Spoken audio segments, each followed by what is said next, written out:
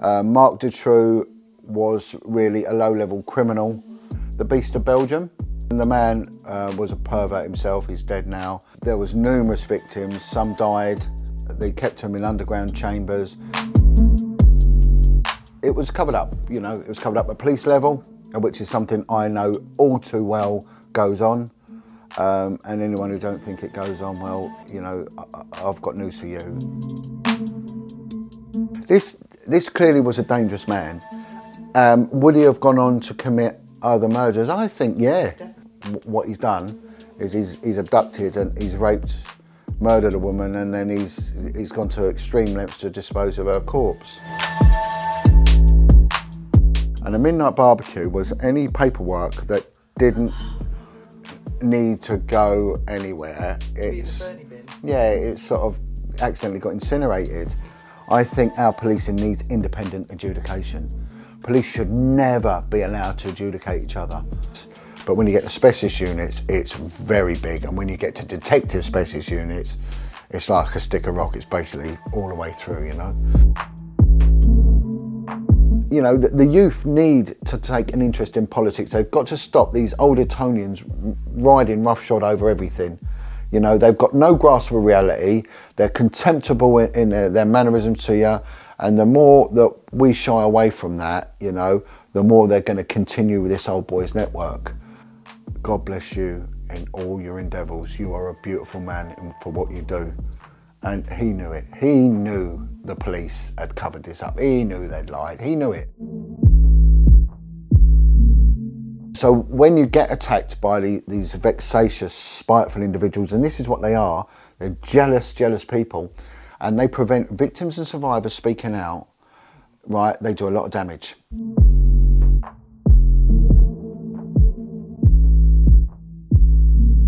This is a really chronically failing system.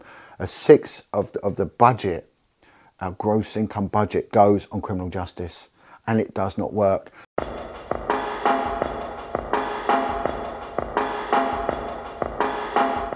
This podcast is sponsored by BetterHelp.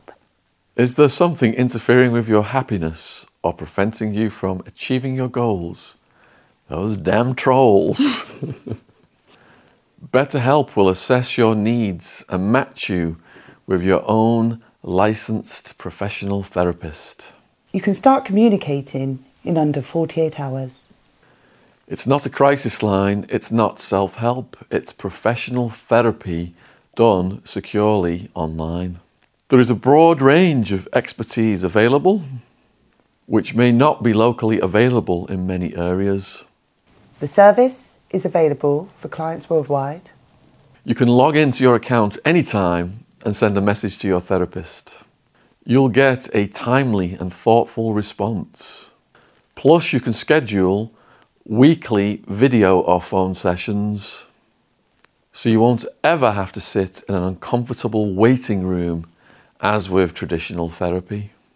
BetterHelp is committed to facilitating great therapeutic matches, so they make it easy and free to change therapists if needed. It's more affordable than traditional offline therapy, and financial aid is available. BetterHelp wants you to start living a happier life today. Visit their website and read their testimonials that are posted daily. Visit betterhelp.com forward slash Shaun, S H A U N. That's better, H E L P. And join the over 2 million people who have taken charge of their mental health with the help of an experienced professional. In fact, so many people have been using BetterHelp that they are recruiting additional therapists in all 50 states. Special offer for true crime listeners get 10% off your first month at betterhelp.com.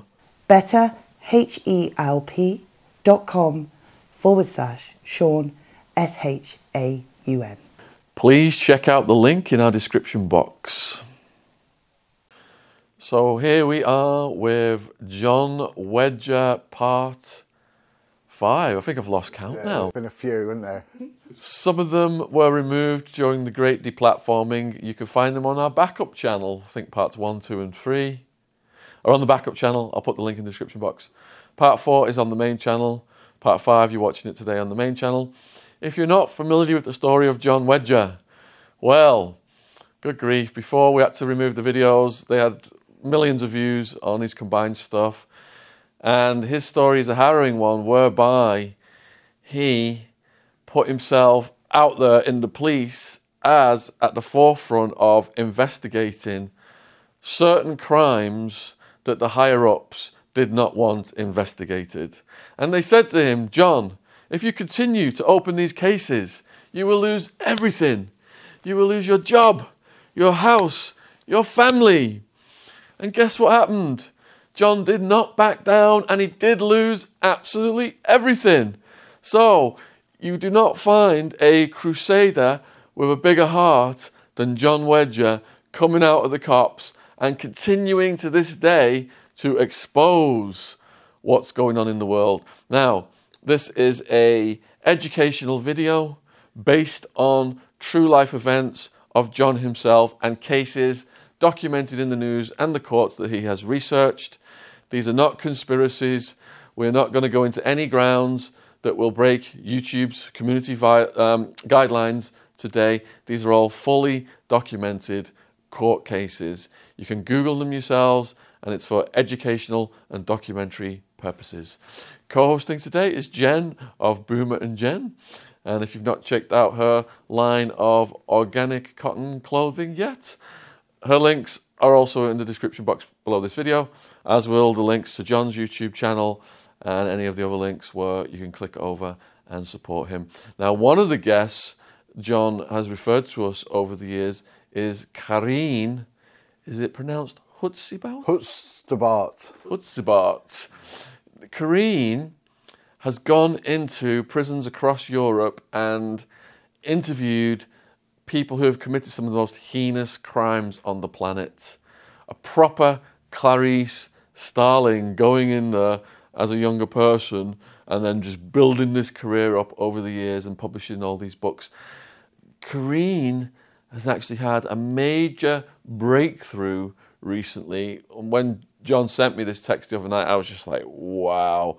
So we're going to start out talking about the case that Karine has, has um, opened up, and then we'll be getting into the case that Jon's working on and some of the other ongoing things in his life. I know you guys always love it when Jon's on the channel, so please let us know in the comments, you know, what you thought about this, and please post any questions down there for Jon as well. So huge thank you for coming back, Jon. Brilliant. Thank Thanks. you. Yeah, cheers. So this news about Karine, then you sent me a text, and um, I read it, but I imagine there's a lot more to it than that. So if you want to let the viewers know, Yeah, yeah. Karine, for those who don't know Karine, Karine Hutsebaut, she's she does want to call herself a profiler because she said everyone profiles, and we all naturally profile anyway. Whenever you're in, in a you know an unusual environment, you're going to profile, and I think in, the more hyper vigilant you are, the more tuned in you are. But she's one of the FBI's top ten profilers. There has been attempts on her life in the past. She was the one who profiled Marc Dutroux, the Beast of Belgium. And if anyone has no idea who Marc Dutroux is, D U T R O U X, what a phenomenal um, insight into how this system works. You know, uh, Marc Dutroux was really a low level criminal who was used to abduct children. The man uh, was a pervert himself, he's dead now, uh, but he was abducting um, kids for I think 150,000 euros a hit uh, young girls, which were used for sex parties. And when um, eventually it did come out, uh, there was numerous victims. Some died. They kept them in underground chambers. They were used for parties for CEOs of big corporations. There was members of the clergy, very high up members of clergy. There was members of, of the British establishment, uh, the Belgium establishment, um, and it was covered up. You know, it was covered up at police level, which is something I know all too well goes on. Um, and anyone who don't think it goes on, well, you know, I, I've got news for you. And uh, and we'll we'll we'll sort of go into it. I call it like the algorithm of how this works. There is always an algorithm. There's an algorithm of how these perverts get together, how their their, their mo, their modus operandi, and there's also an algorithm of how they bully you, and it's very similar. So myself and other whist, police whistleblowers were all bullied, although it was different forces, were all bullied in exactly the same way. Uh, and it works. So it's something that they know works, and and this is obviously intelligence led. Um, uh, and uh, they tried to shut this down, they couldn't do it, and this is where people got to understand their power. Um, because in the build up to the trial for Marc Dutroux, 90, 90 civilian witnesses died. 90 died. Um, there was threats to the journalist. There was a good journalist, a, a man called DeConnick, who actually put it out there. There was a good chief police officer, again, who put it out there. They were all removed, threatened, silenced. Um, police went round to search a house and, and they could clearly hear kids' screams and they put it down to background noise and they were actually in the basement. Wow. Uh, there was porno films. Again, this is the other thing, snuff films, porn films and snuff films. You see this all the time. The British um, uh, criminal justice establishment always, always deny the existence of snuff films. It's a total lie. Uh, there is evidence from the, the Belgium and the Dutch authorities that have been snuff films that have been seized, which have not only come from the UK but also ones made abroad with UK children, and you know, so this is what we call now trafficking. It's been going on a long, long time. We have seen this come out in the, the inquiries, the government inquiries, which I'd like to talk about, if I may. I've um, been what, one of the very few national core participants in the government's uh, independent investigations of child sexual abuse.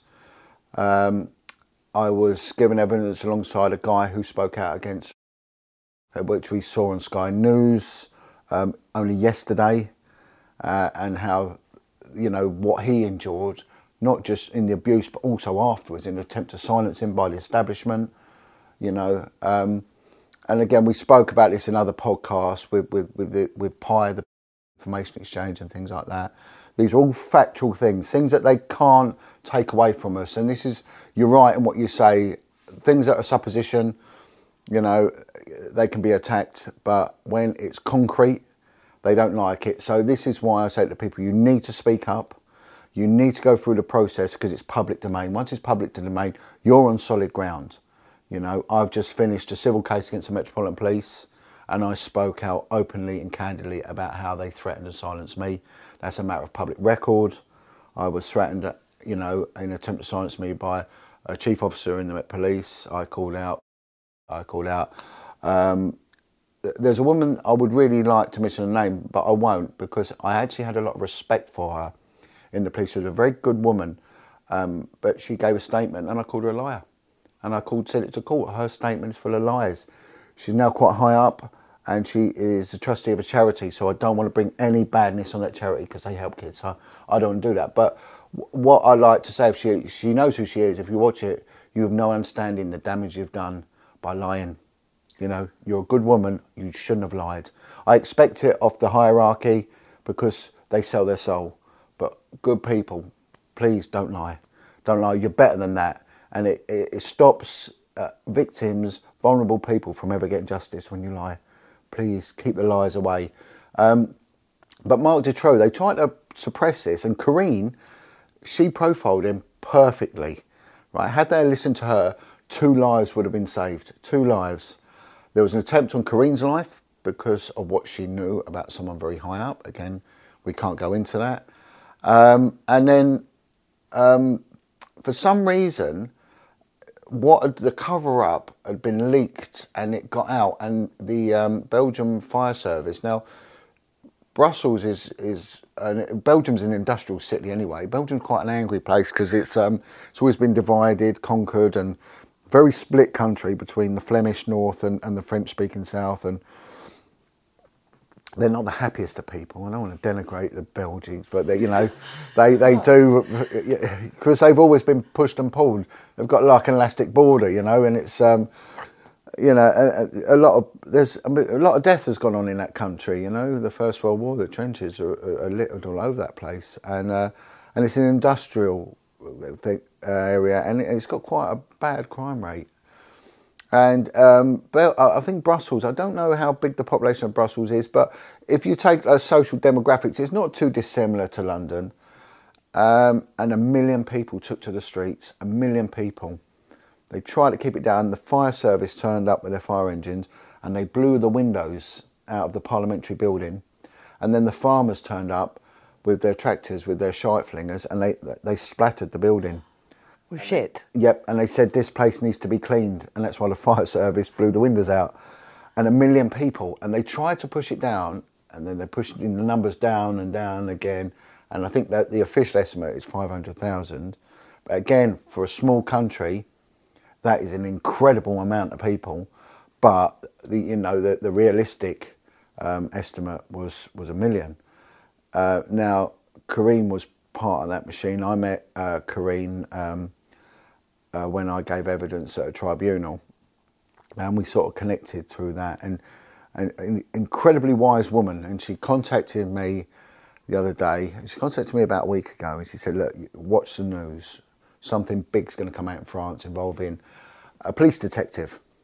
Now we are being saturated at the moment about stories of police malpractice, um, misogyny, and um, cover-ups. You know, really, um, and who better f- to sort of voice their opinion on it than me? You know, uh, and so we, we, have just had a story in the UK of Wayne Couzens, yeah. the diplomatic protection officer, who's um, you know w- what he's done is he's he's abducted and he's raped murdered a woman and then he's he's gone to extreme lengths to dispose of her corpse and then carry on with his life. Now, quite funny because he was caught exposing himself a few days before, and Karine said to me, "Be very, very dubious of flashers."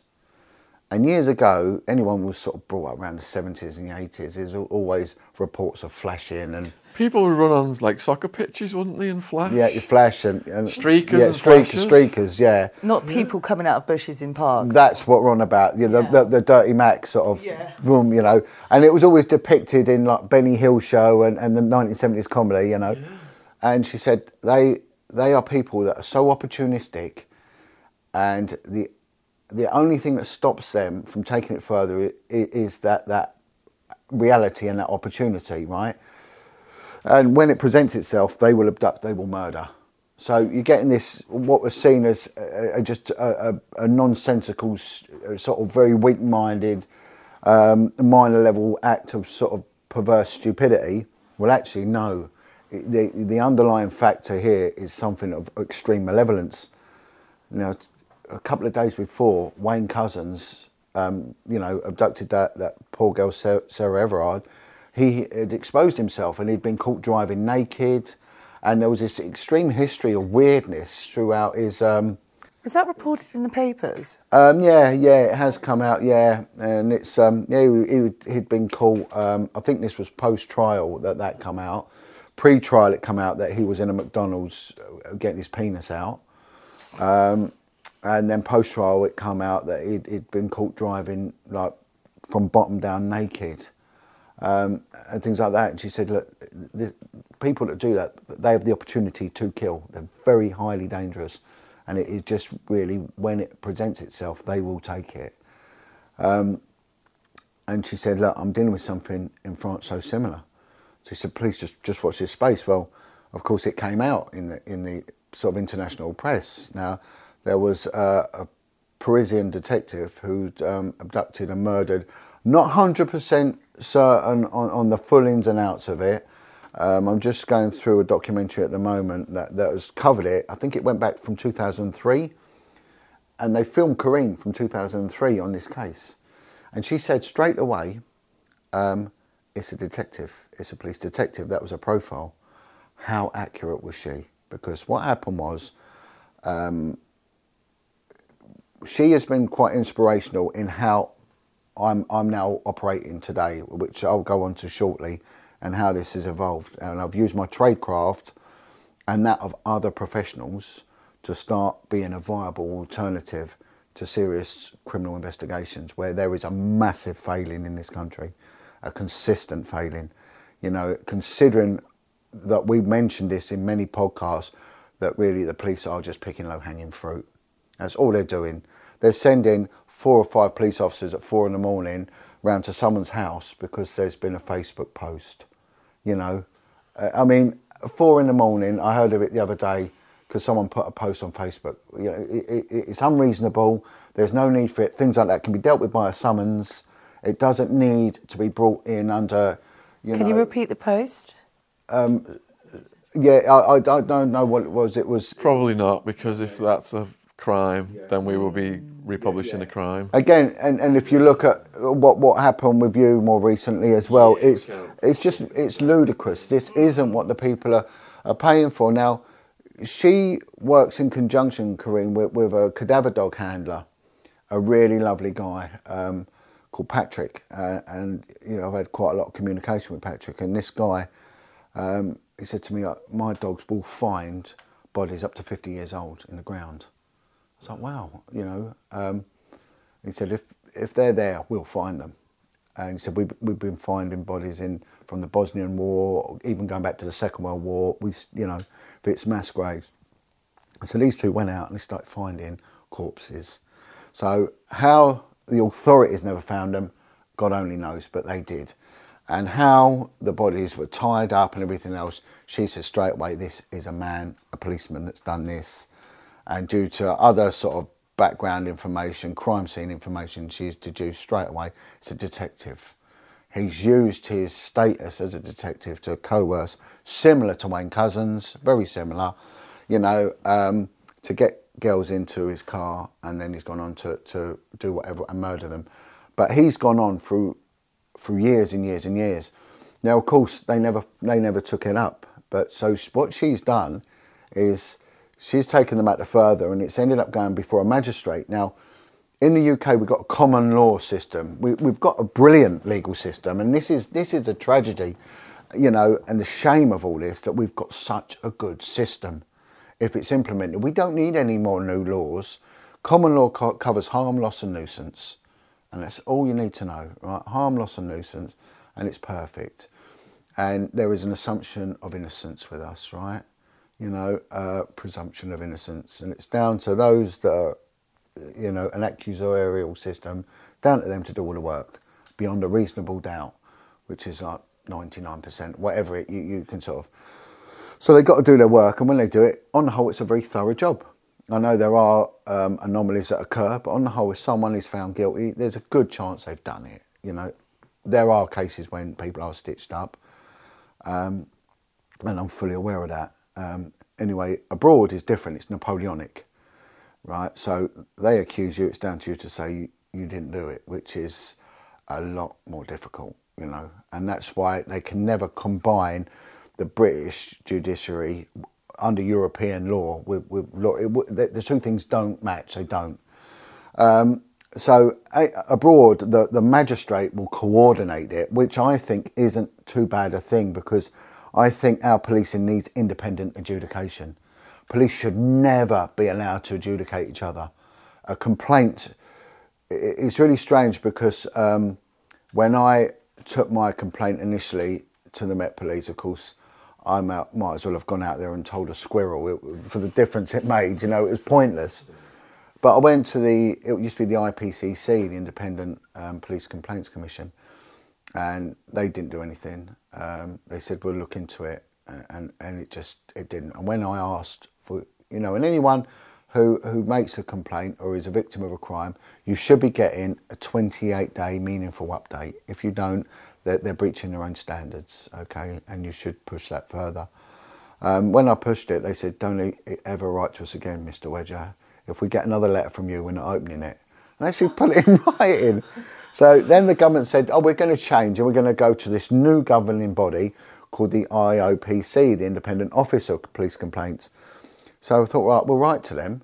Well, they're in the same building, right, in Sale in Manchester.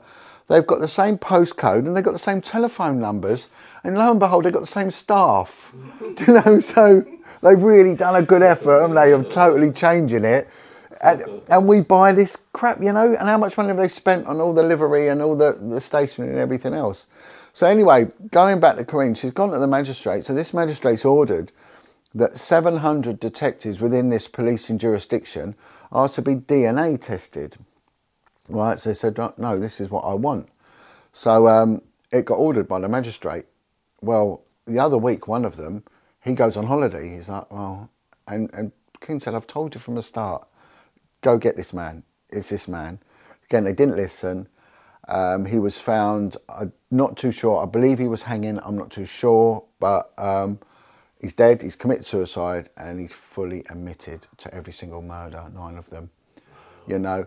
And I think in the early days it was only a couple. Had they listened, do, do you know what I mean? They could have. And again, it's this reluctance. We we we've seen it. There's a program on the telly at the moment um, regarding Colin Stagg. You know that was accused of the Rachel Nickell murder. You know, um, I remember back in the time because I was working in Southeast London. A, a lady called Samantha Blissett was murdered, and her daughter was murdered. Um, so uh, this guy, his name was Robert Napper. What Robert Napper had done, he'd, he'd, he'd picked her out of a Lonely Hearts thing and gone round her and he, would murdered her and he'd murdered her, her infant daughter. But I, I can't tell you because the information I got from one of the officers on the scene was what he did to the daughter was just um, beyond, yeah, beyond, you know, he'd, he'd actually butchered uh, the thing. But he'd actually gone to the local police at Plumstead, where I was working, and said, I've done something really bad to a woman. And um, I think he got nicked for that. But prior to that, he'd killed Rachel Nickell. And he said, I've done another one. I've done another woman. And his mum even went to the police and said, You need to look at another woman who's been murdered because my son's, I think, has done it. And they, they didn't. And I can always remember the court um, press release after Colin Stagg was convicted. No, he was convicted and he was acquitted. He, he took him on and an appeal and he won his appeal. And it was the DCI, the Detective Chief Inspector, turned around and said, Well, we will never be looking for another suspect. So there was that adamant, stroke arrogant, you know. They get entrenched into this mindset. Now, sometimes that is down to institutional arrogance, you know, ego and everything else but also sometimes they're lent on. And you can never rule that out. And especially when you're, you're dealing with crimes which start then involving members of the judiciary, members of parliament, there's a lever. And I can always remember saying to um, a guy that was a, a, big source of information, a whistleblower, um, he was um, a, a, very senior social worker, um, and I said to him, why, why do um, the National Archives and the intelligence services, why do they keep records, you know, like this? I said, because in the police, and I remember this, there used to be called a thing called a midnight barbecue. And a midnight barbecue was any paperwork that didn't need to go anywhere. Be in the Bernie bin. Yeah, it sort of accidentally got incinerated, along with custody records, um, there used to be another, the booking in sheet that would go, and they would have a thing called a midnight barbecue, you know, uh, and tapes. I can always remember saying to, I can always remember saying to um, uh, a sergeant once, well, why, why, why would they burn tapes? He went, if you throw them in a bin, they'll end up in a landfill site. Everything's got to be burnt. Now, I'm not saying it was a regular practice, but it went on. It went on. You know, computer records are different. You know, there's but again, they can go missing as well, you know. Um, there's a guy that we're looking at at the moment, um, his whole prison record's gone missing. He just doesn't exist, yet he's in prison for, for murder of a child, and his prison record's gone missing. So, so the, these things do go on, you know. Um, Uh, and so we can't be that naive to see they don't. And we, are seeing this now with, with government inquiries, and it's the same consistent outcome. And it is cover-ups and lies. And it always in sort of like the police's side of thing. The social services have done the same. And it's a need to get rid of bad news. And the reason that the intelligence services don't do it is because it has blackmail value. And that's what I was told. Again, I can't not pointing any fingers or anything like that. I said we want this to, to, to have legs and continue to be broadcast. So that's our reason why I could spout names all day long, and I've been heavily criticised. I've been heavily criticised from the word go. Jon Wedge is a, a whistleblower with no whistle. He never names names. Well, the moment you do, that's it. You're finished. You know. Um, uh, but these people can be used at a later stage. You know, they can, and the intelligence services. You know, this is how they work. So, um, what what what has happened then is uh, um, I started off, as you know, uh, left the police and thought, well, what am I going to do? And I decided to give a voice to the voiceless. So I went out there and I spoke to survivors of abuse, and I podcasted with them, and then that sort of mushroomed. It just it just went crazy. I couldn't believe it. But again, I was ill equipped to deal with it because there was a lot of people that had chronic mental health problems. You know, when, when someone has been abused in their childhood, there's always an audit trail of damage, you know, and a lot of them, they will take it to their grave. You know, there isn't the support for them. 80% of the prison system has come from terrible, terrible childhood background. The prison system does absolutely nothing to take. I mean, I'm no social scientist, but I become very, you know, adapt really, uh, understanding that this is a really chronically failing system. A sixth of the, of the budget, our gross income budget, goes on criminal justice, and it does not work. And I gave an analogy once, and I said to someone, if if I was a building contractor, and then I was to say to you, look, you want an extension built in your house, so I'm going to get you a builder. That builder charges £450 an hour, right? And they'll even charge you for invoices and for emails and for estimates, right? Which is exactly what a solicitor does, right? And it's unquestioned, right? And I said, but bear in mind, 80% of all buildings that this person puts up instantly falls down, right? You're yeah. going to say, get F, F off, you know, but it's the same with the criminal justice system. Sex offenders, the average offending time on release, right? Because the majority of it is is pornography and, and stuff like that. The average offending time for 90% of them is four hours. Four hours. It don't work. It's it's just crazy. And then when we get sex offenders, a lot of them have come from abuse. There has to be another way of dealing with this, if only to stop other victims being made. You know, I can get people say, why should we put effort into sex offenders? I get that. But let's understand their MO, their thinking. But you're dealing with very, very deceptive people.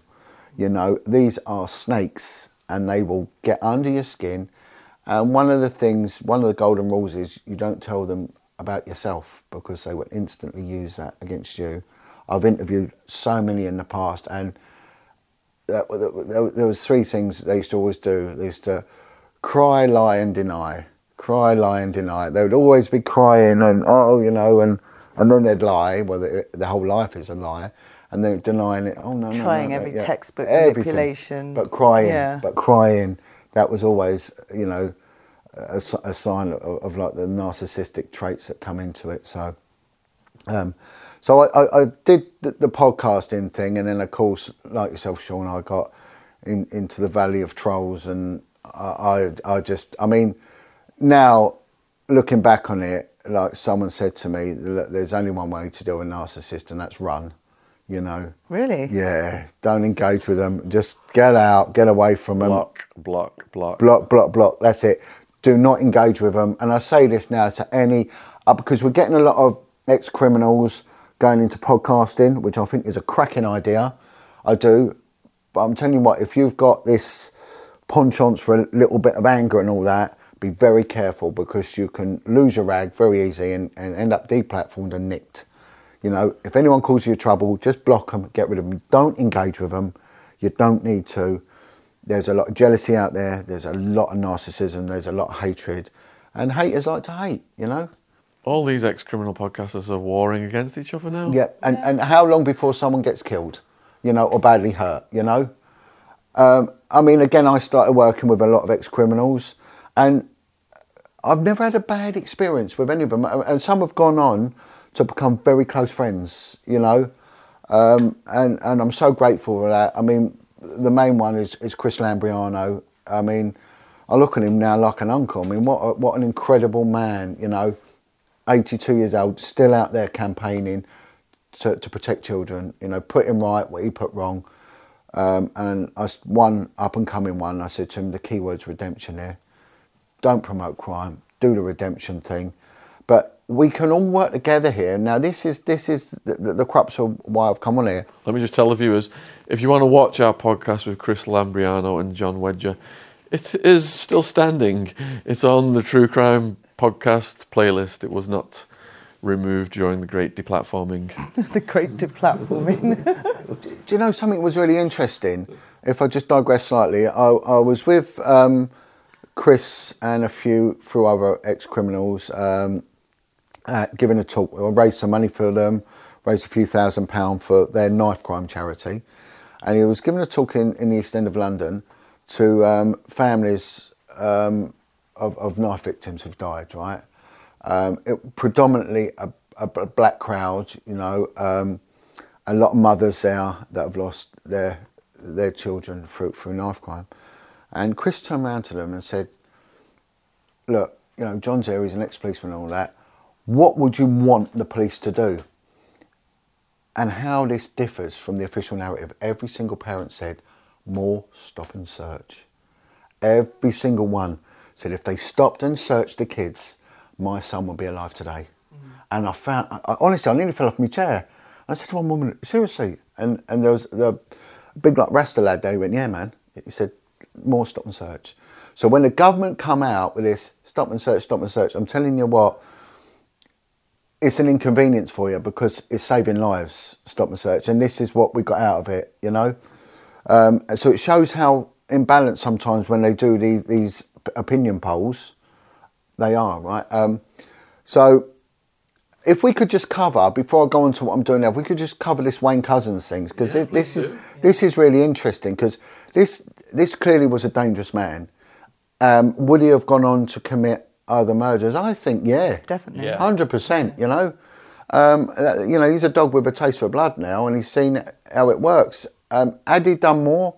Well, we don't know. I mean, there was a really strange thing when I was investigating and it was the anonymity that tourism gives people, right? So you'll get people, let's just stick with men for the time being, that will go abroad. And what, what a profiler said to me, I was working with a, a profiler called Joe uh, from Ireland. Um, so I, I had that before I met Karine, so I took a real solid interest in what Karine's doing because I know it works. it saves a huge amount of uh, money as well. He said it's like hurdles. So a man goes to Thailand and he wants sex with a young prostitute, right? And he's come from a normal sort of background, but he's abroad. No one knows him, right? So he will do it, but it's it's a big deal for him, a big deal, and he'll go back and there'll be all the guilt, remorse. There'll be a lot of emotion going on in him, and he'll hate himself, but he'll want to do it again. But this time that hurdle's got a bit lower, right? And then lower, and in the end it's so low he doesn't need to step over it, right? And that's how it works. And it's the same with Wayne Couzens. I think his barriers were going lower and lower, you know, lower. And and of course, this is this is where I need to point the finger, and I do this a lot uh, to to the upper echelons of the of the police.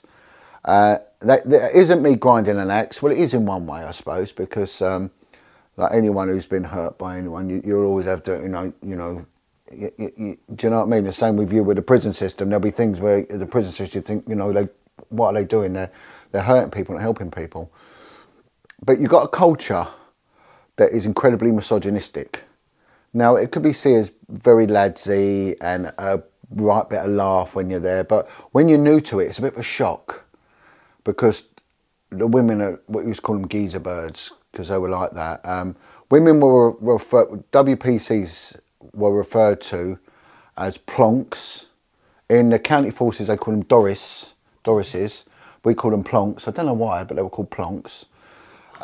For For like plonkers. I don't know why it was, and they, and they used to say to me, the women in the in the old bill, they're two things: they're either bikes or they're bikes, or, you know. Um, and when a girl joined, right, what was a custom thing? They put her posted to to the, the, the front office, right, and every front office had um, a stamp, a station stamp. So it'd have Metropolitan Police, Peckham Police Station, or whatever, with the date and your job if you was early there to put the date on it, stamping passports and, and, and, and other bits of, you know, official correspondence. So on a night duty, the girl's first night duty, it'd be the job of um, a couple of PCs would be brought in to pick her up, lift her up, and the duty inspector would stamp her bare ass, pull her knickers down, right, lift her skirt up, pull or pull her trousers down, and stamp her bare ass with the station stamp That's fucking disgusting. and that's what they did. Um, and and it was there was and I'll, give you um, a, a, a, an anecdote. One guy come up to me and he said he was in the Scottish force and he transferred down. And uh, he said one day the, the duty officer comes in and he says to him, right, he said, a woman's going to come in and make a complaint. She's a nutter, get rid of her, right? Just get rid of her.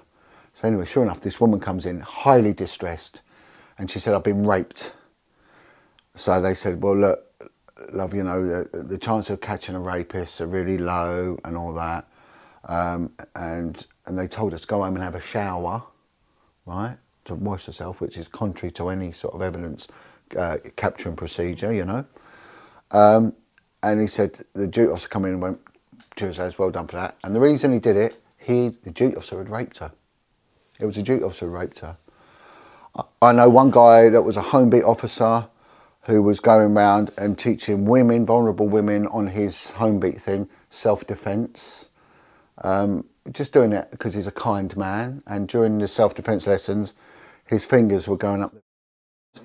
You know, um, you know. Oh, um, I know one guy who got um, a prisoner, a female prisoner, a shoplifter. He was a jailer. He went in there and and got her pregnant. You know, um, it never went down as rape. Um, every single police station had someone called the. Every single police station had someone who had been accused of. Every I, I worked with one guy. He'd stood trial twice for rape. Twice for, you know, and got off with it Wow. got off with it on every occasion. You mainly found that the, the as it were, came from the very ego-driven um, uh, units. The TSG was there was always a TSG officer standing trial for always. Uh, this guy was from the DPG. It stands for Diplomatic Protection Group. We used to call them doorways, porches, and gates because they did sod all. They stood there with a gun. They hadn't even nicked themselves shaving. These people. And uh, uh, why they give them a gun? I don't think they've ever. I think one of them shot himself in the foot once. You know, and I think one girl that was on it actually killed herself. Yeah, I think they have more injuries, coppers shooting themselves, than they do shooting people they're meant to shoot or whatever. Um, yeah, th- th- they're not, but very ego driven. You know, they're not confrontational. They're not. They're uh, they're not coppers, in my opinion. And the same as these coppers that work in the airport. So I'm probably going to upset people in saying that, but I'm I'm beyond that.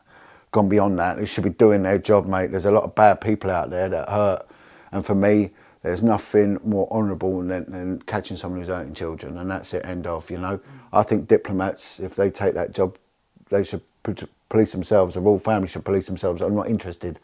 Um, but you, you tend to get them from them units. You know, there was always um, um, someone having an affair with someone else at work. There was always couples being caught shagging in, in police cars. One, one guy, they banned him from the from driving police cars because there was so much semen stuck on the dashboard after he'd taken it out on every occasion. He was banned. The inspector went, "No, he can't have a car anymore." Because he was going out and having sex with uh, social workers, other police women, every single night, you know. And, you know, um, I worked on the Clubs and Vice unit, so I worked on Vice. We had the Obscene Publications squad there, and they had a room, and they had these cubicles, and they had banks of videos and DVD recorders, and all they would do most of their time, apart from proactive operations, they would have to categorise pornography, so they watched porn most days, men and women, and basically it was it it was um, not frowned upon if anyone was caught wanking in there. Let's say that. And every few months, someone would come and disinfect the booze Oh, because they knew that, that it would, you know, women as well as men. You know, there was one girl um, when I was on the vice unit.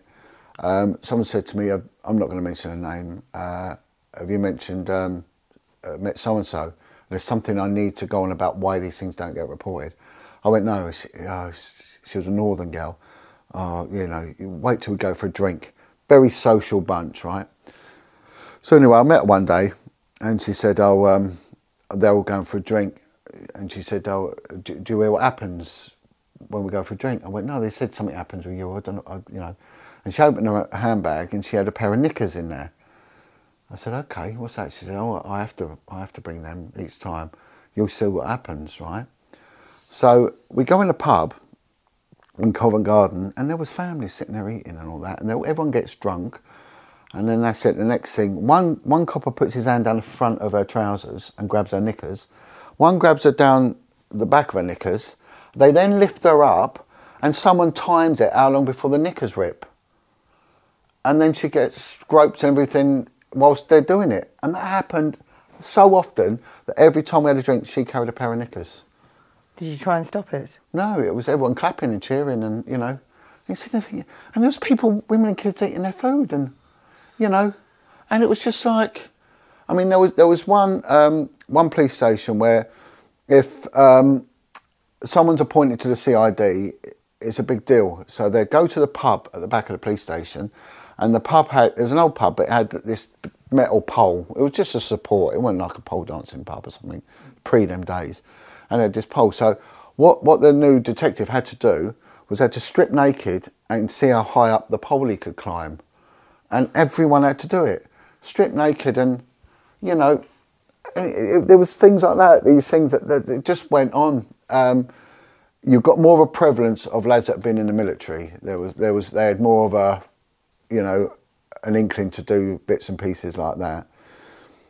Um, if we move this forward, um, a girl I know, a young girl who's a friend of one of my lads, um, her dad, no, her granddad actually was was was quite a well known police officer. Um, uh, he he arrested a, a well known murderer actually, and she always took a liking in in in the police, and even when she was about 16, she used to say to me, "Oh, I, I want to join the police. What's it like?" So. I, I got permission one day to take her into work, um, and she's a lovely girl. She's a good, kind girl, um, and she used to do a bit of modelling. She's a very attractive girl, all right. And I used to say to her, "Be very careful because they're they're perverts, you know, and they are like hyenas, you know." And what they would do, especially in clubs and vice, when they when they interviewed girls, they would solely be picked on their looks, solely. I worked with one girl, and she was a black girl, and she said, "Jon, I'm the token black," because she was my partner. And I went, what do you mean? She said, look at all the others, all blonde young girls, right? And she said, I'm just here to keep their um, diversity figures going, you know. And, and she, I said, well, how does that make you feel? She said, what, what, what can you do, you know? What can you do? Um, I'll stick with her and then I'll go back to, to, to this young girl in a minute. And she said to me, she said, um, uh, have you heard the rumours about me? Because they all said, be careful of this, this black girl, she's grief and she was she was just old school. I've, you know, she she joined very early. I think in, in maybe the early eighties, maybe late seventies. Um, London girl, you know, and um, they also "Be careful what you say. If you say something inappropriate, she'll report you and all that." And and I said, "Look, I'll be fair. Yeah, they said, you know, and I could be. I was never inappropriate with women. I was never never ever like that. But I I my language could be. I wouldn't say it. It didn't bother me where anyone was from or what they was, you know. If anyway, you know, but I, I, I never had any complaints about impropriety ever, ever. Um, but you know, people say, "We just said that again," and you know, whatever. So anyway, so they put this girl with me, and um, and she said, uh, you know, I've got a reputation and of being really griefy, but I'm not. She said, I'll tell you what it's about, Jon she said, someone got sacked because of me. And I went, okay. So explain what it is. She said, you know what it's like in this job. And I went, yeah. She said, so when we went out for a drink, you know, blokes will grab my tits and I'll grab them, right? Right, but we knew each other. She said, and she said a new a new uh, inspector turned up and he just came straight up to me and grabbed my tits. The first day in, he said, I don't know this man, so I've kicked off, and I've told him, don't ever do that again, and he did it. And she said, you apologise now. You know, who? What do you think you're doing? She said, I knew these other blokes. You know, so it was whether that's right or wrong, but uh, and she said I gave him every chance to apologise, and he wouldn't. He thought it was his God-given right. And she said, I just thought this man's dangerous. What if I hadn't been a strong black girl? What if I'd been, you know, a, a weak-minded little dolly girl? You know, it, what else would he have done? Um, so she said I reported him, and he was then given the chance to back down and apologise, and he was so arrogant that he didn't, and he got sacked and she said that's why. She said "You're up there. I said yeah, yeah, you know, and you know she was a great girl. We worked together for years, you know. Um, but that's how it. The old school they used to give them the opportunity, you know. But th- this this young girl, I've got to be so careful because I, I, always want to say names, but I can't do it. She's um, joined joined the police. She's very proud to have joined it, and she went to um, a very busy um, police station, which I think was probably okay because the busier they are, the less chance they've got to really sort of have time to muck around, you know. But then um, she rings me up. She'd been in about two years and she's suicidal, right? Heavily depressed, suicidal. She said, I want to leave, I want to leave. Um, I said, What's happened? And it's her sergeant kept coming into the locker room while she was changing and, and, and groping her tits.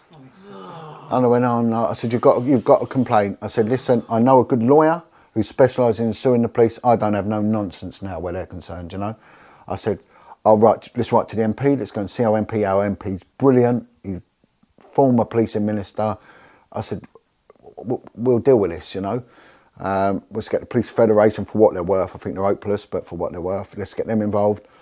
Anyway, she did. Bless her. She started doing it, and it'd been witnessed right? It's been witnessed. And this is this is only going back a year or so, right? Or maybe a bit longer. So when you get going on about they're trying to address this, let's, let's, let's explain what's going on in this force, you know? Um, and and this is what they brought in. They brought in these new like personal liability sort of laws. So before it was the commissioner was liable. Now they're they're rolling the ball downhill, you know. So everyone who come forward and said, "Yeah, we saw little so and so him doing this," and and and he's got previous for doing it, so he'd done it to other girls in the past, and um, when they went to the professional standards people, and of course we've seen that. What was that line of duty? That was a program about professional standards. We used to call them the duty state squad, right? The duty state squad, because out of all the allegations that were ever given to them of proper, proper criminality all they could ever do was, was give people words of advice for falsifying their duty states. They were the most inept, moronic bunch of coppers going. So that program, Line of Duty, is the most misrepresented program ever. The Sweeney has got more reality than that you know, and, and, and that's the truth. They are appalling. They don't deal with proper corruption, and they never will. They went. Every single witness come forward. They then threatened them with discipline for not for not speaking out when they saw the offence happening. So they put it on these poor, you know, individuals, right, and ostracised them. So every one of them then withdrew their statement, and she was then left, and and she became suicidal as a result. So so this is it is so appalling, and this is how they they, they just don't address it at all, you know. Um, and again, this isn't me being anti-police or anything else, but you're dealing with an institution with a massive history of, you know, and and there was a lot of victims of crime that, that got sexually assaulted. Um, there was one guy, I, th- I, think he actually did get sacked, and he he went round and he, he was a victim of crime who had special needs. Oh wow! Special needs, you know. Uh, he had something like a year left, you know and you went, I mean, what's going through these people's minds, you know? Um, and, you know, that again, they used to park up the vans outside nightclubs back in the early days, giving, giving the girls a lift home. And I think some coppers in Guildford got in trouble for that. Yeah, yeah. and there was one TSG unit. They picked two girls up, um, and the girls I think were into porn or prostitutes or something like that. They ended up making a porno film in the back of the um, police van. Do you know if it ever got online? Yeah, it did. It, it didn't get online, but it, it got it got in the, the the newspaper. It was just around the corner from Euston Station in about 2002, something like that. They actually made a porn film in the back of the, you know, and of course then that that sort of leaked out. I don't think it was the girls. It, it got passed around somewhere, and then, you know, um, but they, it, they was always doing it, always doing it. I mean, I've had one woman come to me, and she would be picked up from school by two detectives, taken to a pub in Cornwall, and just raped by, by the pub, and then dropped back, and she was in uniform. You know, and where do they go to? So where, where, what do we do? You know, so you know, corruption. They say you know it just corrupts absolute. You know, it, it's just you can't have corruption, and um, it it just needs to be dealt with properly. You know, um, but so so what happened was um, I got approached. Again, there's going to be no names whatsoever here because Yeah, I want to keep my channel. what what what I do now is is I work um, as a single entity, right? And every member of our gang is a single entity. And and Karine advised us on this, and she said, "Listen, be linked to a chain. You come in, and then when you're not needed, you break away. If you become a group, especially when it's trauma bonded, it always always breaks, always breaks down."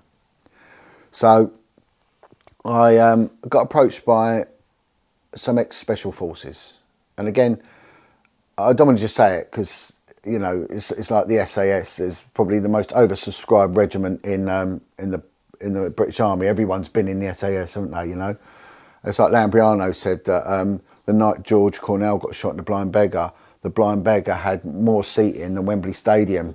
You know, so everyone was there. You know, so again, these are genuine lads that have um, uh, and they've got like a, a, a unit and like a little depot that they um, they've done some work abroad, um, helping out kids and all that. And they didn't realise the sheer extent.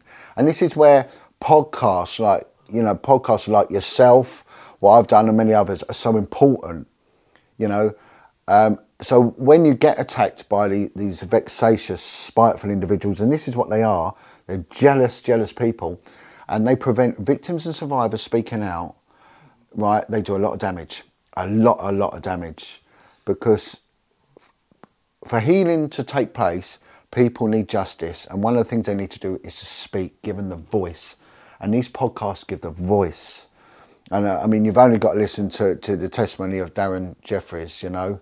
I mean, probably the most powerful um, podcast. You know, I mean, I interviewed him, you interviewed him over a couple of periods, and and it saved him. And he said, he said, I wouldn't be here if I hadn't done it. You know, and what that guy's been through. So um, it it really means a lot. So these guys started watching these podcasts. So they they get in touch with me and say, look, can you come and see me? So I go down with um, a member of my my team, who again ex forces, getting a lot of interest from the ex forces, and um, again we've got to be careful here because we can't be seen as being subversive. But I think the British government, I know, I know the intelligence services watch these videos. I know for a fact that they do, and I'd like to to embellish that a bit more in a minute. You know how I know that. Um, they need to take note that, that that there are some very, very well equipped, well skilled, well meaning individuals that have had enough of injustice. They've had enough of what they've seen of cover ups, you know, um, the low hanging fruit being picked when the real perverts, because of their position of privilege or power, are getting away with it, and the victims are the most vulnerable, you know? Before we start the podcast, a word from our sponsor. Do you want to know what it's like to hang out with the MS 13 in El Salvador? Or how the Russian mafia came to Brooklyn in the 1990s? Or why some Swedish gang members love to throw grenades? If you've enjoyed my stories of hanging out with the New Mexican Mafia, cartel members, Italian Mafia, you will love the Underworld podcast. It's a show about organized crime all over the world, from the first gang lords to the current kingpins. Hosts Danny Gold and Sean Williams are investigative journalists who've worked all across the globe covering the most insane crime stories. From interviewing cult gangs in Nigeria to chasing meth barons through the Burmese jungle. And way, way more. Mixing in thorough research and some of the best gangster history in recent memory. They're bringing you a new episode every week. We're talking Taliban, triads, warlords, drug lords, and scammers from Brooklyn to Beijing and far beyond. If you want to dive deep into the criminal underworld with two journalists who have reported on it all over, give it a listen. The Underworld Podcast. Listen and subscribe wherever you get your podcasts. The link will be in the description box below this video. I'm, I'm always say this. I, I'm not here for an adult. I'm not here to placate adults. I don't care if I insult or upset an adult. You've got shoulders, use them. But I, the children haven't. They need protecting, you know, at all single levels.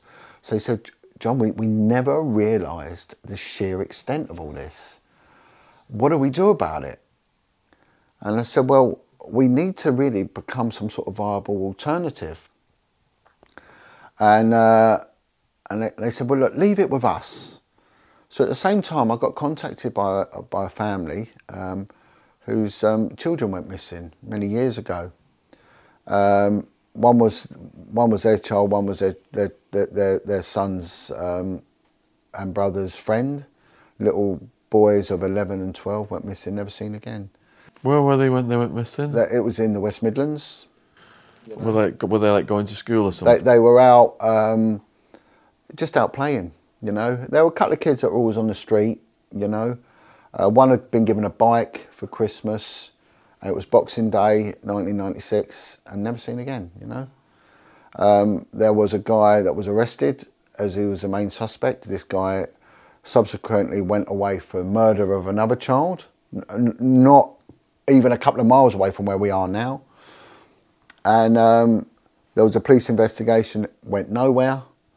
Um, the guy did do time, but it was only because Surrey police caught him, not the West Midlands police force, you know. And um, there was a there was uh, an anniversary investigation a decade later in 2006, which again went nowhere. And the family were so disgruntled, so disgruntled with the police, and they got some credible information that that um, the main suspect was seen burying something around circa 1996 in this waste ground woodland type area um, in the West Midlands. So he told the police, the police did nothing. So what they did was say, right, they're not going to do anything, we're doing it. So they went down there and dug it up. Did they find him? No, unfortunately, but they carried on. So they raised money, and people said, power to them. So they went on the telly and said, look, if the police don't do it, we're doing it. And they've got this collective and this community built up. And it ended up like, um, like a commune. And they were working almost 24 hours a day digging this, this wasteland up with mini diggers. Um, they were doing a fantastic job. They were uncovering a lot of old artifacts. There was a lot of children's clothing. Um, there was bits of bone. There was there was things that, that, that were conducive to, to to the crime, you know. But again, the police never went and, and helped them. Never offered any assistance. And there was a lot of weirdness going on in the wooded areas. There was people turning up and photographing them and in the woods, and it was a very very strange environment. And uh, so they they contacted me and just said, look, you know, we've seen you and we've heard about what you've done. If there's anything you can do, so I went back to the to these ex special forces guys and said, look, if you want to help, help is something. So they said, right, arrange a meeting tomorrow. We'll be there.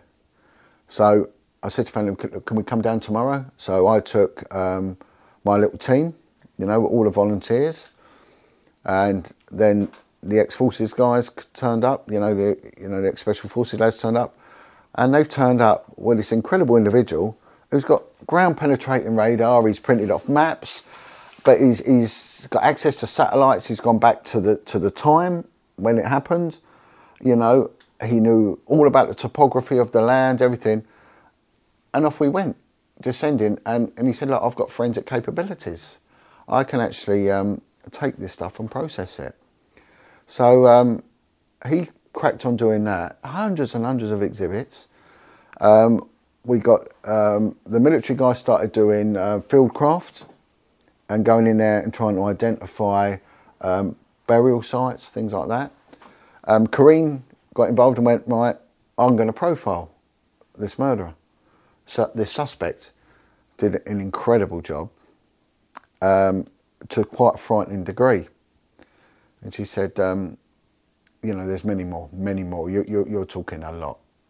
Now, West Midlands Police have said that this guy could be responsible for as many as 25 missing children.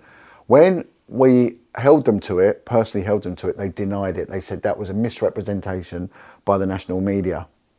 The national media have tried to liaise with them and they've just been met with arrogance. We liaised with them and we were met again with arrogance. This is ongoing, so we've got to be careful. So what? So we've got now Karine doing the profile, and Karine said, right, I'm going to get Cadaver Dog over to you. But this guy uh, has found bodies in graveyards all around the world. Bosnia, he's been out to, you know, the Somme still and everywhere. He's been all around the world, this guy. Um, and he couldn't take him over because of the COVID regulations, right? Abandoning him. He said it's going to, all doing it for free. Everyone's doing it for free, right? Um, and, and, one guy saying my, my fee would be 1500 quid a day, you know? Um, but boom. So we all do it for free. So I said, right, well, let me do my thing. Give me a list of all the witnesses that you know of. I'm going to visit them. So I started visiting them, right? And I started doing statements. Now, I've seen, it was my thing doing statements, and I've seen how police do statements now. There, there's, there's a horrific statistic that in 2025, the average service of, of 90% of the Metropolitan Police will be five years. Five years. So we are in five years' time or four years' time, the, the, the population of London are going to be policed to a 95% degree by basically students with, with five years with no tradecraft because they haven't recruited, people have left, people have had enough, there's no skill. I mean, how could you do? How could you set up, you know, 95% of all buildings built by lads that are just out of college? You couldn't do it and, and, and this is the dire, dire state. And I have seen statements now done by young coppers, and they're appalling, you know. And some of them are done in jargon, you know, with street speech in it. And you're thinking, really? Absolutely appalling. Um, and no detail, you know, it's all the devil is in the detail. So um, I, I got in touch with one guy and he said, I went to the police. And I said, Well, what happened? He said, They told me to F off. And this lad had met these kids on the day they went missing. And he said, um, they're, they're, in this, this woods, a different woods to where they're digging, but only the other side, right? So he said, um, No, they were in there. They, I met them a couple of days before and they told me that, that, that they're digging a hole to Australia with a man, right? He went, okay. He said, it's, it's in these woods. And he said, and I went past an hour later and I saw him with a man. And um, he then later on said, years later, um, he was in a job centre and he was talking to someone, and this man come in, and this man was talking to the guy he's talking to. They were having a conversation, ex parte to him, didn't want him involved. And when this guy left, the fellow he was originally talking to said, I was in, I was in prison with them, and he's admitted to taking them, them two missing boys. I was like, do the police know about this? He went, well, I tried to tell them, they told me to F off. I went, so you've got first-hand information that, and he's identified this guy, and, and I've supplied the name. Um, and then we go down to, to the wooded area, but the, the, the, train, the high speed train company, have taken over the land. And they wouldn't let us on. I said, no, you're not coming on but a couple of the guards said, I know you, I've seen your. Uh... So I contacted them. They said, Yeah, yeah, it's not a problem, we'll have you on. Again, I've got to be careful now because this may come out as a, as, a, as a civil suit later against maybe the police, maybe this. But the long and short of it is, they initially allowed us on there to to to search the land with radar, Kicked you off. and then they wouldn't, and then the politicians got involved. So I took it to politics, to the political level. We got a, a former chief constable said, "I want to help you." We got a well-known um, senior detective who does a lot of TV now. He, he come on board, said, "I want to help as well." So they all started saying, "We want to help." Um, and then this Not, not Peter Bleksley. no, not him. No, not him. Not him. Ano- another guy that's on a lot of TV, and he said, "Look, I'm, I'm with you." He, he said, "What do you need?" I said, "Look, we need cadaver dogs. We can't get any because we got one in Belgium, and the the police don't have any." Um, he went, "Contact this guy, a military guy," and this military guy said, "I know this case. Um, I'm with you. I'll, be- I'll be with you." And he said, um, "I'll bring as many dogs as I can. Let's get on there." I said, well, can you narrow it down? I said, yeah, we've got the radar guys. We can be in and out in a couple of days. And, uh, but they're about to excavate the land, you see. So now if they excavate the land, we lose it. And I'm saying, look, please just let us on. So we meet with the police and I said, look, this statement is so credible, you know, and uh, bear in mind, I've worked on cold case files, you know. Um, I know the score. I know the burden of proof to get in a warrant. You know, when it's to deal with sex crime and children, you could get a warrant and even a rumour. It would give you the warrant. I said, can't you come and declare this a crime scene and bring some cadaver dogs and we'll go down as a group and we'll search it? No, no. And he, j- uh, honestly, I don't want to at this stage mock the guy, but he may have his, he- you know, he needs his right to reply. But if this this comes off, then then there needs to be a public inquiry, and this guy needs to be held accountable for his absolute reluctance to do anything. And and it was just his arguments were just ludicrous. They were so fundamentally flawed, um, and and he just basically said, "I'm not helping you." And I said, "Right." And of course, this lot wouldn't help us, so we'd take it to Parliament. So one MP speaks to the Minister for, for Transport and everything, and it all sort of gets agreed. Then I get a call from one of the ministers, and the intelligence services have got involved, and, and basically been said, stay away from Jon Wedger, he's a dangerous lunatic. And I'm thinking, why would they get involved? You know, the, the, the, the civil servant, what, what, what is it to do with them? That So all of a sudden we're getting obstruction. And I'm thinking, if we're getting it as a group of professionals, you know, we, we had we had a room when we went to the meeting. We had good ex-military guys who knew fieldcraft to a T. We had one of the best ground penetrating radar uh, geologists. He knew the woodland. He knew everything. Right? Amazing what this guy can do. Put drones up. Put everything up. Um, you know, again, we were backed up by one of the best FBI profilers, and we've now got the best cadaver dog handlers in the world. You know, and that's what we've had to do. And, and they still treated us with contempt. And I said, if that's what they do to us, you imagine what they do to a working class family, you know. And they hadn't even gone and visited the family, you know, on the dig site. They hadn't bothered. They'd sent no encouragement, no support, nothing. They hadn't even visited um, for over a decade the guy that's in prison. And not only that, the next wood along from here, a lad was found at the same time hanging, right? Hanging, um, dead, been there for a few days. His corpse was starting to decompose. Uh, this lad was a little bit what we might call special now, you know, without denigrating him. That, you know, again, he had learning issues, I think. He was a happy go lucky, kind kid. He was miles away from home. Um, he'd just been to the bank that morning and put some little pennies in his little kiddie savings account. Sweet little boy, you know. So he's got a projection for the future. This isn't a kid that's got anything other than wanting to live. You know, he loved his mum, he loved his dad, and he liked going out on his little bike. He was found with a knot round his neck, so sophisticated, right? Um, and it was identified by a knot expert. This is a military knot, right? A maritime military knot. Well, the, the main suspect is an ex-Royal Marine, right?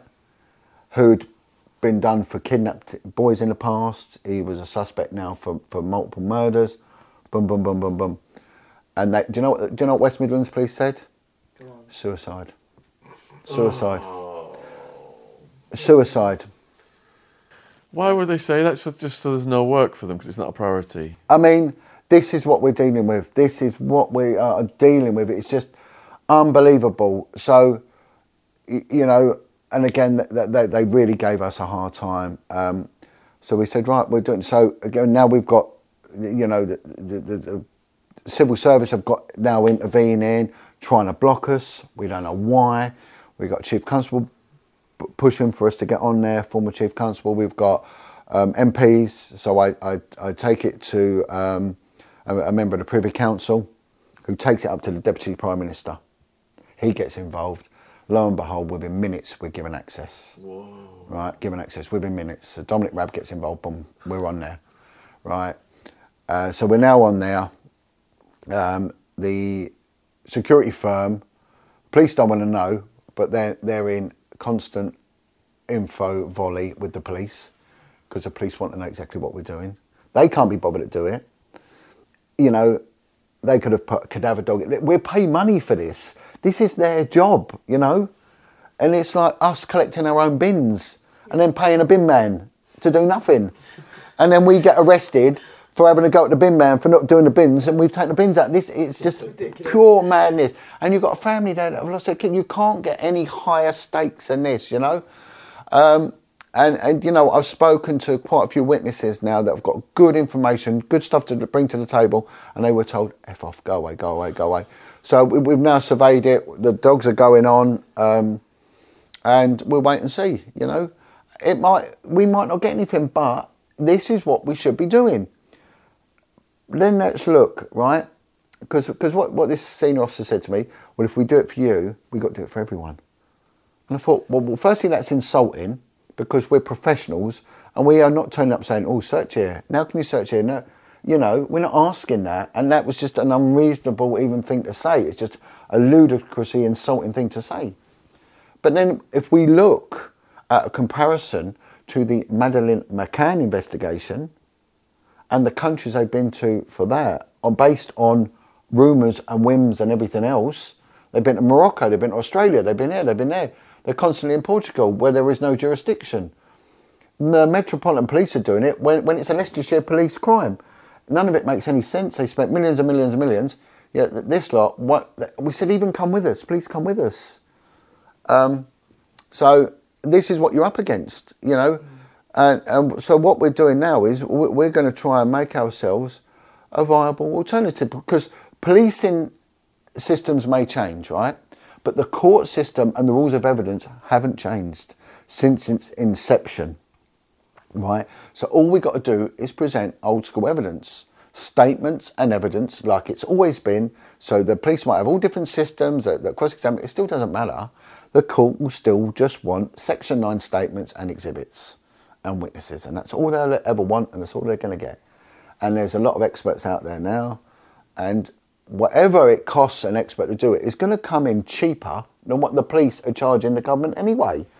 You know, um, and all we would then ask is that the CPS take take the case on once we've achieved the reasonable standard of a prosecution. You know, which you know if you haven't got the evidence, you haven't got it. If you've got it, you got it. Um, so so this is where we're at. But we've got oh, of course we're all individuals, and we all we all link in. Everything we get, we share with the police. We tell them this is what we got, and it's been incredible. It's it, honestly what a monumental thing we're doing. You know, um, and it's I'm really really happy. You know with how it's gone, and and in addition, again not naming names, got ex criminals that I work with now. Um, got them introduced um, uh, to to to an agency. They're giving talks in schools and in kids' homes, you know, and things like that. Uh, and and this is a way forward. This, this really is the way forward. It's what the police should be doing. Jon, there's just so many people talking the talk and not doing anything. And you're out there making real world changes against this massive bureaucracy. I'm, I'm, I'm, I'm doing it. I'm, I've got my little evening job and my pension, right? I've never been support. Well, I- well, I have actually, but I mean, I'm, you know, I'm on my arse. But it doesn't matter. It doesn't matter, you know. And then you've got people like Karine over in Belgium doing it. Her dog handler was going to f- come over at his own expense to do it. I mean, the dog handlers, they're going to get paid, the ones we've got in the UK, but they've got to because but they're putting four dogs on. And what the price they're paying is, is so bargain. I mean, it, it's a Poundland of, but they're getting a Rolls Royce service, you know? Yeah. Uh, and and this is all the community getting together, you know, and the family of these poor children. You know, there's members of them that have been in trouble with the police. It's a very very rough working class environment, but there's been no reticence or, or animosity towards myself or any of our team, none whatsoever. They because they just want to be heard. They just want to be So have you met the parents then? yeah, but, well, the brothers and the family, yeah, I work closely with them. They get updated all the time. Um, they've had run-ins with the police in the past. There's been, you know, the police have turned up there, but for for ridiculous reasons, not to assist. You know, Uh, you, you know, to frustrate really, and and it, it's wrong. This shouldn't be happening. We pay for for the police to be doing what they're doing, and then they're not doing it. You know, it's like in the prison service where they're getting other prisoners to go and counsel those that are on suicide watch. Well, you know, I mean, it's just crazy, isn't it? You know, it's a good it's a good thing, but it's wrong as well because there should be professionals doing that, piecing together these shattered little minds, so they can go out there and be better citizens and get their lives back, which is all they want. They're just hurt, you know. Um, so you know that is that is my update really, and and since I, I I met with you last, it's just and this all started from podcasting, being introduced, and this is a value of what what we as a podcast community are doing, and it is an alternative. It's a brilliant alternative, and, and my message here is is these are vexatious people, and there are groups out there that what they do is they they transcribe everything I say. Same here, and then they put it all together. They take little bits and put a video out and make it like sound like you're working for the devil. Well, that's what it says in the Bible. They see a speck of dust in your eye, yet ignore the log in theirs. And and but also what they'll do is they'll go to, to the police and they'll get the acts and statute and they'll say, look, Jon Wedger has violated this, which is what I know that they've done it with a couple of other people that have um, that have been on your podcast and things like that. They've been arrested because they said, oh, they mentioned this child's name. They mentioned and they've been this arrested. I was well. I had to turn myself in to the police station. Yeah, there, there's there's two others that were, were brought in for mentioning a name, and and you know, I'm not going to get arrested, am I? no, no, no, no, no. we- Yeah, look, look, you, you just got, always got to be mindful of what you're doing, but we shouldn't be because we're not the bad guys. We're doing a good thing. You know what what we're doing is phenomenal, and you know now. Spiteful people just want to shut it down. Oh, haters want to hate. yeah. Haters want to hate. But I have seen people that have been on these podcasts go on now. I've got two, three brilliant examples that have gone on, and I know they save lives. I know they do because I've seen the emails. If you hadn't come and spoke to me and given me your time, I'd have committed suicide. I've seen it, and I've had it myself. You know, and um, and again, there's one person he's starting out, so I'm not going to name him, but he's he's been on your show, an ex-armed robber, and um, the work he's doing is unbelievable, absolutely unbelievable, and and I hope he really goes to the top. Show me who You know. it is. Yeah, yeah, I will do. Yeah, yeah, you know, uh, uh, you know, the rest of us in this room know who he is, but he's again, I don't want to, I don't want him No, no, no. getting the nonsense that I got because it's not fair. But for what? If I've done something wrong, that's okay. You- Let, let's address that. But if you're doing good, why would you want to hinder anyone? Anyone ever? Um, doesn't make any sense. And again, with the police, why would they not want to help us? why would you know the, the civil service and the intelligence services want to to to, den- to denigrate me? You know why? For what reason? Well, it just shows that there's probably something going on, very connected. If there are 25 children linked in, then this could well be a big, big thing. But again, this is all sub judice. This still hasn't gone its full distance. This could end up in the court at some point, the Crown Court um, and we'll wait and see. But um, if we if we can pull this one off, if we can do this, and we can then, um, even if the police don't want to prosecute, well, look, we've got the capabilities. Let's do it. You know, let's crack on. The floodgate will open. Earlier on, Floodgates, can I quickly? yeah, yeah, go for it. So, so earlier on, Jon, earlier on, Jon, you said that um, the procedure is to gather statements and get enough evidence so that there's a minimum threshold. I can't remember how you expressed it exactly. There has to be a minimum threshold of evidence met. What is that threshold? Right, there has to be a reasonable um, prosecution of, of uh, the reasonable prospect of a prosecution. That's it. All right, um, and then within that, the, the Crown Court relies uh, and the magistrates they want beyond reasonable doubt. On a civil matter, it's it's a lot lower. Civil courts aren't nice places to go, and people are always this about, "Oh, sue you, I sue." you." They've got no understanding. It's not a nice environment, the civil courts, and it can cost you dearly, right? But we have the Crown prosecution.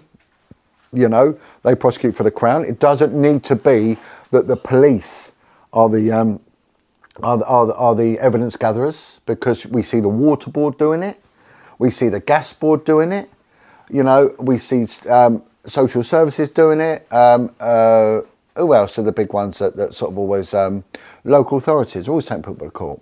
So if you go into a listings in a magistrate court, you'll see RV so and so, you know, RV Attwood or whatever, which is Regina versus that's a Crown versus you. But also you might see British Gas versus so and so. And and and so um, the statements have have to be what they call a Section Nine statement. So if you look underneath there, I think there's the Perjury Act, the Magistrates Courts Act, and what it's basically saying is ev- everything I give is, is, is true to the best of my knowledge and belief. That's what it really means. There is a way of taking statements, okay?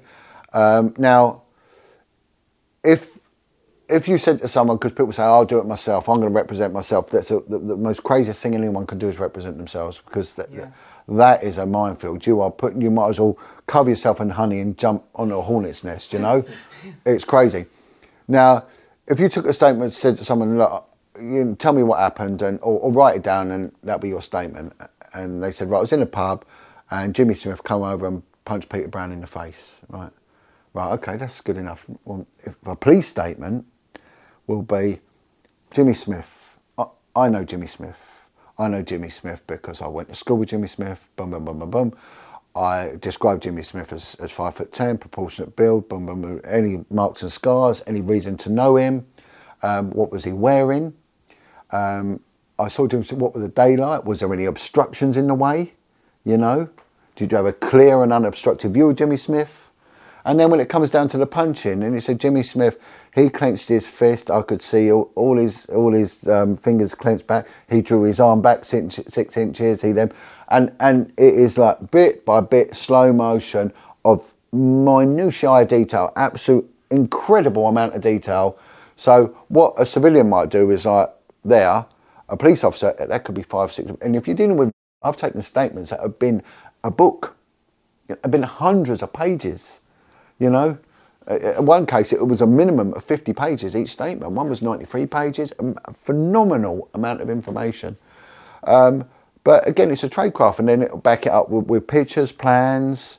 Then you'd, you'd then go to like uh, maybe like the um, Met Office and Meteorolo- Meteorological Office and get the, a statement from them about conditions of the day, you know, and, and what all the witnesses. And not everyone sees the same thing as well, you know. Um, and again, if you're taking that evidence, you've got to cover statement yourself because are you going to contaminate them? What what contact did you have them prior to that? And that's what's called non-disclosable material.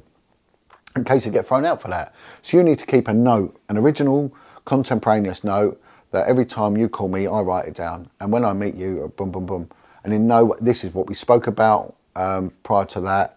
Especially when it's go to children, because they'll then accuse you of contaminating the evidence you know. And some people might not be articulate, so they might need like a setup like you got here, cameras, camera on the person and a camera around.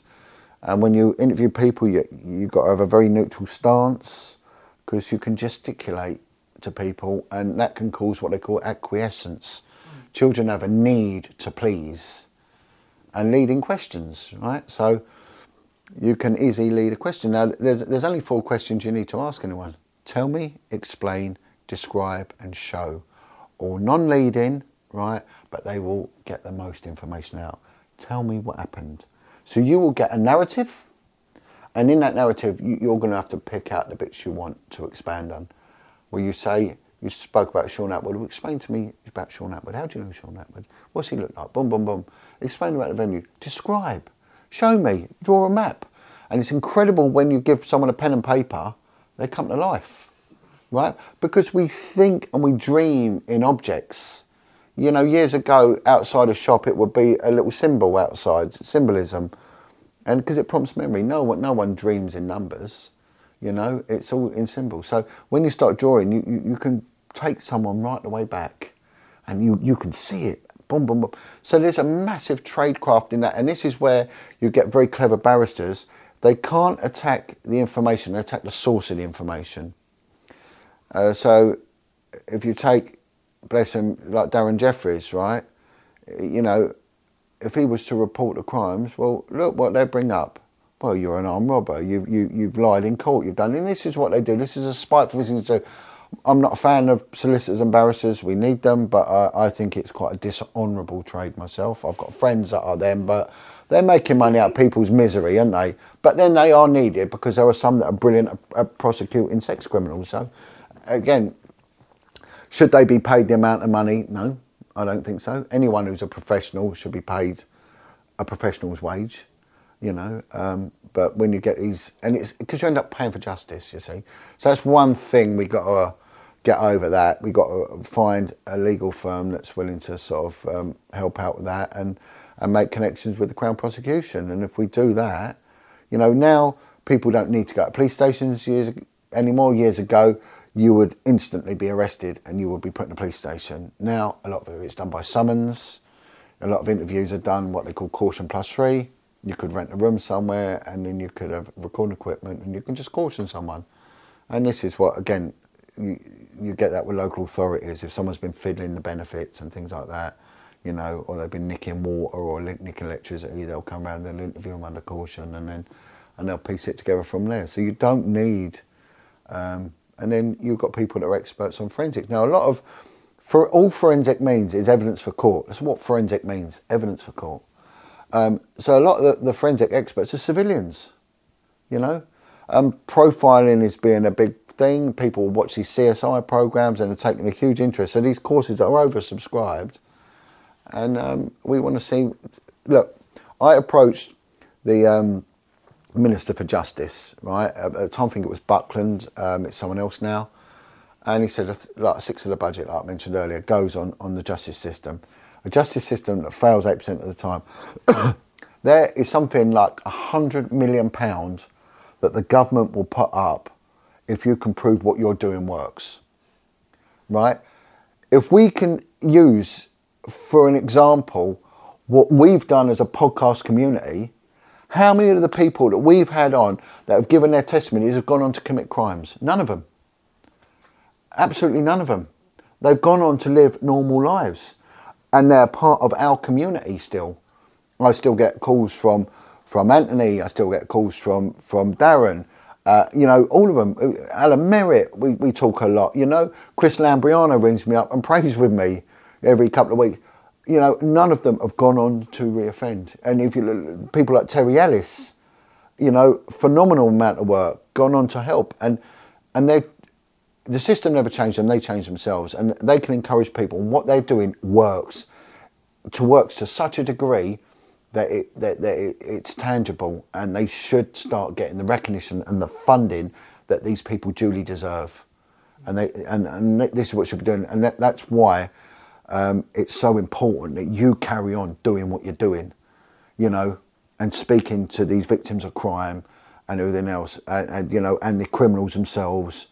And it, it's, I, I, think it's just the, the, best thing that's really happened. The media's not doing it, um, but it's uh, and what, again, people saying that two, three hour podcasts. But what do people do? They go to the gym and they listen to it. They work and they listen to it. I do myself, you know. I quite regularly listen to some of the stuff. I mean, I was listening to one with Brian Cockerill. Uh, again, Brian Cockerill, uh, I've got a lot of time for him. He's doing a lot of good work in the northeast, you know, and, and, I get in communication with him every now and then. And and and this is what he's doing, and it, it's it's it's such a positive thing.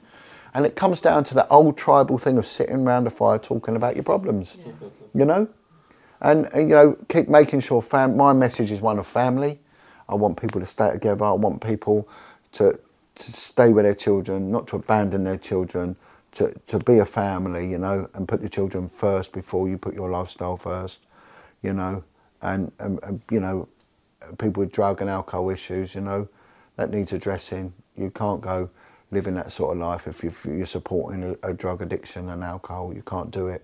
It ain't going to work, you know. It crashes and it burns.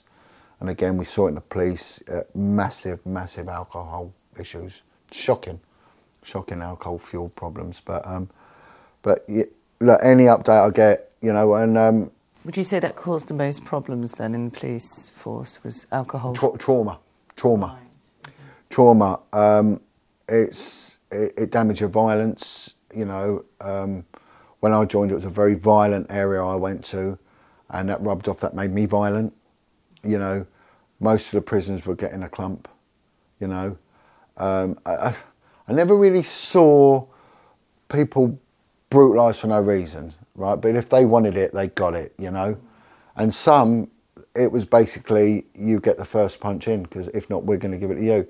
But they never really had a problem with it. You can meet them in the pub, and there was like, you know, and um, one bought me a, a pint once, and uh, one of my colleagues got slashed across the face, and um, it was a massive fight. It was went down as the Battle of Lupus Street. It was called, and it was years later. I was in a pub, and this, this bloke brought a pint over and went, "Do you remember me?" I went, "No." He said, "Remember the Battle of Lupus Street?" I went, "Oh yeah." He said, "You know," and it was one of his friends. They they slashed this poor copper's face, and it all kicked off, and. Uh, How did the battle begin? it was over. Um, it was a very like Chelsea, uh, Chelsea hooligan area, right? Pimlico, you know. There's a big estate there called the Churchill Gardens, and one of the local families, because it's always it's always a local family. It's always any problem. There's about two local families, and it's intergenerational nonsense with them all. And um, I'll tell you, I'll tell you another one in a minute. It's quite amusing. One of them booted over a, a, a traffic bollard, you know, like a keep left sign, and it, they just put in CCTV cameras, the first area ever to use it, and it was caught up. So he sent two coppers down there, and so we just booted over a keep left sign, you know, and of course it kicked off. So they start fighting. So it's two coppers fighting two drunken blokes.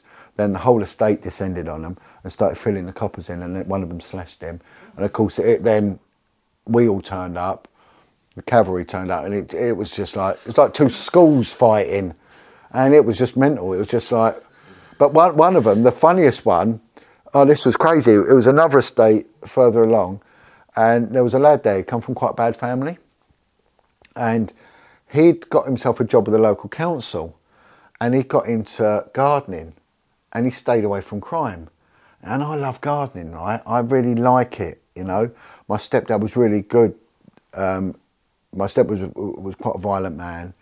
Uh, he was a big, tough guy, but he, he just loved gardening and he got me in it. And I liked it. I like growing seeds. I got a lot out of it. And this lad had stopped doing crime and he got in a garden, but he got into hanging baskets. Oh, lovely. So he did these beautiful, honestly, they were beautiful hanging baskets. And he put them up all around the estate, right? And he managed to get the council to allow, uh, to fund him to do it. So he turned this shithole into this, like, beautiful, like, floral dream. It was lovely, you know. And, and it was so, you know, and seeing this lad that was always nicking motors all of a sudden doing this, it was like, I was thinking, oh, you know, talking to him, I said, well done, well done, mate, you know, good on you. And then what happened, uh, some kid had gone by and picked one of them up and loved it.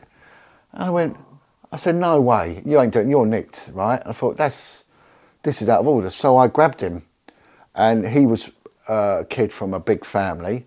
So he screams out, and his uncle, who's a big sort of noise on this estate, tower block estate, he, this is so funny. He comes running out, and he decides to fill me in, right? So he throws a punch at me. So as he throws a punch, I put his nephew's head in the way. He knocks his own nephew out. he, he smacks his own nephew in the head, and it, it's all gone off. So I'm with some lad, bless him. He only had a year left, and um, uh, oh, it was it, it was carnage, right? So it's gone up as what they call an urgent assistance, and we we, we had a lad um, that joined us from another force, and it was funny enough, they, they kicked him out of I think Strathclyde because he was gay, right?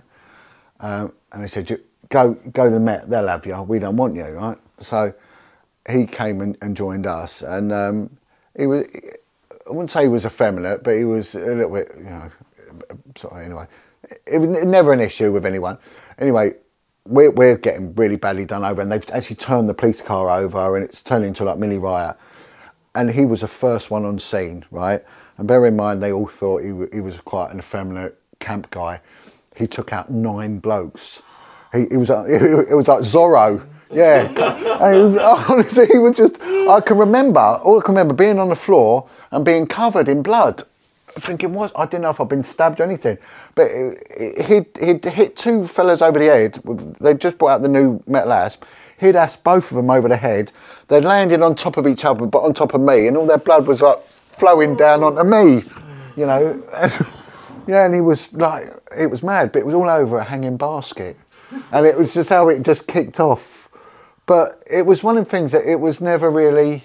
Eh, the next day, it was, you know, they went to court and went, yeah, all right, yeah, fair enough, you know, and and that was it. No one really made a complaint about it, you know. uh, But it was, uh, it can be over the smallest of things. But yeah, no, and it was, uh, but it's, it's just a mad job, you know. It's a, a crazy job. That's why I got out of. Um, I didn't like wearing uniform anyway. I never liked it. Um, I don't like being told what to do. I don't like b- being told to be at a certain time at a certain place. You definitely were in the wrong job then. Huge. I don't. I, I look back and I think, what was I even doing there?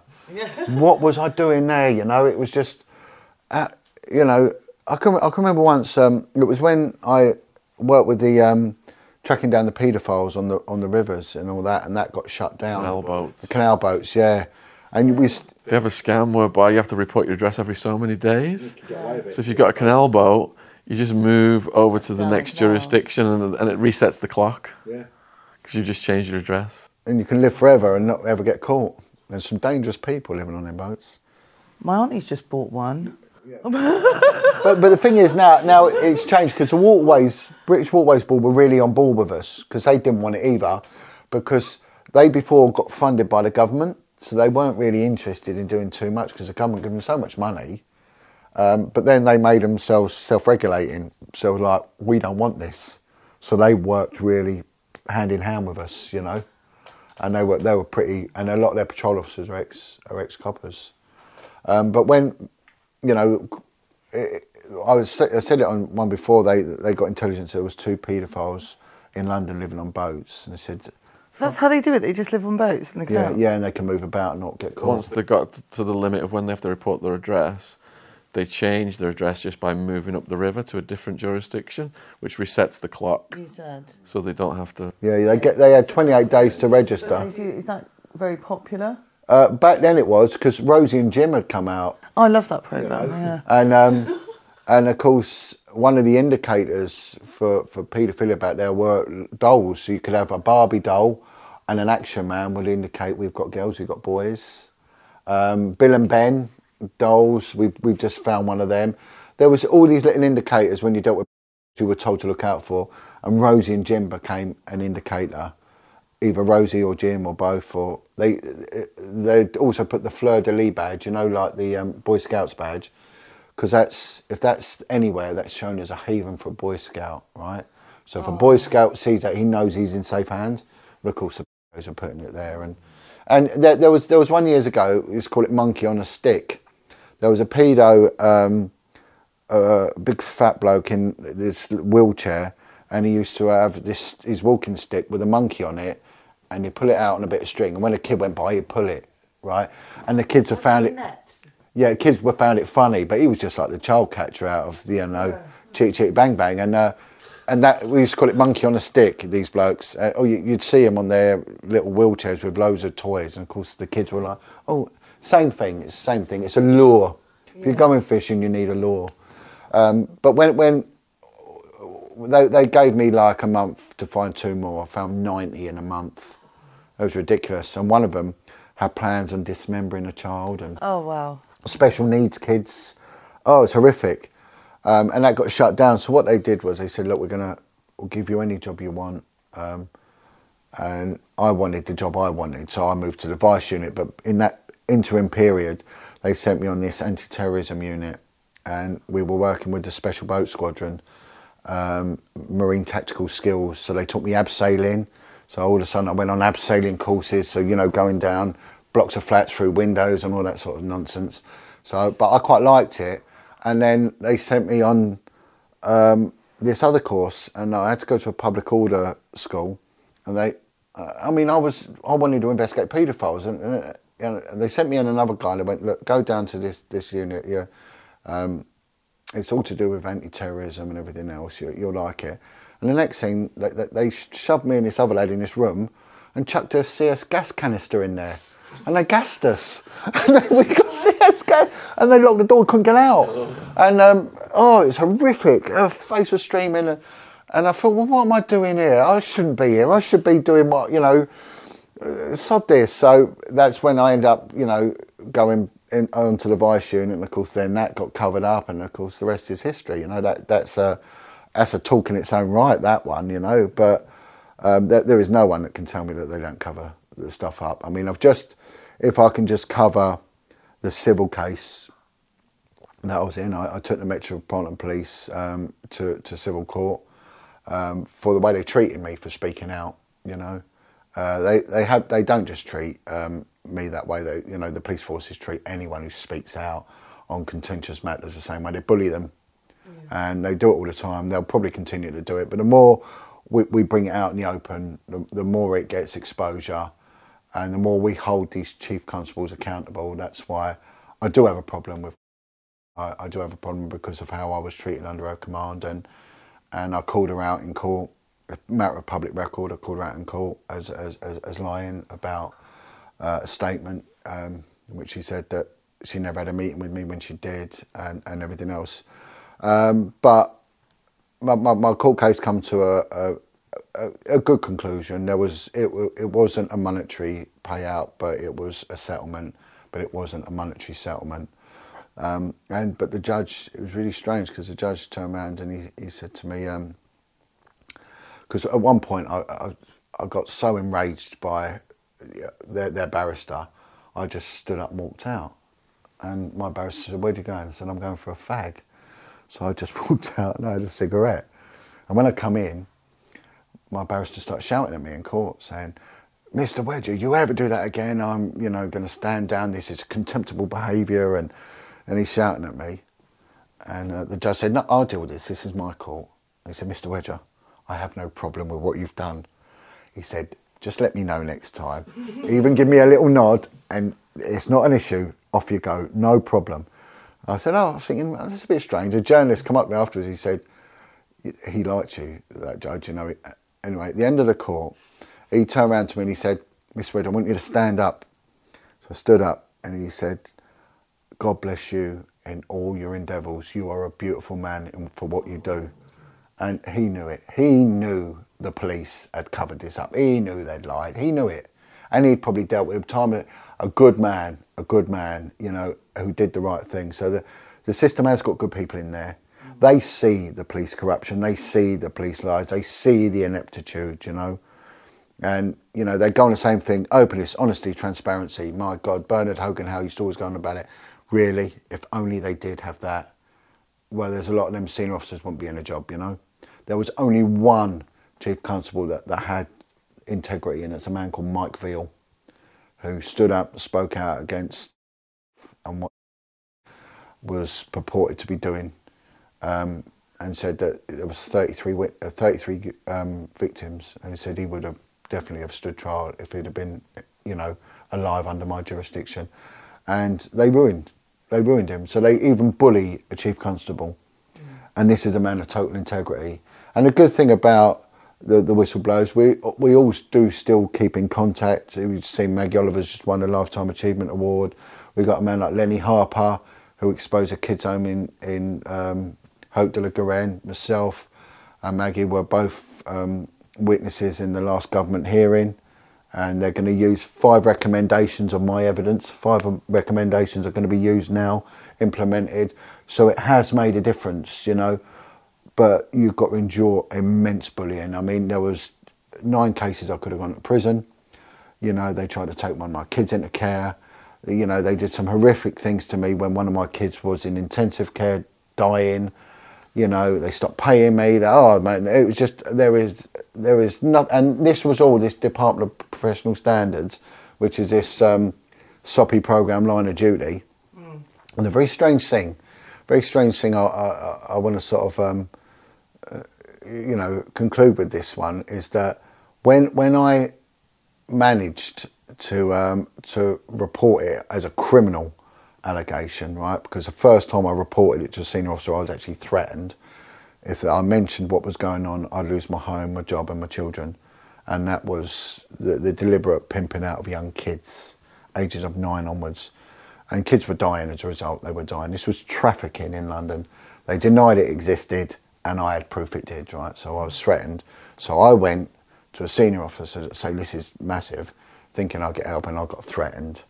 Um, anyway, so that come out in, in the hearing as well. So, but a few years later, I um, I generally thought that they would take my kids off me. I was a single parent of four children, and um, when I did uh, make a, uh, a criminal allegation to this department of this anti-corruption department of professional standards, I said something right, and I said I want to speak to a senior detective, and it has to be a woman Yeah.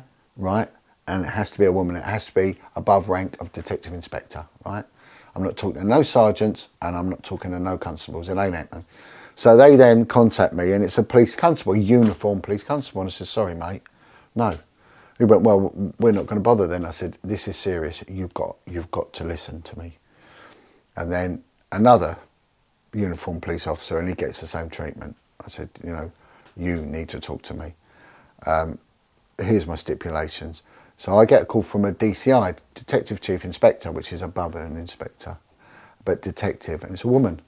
So Jon, I'll, I'll listen. I'll listen. Now I I'd moved on. I was on another unit by this time, and I go up to this secure building. They have these secure offices all over the place. I mean, they have some crazy buildings. You wouldn't even know they were there. You know, the National Crime Squad. You, you, the only way you notice these buildings because the, the security cameras. There's too many of them, and so the National Crime Squad have plumbers' vans in there, and uh, you think they're a builder's yard, but they're not. They're you know, um, uh, they're on trading estates. That's where you find a lot of the real serious ones, and and and the intelligence services, they're even more bizarre. Some of their buildings. Um, one one one of the intelligence services places in in um, by Victoria was a barber shop. You know, so so it's anyway. Um, so I, I go up there, and on my way up there, I'm met by this this detective inspector from the vice unit, and I'm thinking, I'm about to. What's he doing here? And he starts talking to me about the senior officer that I'm going to report, and it was. How did he know? Do you know what I mean? I just right, and uh, he wanted me to come and have a cup of tea and chat with him. I went seen it. Let's go for a beer, and I said, mate, I've got to go. I've got to go. I've got to go. So he's, he's collared me in this corridor, and I thought that's weird.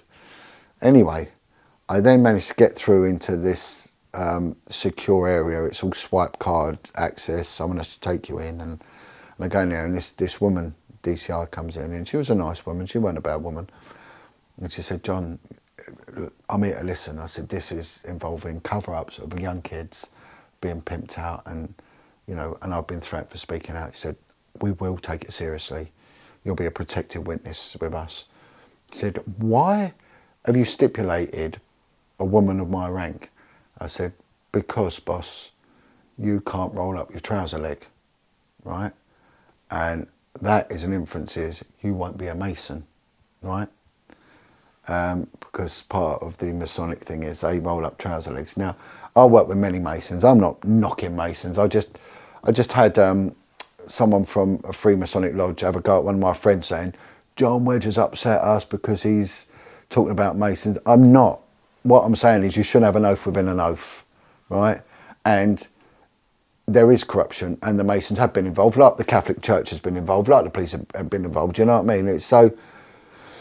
So if that Mason had done, why didn't he help me instead of berating me? You know, he could have said, "Well, if it's our people that are doing it, we'll put this right," instead of saying, "Well, you shouldn't be talking about it," sort of thing. So, but you know, the the unit I was on was heavily Masonic. You know, very very. It's you, you'll find Masonry is big in the police, But when you get to specialist units, it's very big. And when you get to detective specialist units, it's like a stick of rock. It's basically all the way through, you know. But women can't join. I know there are women in Masonic lodges, but they're on the old. But in the police, it ain't going on. Um, and of course, I'm reporting a senior officer covering up child abuse and like. So years later, someone brings me out and they said, "Jon, watch Line of Duty." Right? I was like, "All right, I don't really like watching them, so I'm thinking, okay, I'll watch it." And there's a series about a superintendent. I watched it. Yep. And then and a woman officer and, exactly that same line was used because mum you can't roll up your trouser leg. And I'm thinking, who's leaked that? That was my case. That was my case to a T. But of course what happens in that, it, it all goes down to its high level up there. You know, it's all hidden in that in, allegory as they say it's there and, and it's it's the inference you know we, you know what we, we've seen with Jimmy Savile and we'll see it again and again it will happen it will keep coming out and, and people will keep getting subdued but the more we have outlets you know like this the more they're going to struggle to keep a lid on this and, and that's why I think we've just got to keep going be a really really strong and credible alternative I get a lot of ex-military guys come to me some of them are getting politicised, which I don't think the government are very happy about. One of them rang me up, and about three days later, he gets his yard raided. You know, he's an ex-officer, and he, and he said to me, you know, is any advice? I said, yeah, don't have any dirt on you, and whatever you do, do it legal. You know, um, if they've got any dirt on you, it's going to come out. I mean, you look at like you know Tom, Tommy Robinson, what, what he's doing you know, th- th- there's been this to and fro between me and him, and you know, because I helped him out with his um, his daughter got sexually assaulted, and he got arrested. You know, and I said this is wrong. You know, you know, and I actually contacted Bedfordshire Police and said, look, this is against protocol. And I said to him, look, this is the protocol. They should have adhered to it, and they haven't. But I don't agree with your political stance or anything like that. Yeah. But they can use it against him. The people who follow him you're going to have that working class right wing mentality, and I don't want to align with that. That's not my thing. But you know, the, the, youth need to take an interest in politics. They've got to stop these old Etonians riding roughshod over everything.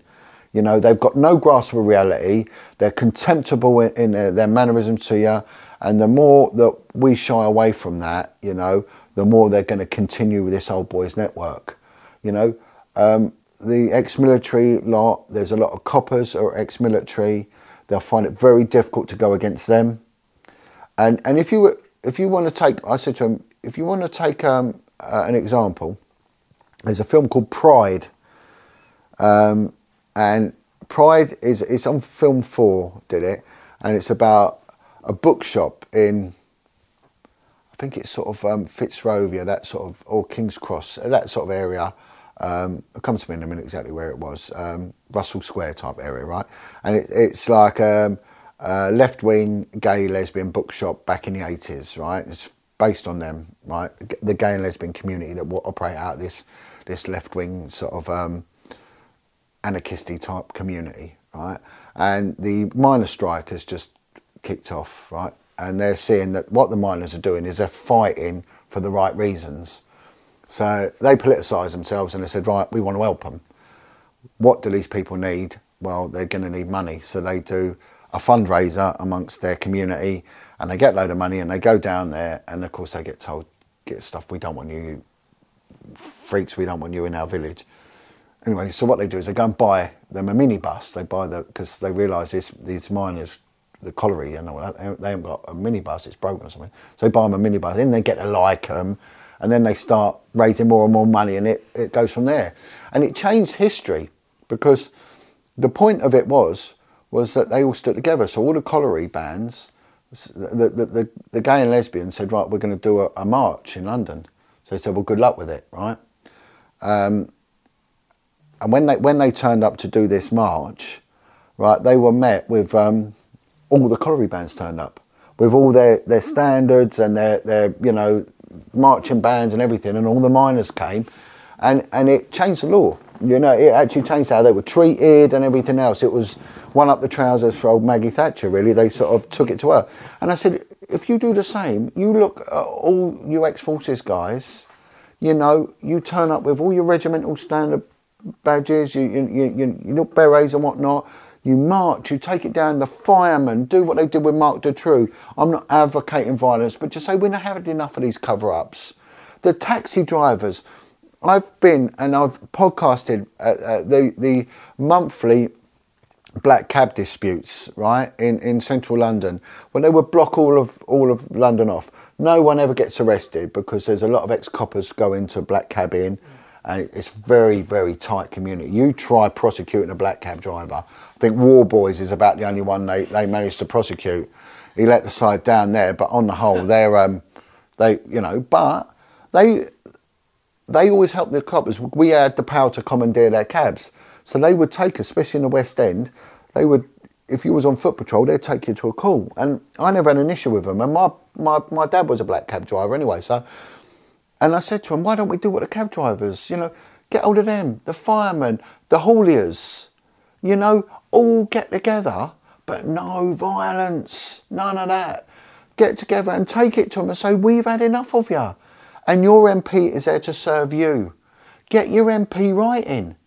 I've had people, because I, I, I've got this thing on my website, a list of, of um, people that are involved in paedophilia and all that, and there's some politicians' names in there. And, and they said, well, he could, you know, he could be linked in. So what? They still got to do their job.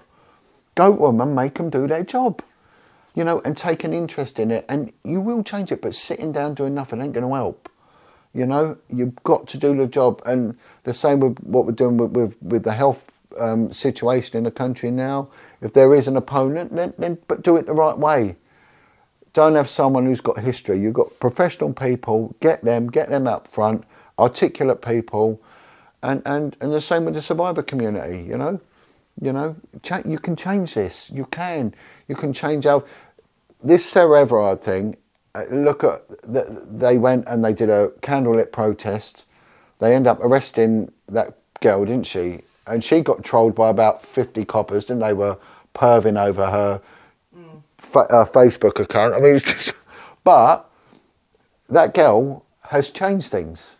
Not poor Everard who died, uh, obviously that that will, but that girl who, who, who took one for the regiment, you know, she's changed things. You know, very powerful what happened now. You know, because she was doing nothing wrong, and they mob-handedly jumped on her, and it was it was outrageous. You know, and then they're now holding accountable and saying she should stand down. And, I, and I'm with her. She should. If she's not serving the people, you go. And the same as the Lord Mayor, you're not serving, you go. We put them there, we get rid of them.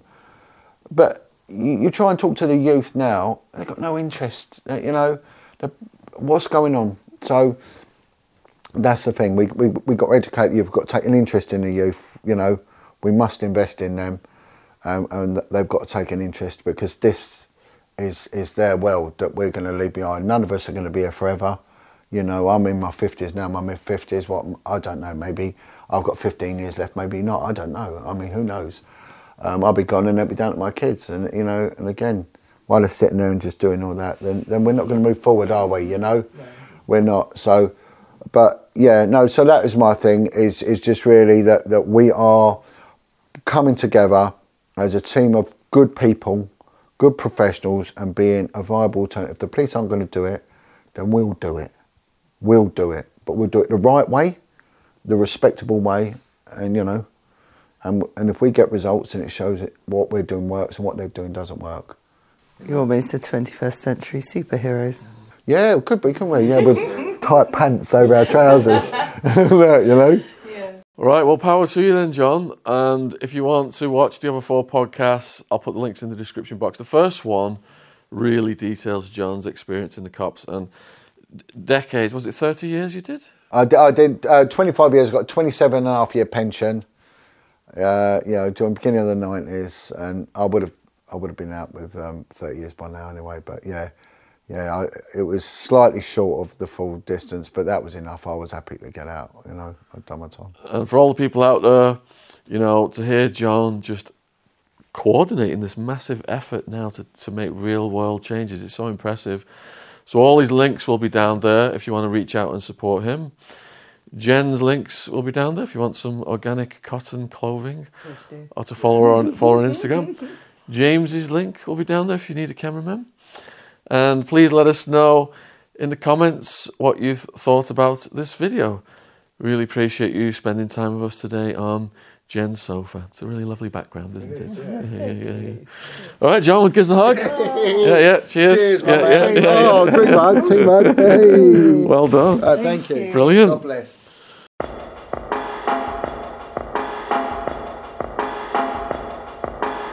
Here at Boomer and Jen, we offer a wide range of organic or recycled clothing. We all know our planet is important.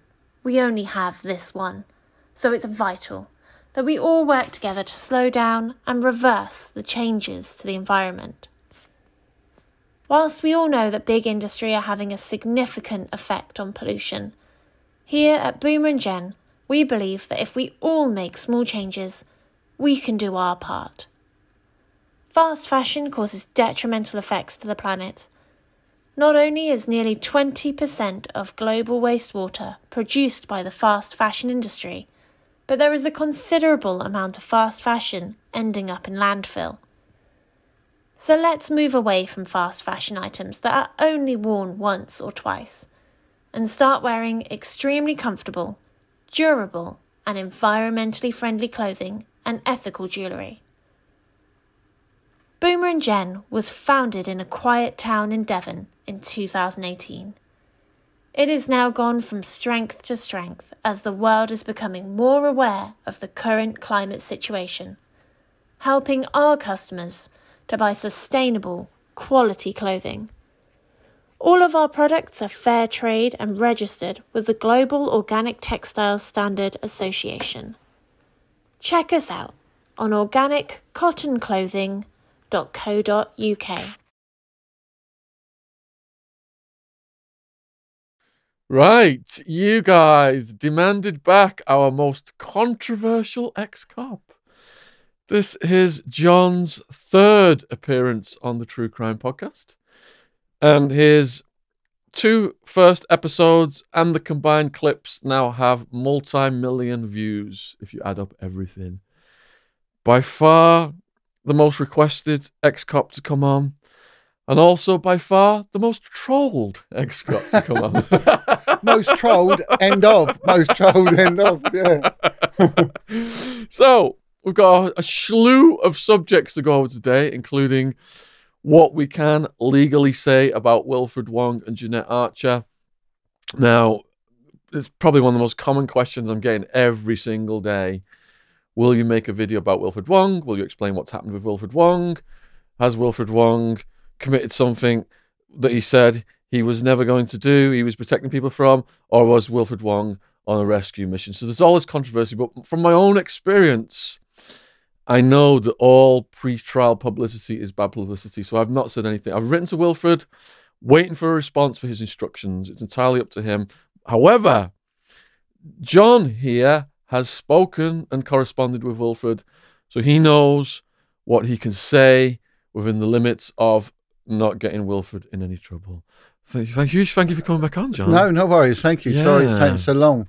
You know, uh, it's okay. life takes over and, you know, what a turbulent time it's been, you know, for everyone, but also in respect to myself, you know, it's been uh, a roller coaster. And I say that lightly, you know. Are you enjoying the song that Brian Harvey's done about us? Brilliant. I'm touched. effing Jon Wedger, effing Shaun Attwood, effing Bill Maloney, effing Ian Puddick. They all work for the New World Order. oh, oh, yeah, I know. That's his new Christmas single, isn't it? You know? Yeah, well, absolutely. He's you got a podcast Oh, yeah. coming out. Good luck with that, Brian. Well, well, I looked on it. It's been out a month. And I think it's it's got a staggering amount of 938, 39 now because I've viewed it. Is that our song? Yeah, yeah, yeah. So, well done. You know, you you might get a thousand hits. Well done. Oh, All right, so let's let's just start out then. Going, you could you just set the record straight? What the deal is with Wilfred? Right. Um, yeah. Now, Wilfred was arrested, I think, on the 4th of November. Um, Wilfred's a secretive man, anyway, you know, uh, and that's the secret, really, of his success uh, to date, anyway. Um, but Wilfred is probably the number one campaigner I would say globally, uh, in exposing satanic ritual abuse, SRA, which is something that I really would like to go on about, you know, and something Wilfred's encouraged me to talk about as well. Um, and Wilfred is a good man. He's a Christian man. He's um, probably one of the bravest men that I know. He's a tough guy as well, you know. Um, he has served in the military. Wilfred, I know he doesn't talk about it, but he has. Um, Yeah, it's come out in the press, hasn't it, that he was in some kind of special forces or something. Yeah, yeah, he's a mixed martial artist. He's he's a, a tough man, you know, and he's he's fearless, but he's got a mission, and that is to uh, protect children and expose satanic ritual abuse. So stuff was coming out post arrest that he he was um, abducting kids, he was doing this, that I was involved. Do you want to just describe for people not familiar then what he was arrested for and how that arrest came Yeah. about? Yeah, so um, it looks like my opinion. You know, um, again, even when I talk to Wilfred in the prison system, I don't discuss discuss a case. I know that the prison phone system is what they call a PIN system. It's a private network. It's heavily monitored. Wilfred, without a doubt, his phone calls will be monitored. And I actually worked on a unit that used to monitor phone calls in. I was in HMP Holloway uh, for about two months, monitoring phone calls on on on child sex trafficker that was in there.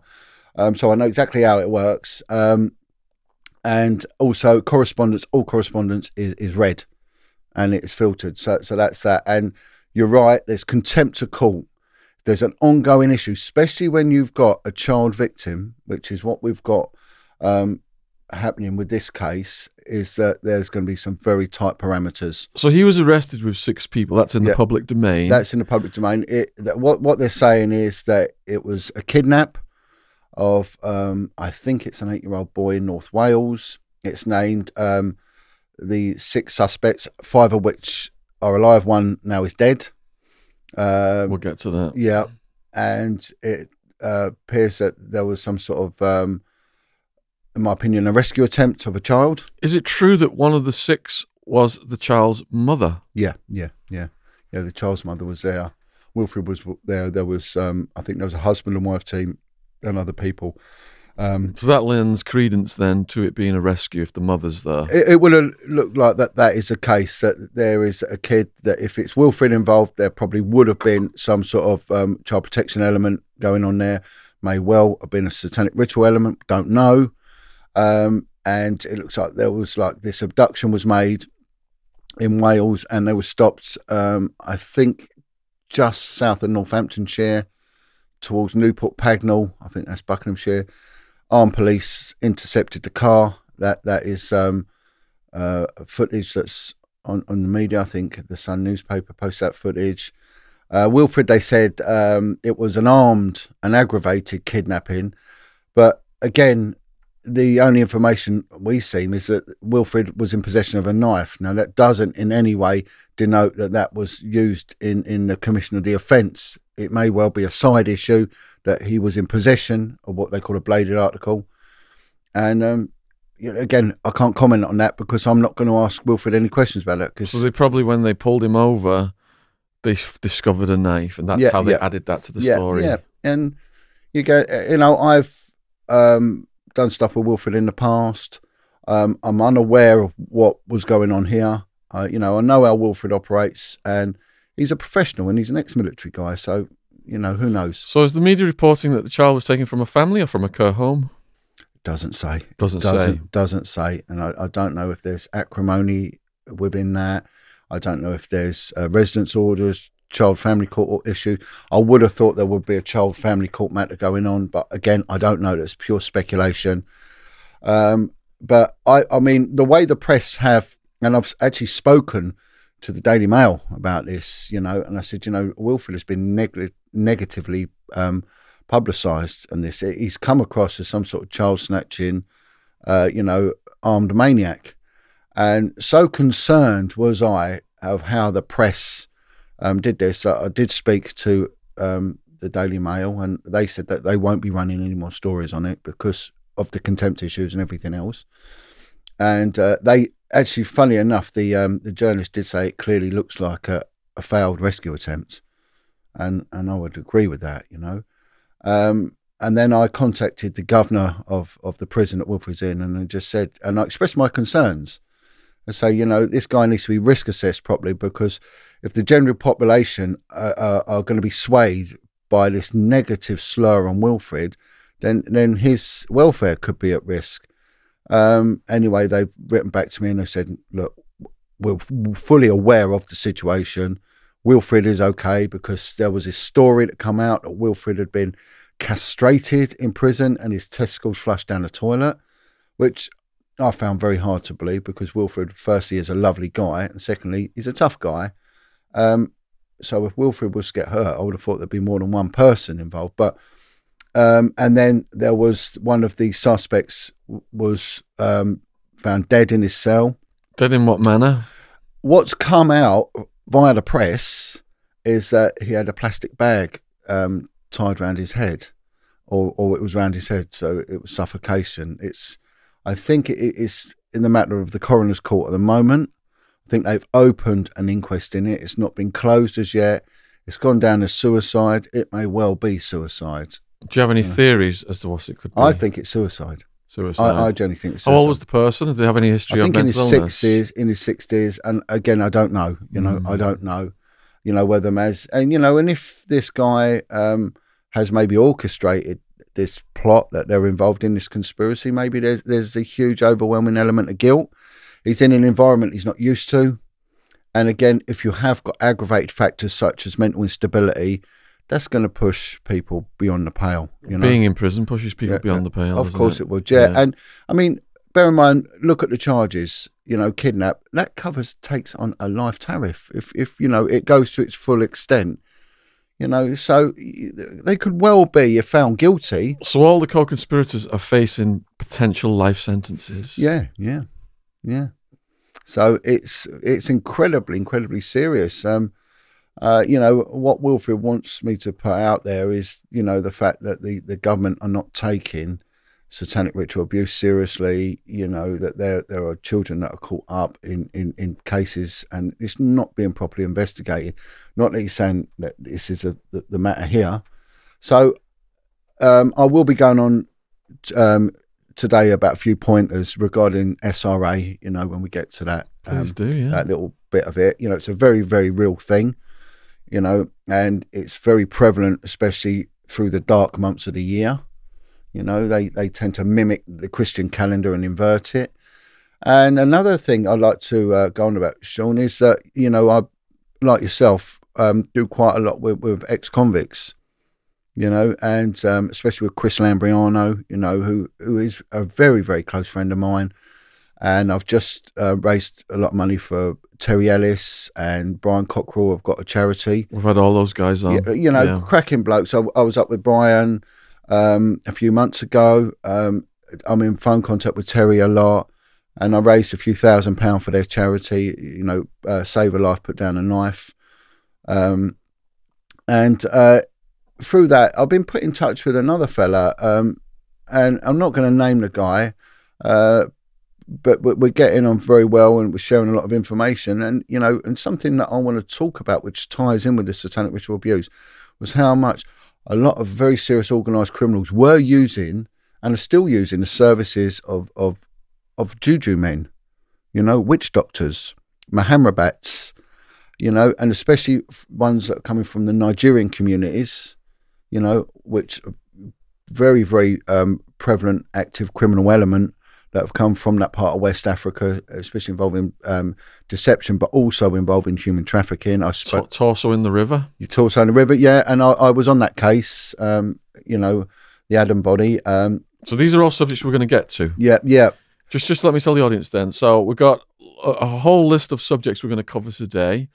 We have your questions. I put a video up asking for questions for Jon, and a slew of questions have come in. We're also going to be talking about Prince Andrew and Julian Assange. But just, just a, a little bit more on Wilfred. Does he have a trial date? yeah. Trial date set for the 9th of August um, this year. Uh, he's applying for. He wants people to pray for his bail application. He's had three bail applications turned down. Um, you know, and So I- he's got no bail whatsoever. No bail. So so he's reminded. You know, they all are reminded now. You know, in order for someone to be reminded, they've got a thing called custody time limits in the UK, which are looked at very stringently by the Home Office. So you can't just bang someone up on remand, you know, for up to two years, which used to be the case. You have to justify it. Now, Wil- Wilfred isn't a flight risk. You know, they all they have to do is seize his passport. And he ain't going anywhere. He's got no previous convictions. He's a man of exceptional good character. You know, and there's plenty of people which will vouch for his um, his standing in society.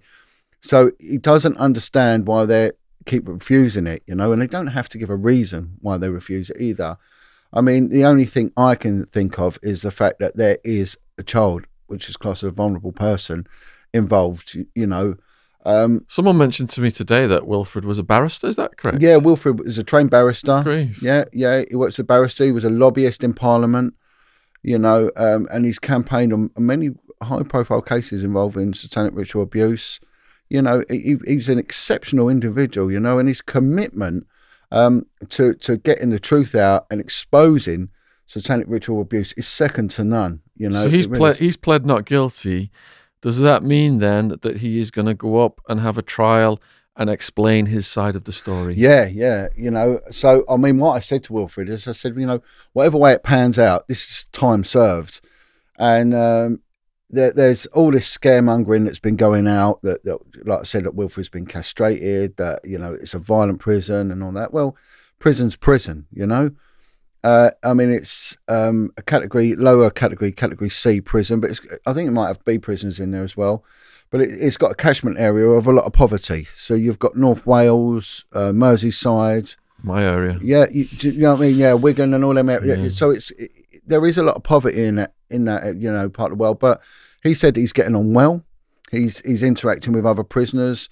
They've watched. Um, the guards were watching your video with him the other night, and he said they came and uh, gave him the thumbs up. He said there's inmates in here that have seen his work online. So he's known in there as being a person who is against child abuse. You know, so really, whatever the media's put out there has made no difference, and whatever the trolls have put out there has made no difference, because you know, as we've mentioned in before, statistically, on the lower category prisons, on the under 25s, 80% come from abusive childhood backgrounds. So there's a you know a lot of people in there that will, will warm to what he stands for. You know, so it's um. But he It, said, it seems there's a common theme whereby people uh, who are exposing child abuse get accused of it at some all, point. all the time. Well, you know, what what's happened if, if I sort of bring it back to my situation at the moment. Now I've gone off the radar, and there's people saying that Jon Wedger's worked for MI5. Like I said, This I am saying all these things about I, I am trolled. No, Brian Harvey. yeah, uh, no one. I don't think David Icke gets trolled as much as me. You know, I could actually give a talk at the Oxford Union on trolling, being a victim of trolling, online bullying. I mean, uh, but do you know the really, really strange thing about trolling? It, it's vexatious. It's nasty. They're twisted people, and they are twisted people. They're And they're sneaky. they're sneaky, devious. You know, and I want to go on a few of the things that they've done. But really, the way to combat it, you turn them off. because the second you mm. acknowledge them, you arm you them. engage. Yep. And I've learned that now, and I've got the Yeah. strength of wild man, Yeah. keeping keeping this troll shield in front of me, so that mm. we can keep those bastards at bay. Oh, oh, they. I mean, they were they were because I was asked to give evidence at the ICSA government inquiry. They contacted the solicitors there. The police had to get involved with that because it was classed as witness intimidation. So the police did actually get hold of one of the trolls and went round and spoke to a well-known nutcase, to be honest. And they actually come back and they said, "Jon, she's, she's a Fruit Loop," and I went, "Yeah, yeah, I know." You know, and they actually said to me, "Do you want us to nick her?" And I said, "No, just just tell her to pack it in, right?" And the barrister for um for ICSA, he you know he gave a statement as well, and um they went round there and he said it was a waste of time even talking to her. She she was absolutely mad, you know. Um, They're good for views, though. yeah, yeah. I mean, thanks, well, they will. They'll keep the views up. I mean, I was I was doing food parcels. Um, they they they contacted the people supplying the food. Um, they've they've reported me to, to the fraud office. They've contacted everyone from my past life, ranging from Sammy the Bull to my prosecutor. Oh, it's unreal, isn't it? It's insane. Uh, yeah, they, I mean, they've done it to me. It's it's just people are ringing me up saying, "Look, I had someone contact me," and you know, uh, uh, one one of them, it was it was it was a fellow. Again, I can't go on about it, but um, he told me I had to get medicated, and because I wouldn't get medicated, he, he- he went against me and started trolling me, and then went and got an injunction out. And I just said, well, what's it's just it's madness after madness after madness, you know. And, and when when you look at the pattern of them, a lot of them are medicated, you know. A lot of them are crazy. None of them work. Um, they're all experts at rolling fags, aren't they? Whenever you see them, they're always rolling, doing a roll up in their front room, you know. And yeah, and it's scream. They've always got a heap of facts as well, haven't they? You know, look at the facts. And and- as soon as you get you debunk those facts, they just move on to a new set of baloney. yeah, and then they start on each other. All my trolls are battling each other right now. Yeah, you know, it is. It's like gladiator school, isn't it? They just and, and and a lot of them have got the ump because I've I've turned off social media, and it's just all gone quiet. They're like, well, what do we do now? Jon Wedger's gone. What do we do? You know, I, I become the emotional dartboard for every Fruit Loop nutcase and everything else going. And the things I've been accused of are absolutely incredulous. And you know, I mean, I've been they've reported me to the police, to the fraud office, to the Inland Revenue. And I think what happens is when these investigating teams and ombudsmen look at them, they, I think they speak to them once and then they go, "Oh my god, that, that ain't." And and funny enough, the, the police rang me once and they said, um, "You know, Jon, we've looked at your work. You you bang on, and there's a lot of lads that, that follow you." And the Met Police even said, "You know, um, you, you've got a lot of respect still here, you know." And they said people have been saying this. He said it's gone in the bin. It's just gone in the bin, and it's. it, I mean, I had um, last year. Uh, we were planning a really big demonstration, and it was it was really good actually. It really sort of was uh, gelling a lot of people together. People coming from all sorts. We had biker gangs, we had ex criminals, we had the Sikhs, we we had Muslim boys were coming along, uh, the football lines, and it, it was a real sort of a, amalgam of everything. And um, the police rang up and they said to me, it was the public order team that deal with the, the riots and everything. And it was a sergeant. He said, Jon, look, um, got to tell you, you got to pull it because the COVID laws had just come in. Then he said, you're going to be smack bang in this more than three people thing. And the last thing we want to do is arrest you. You know, we like you. You're honourable. He said, there's a few lads here that still remember you. He said, one our inspector here remembers you. And, you know, we don't want that. That's what we don't want to do. And I said, well, what do you want from me? And they went, well, please, can you ask people to stand down? And I said, I'll tell you what I'll do. I'll do it now. As we're talking, I'll put it on, I'll I'll cancel it now. But not, not that I was doing their bidding, not at all. And, you know, if anyone's got a gripe with the Met Police, it's me because of what I've been through with them. But these lads and lasses, they- they, you know, they were doing their job. And, you know, we've got to keep a balance here. So I cancelled it straight away. Um, but subsequently, I have been um, giving speeches at these mass demonstrations, you know. A lot of them are sort of like the anti lockdown stuff, and they've mixed up with um, child abuse issues and all that. So when, when it comes to the other things, I, I, it's not really my argument. I've not It's all got- human rights, isn't yeah, it? yeah, but when when it comes down to child abuse, I'm I'm asked to speak, um, and I'll I will give a talk. But when I once I've given a talk, I'm out there, you know. And you see the police lining up. You know, I had someone saying, "Look, stay, stay, stay." I said, "No, no, no, no. They're they're ready to go." You know, and I always say to people, "Look, the police are like wasps. You go near them, they're going to sting you, and that's that. You know, don't agitate them. You know, let them do their job." But and the problem is, you see on these videos, people are going up and they're agitating them. They're agitating. You think, you know, you're going to get it in a minute, mate.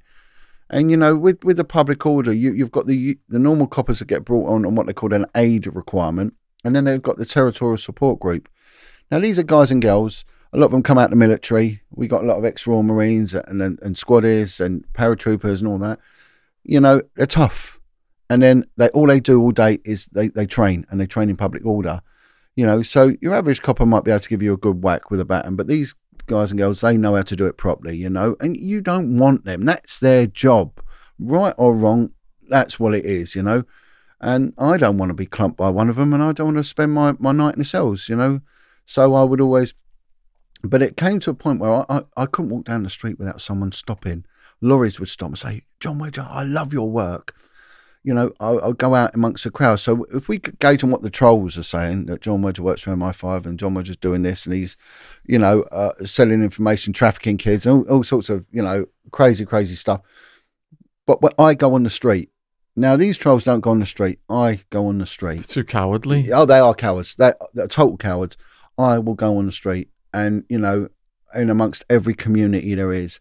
I honestly, I could not walk more than five meters without someone putting their hands around me and saying, "Well done, keep going." And one of the most touching moments was um, at one of the demos. Um, a homeless guy, Rasta, come up to me and goes, "I know you, man." And he went, "Can I have a hug?" I went, "Yeah, of course." So he gives me a hug, and uh, and then he is, "Yeah, that's enough of that. Let go of him." So he lets go, and, and where's that come from? It's a copper. He went, "My turn now," and he come and give me a hug as well. he went, "I love your work, Jon. I love your work." He said, "You've got a lot of support." So when it come to achieving what I set out, my mission was to give a voice to the voiceless, expose the cover-ups, and and then the SRA thing sort of pretty much took on a 50-50 role and and and speak about satanic abuse. I did that and some, you know. Last year, um, no, this year actually. I mean, bear in mind my podcasting was at its minimum this year. I got two million uh, YouTube hits at the height of my. I wouldn't say popularity because I don't want to go down the ego route or anything. No, the height of my, I don't know what it was. The success of the campaign. What's your YouTube channel called these days, Jon? Uh, I think Jon Wedger, just Jon Wedger or Jon All Wedger of Jon's Foundation. links are going to be below this video in the description box. I, I mean, I don't post on it or anything like that uh, anymore. I mean, there is a guy that does do bits for me, and there's another girl that, that will update my website periodically, but I've got no interest in it. Facebook, it's a no no. But Facebook, I was getting a million views a month. You know, I was up to 45,000 subscribers on YouTube. You know, it, it really was moving to such big proportions. So when you come into success, I achieved what I set out to achieve. You know, and then the government asking me, now to advise. So I got asked to give evidence at the independent inquiry, which I did, and I got global publicity for that. And now the government are looking at getting me in as advisory capacity, which, it'd be brilliant because if I can get into training academies, I can tell them, you know, you know exactly what they did with the race riots. So they were getting community leaders into training academies for the police and everything else, and, and saying this is what you. And if they can do it with me, um, because it, it was quite apparent that what what I put out in my statement was corroborated by near enough every single other call participant said the same thing. You know, the, the child abuse, especially the trafficking of children, is is is working with impunity in plain sight, and nothing is being done to curtail it. Even the Crown Prosecution Service uh, even mentioned Jon Wedger's right you know so i'm not blowing smoke up my own arse at all because it's one of the things you have to do you have to you have to keep in check your own ego and and everything else. But it, i was getting to a point where i was actually i gave a speech at trafalgar square and you know there was quite a few high profile speakers there and i felt a bit sick and i just thought I, I, I shouldn't be having people clapping me like this. Do you know what i mean? I'm no one's hero. I'm not. All i was was a person that wanted to speak the truth and then I walked away from that. And then the, all the team started arguing. There was there was money being filtered off. Um, I was being reported to every single agency or whatever for for just doing good. And and it really was, you know, I believe in God, I believe in Jesus, and it was like God saying, "Out now, out now. I've had you in the trenches, son. Time to go out." But what is what is good about it, Shaun? Because a lot of people saying, "What's happened to Jon Wedger?" And I said, "Look, I'm still here, but I'm still doing stuff. I'm going on the more professional podcasts. Um, I'm, I'm still linked in with one of the survivor groups. Um, you know, and again, I'm not going to name names because then they get attacked as well. So, uh, you know, I don't tend to do that anymore. Chris Lambrianou, I still do a lot with Chris, you know, um, and Bill Maloney. So the people I started out with, I'm still there. And Karine Hutsebaut, we're still there. But Karine, she warned me. Now, bear in mind, Karine is is in the top ten of criminal profilers in the world. You know, this woman is of such high esteem, and and she's quite good because we we, we talk about the trolls. You know.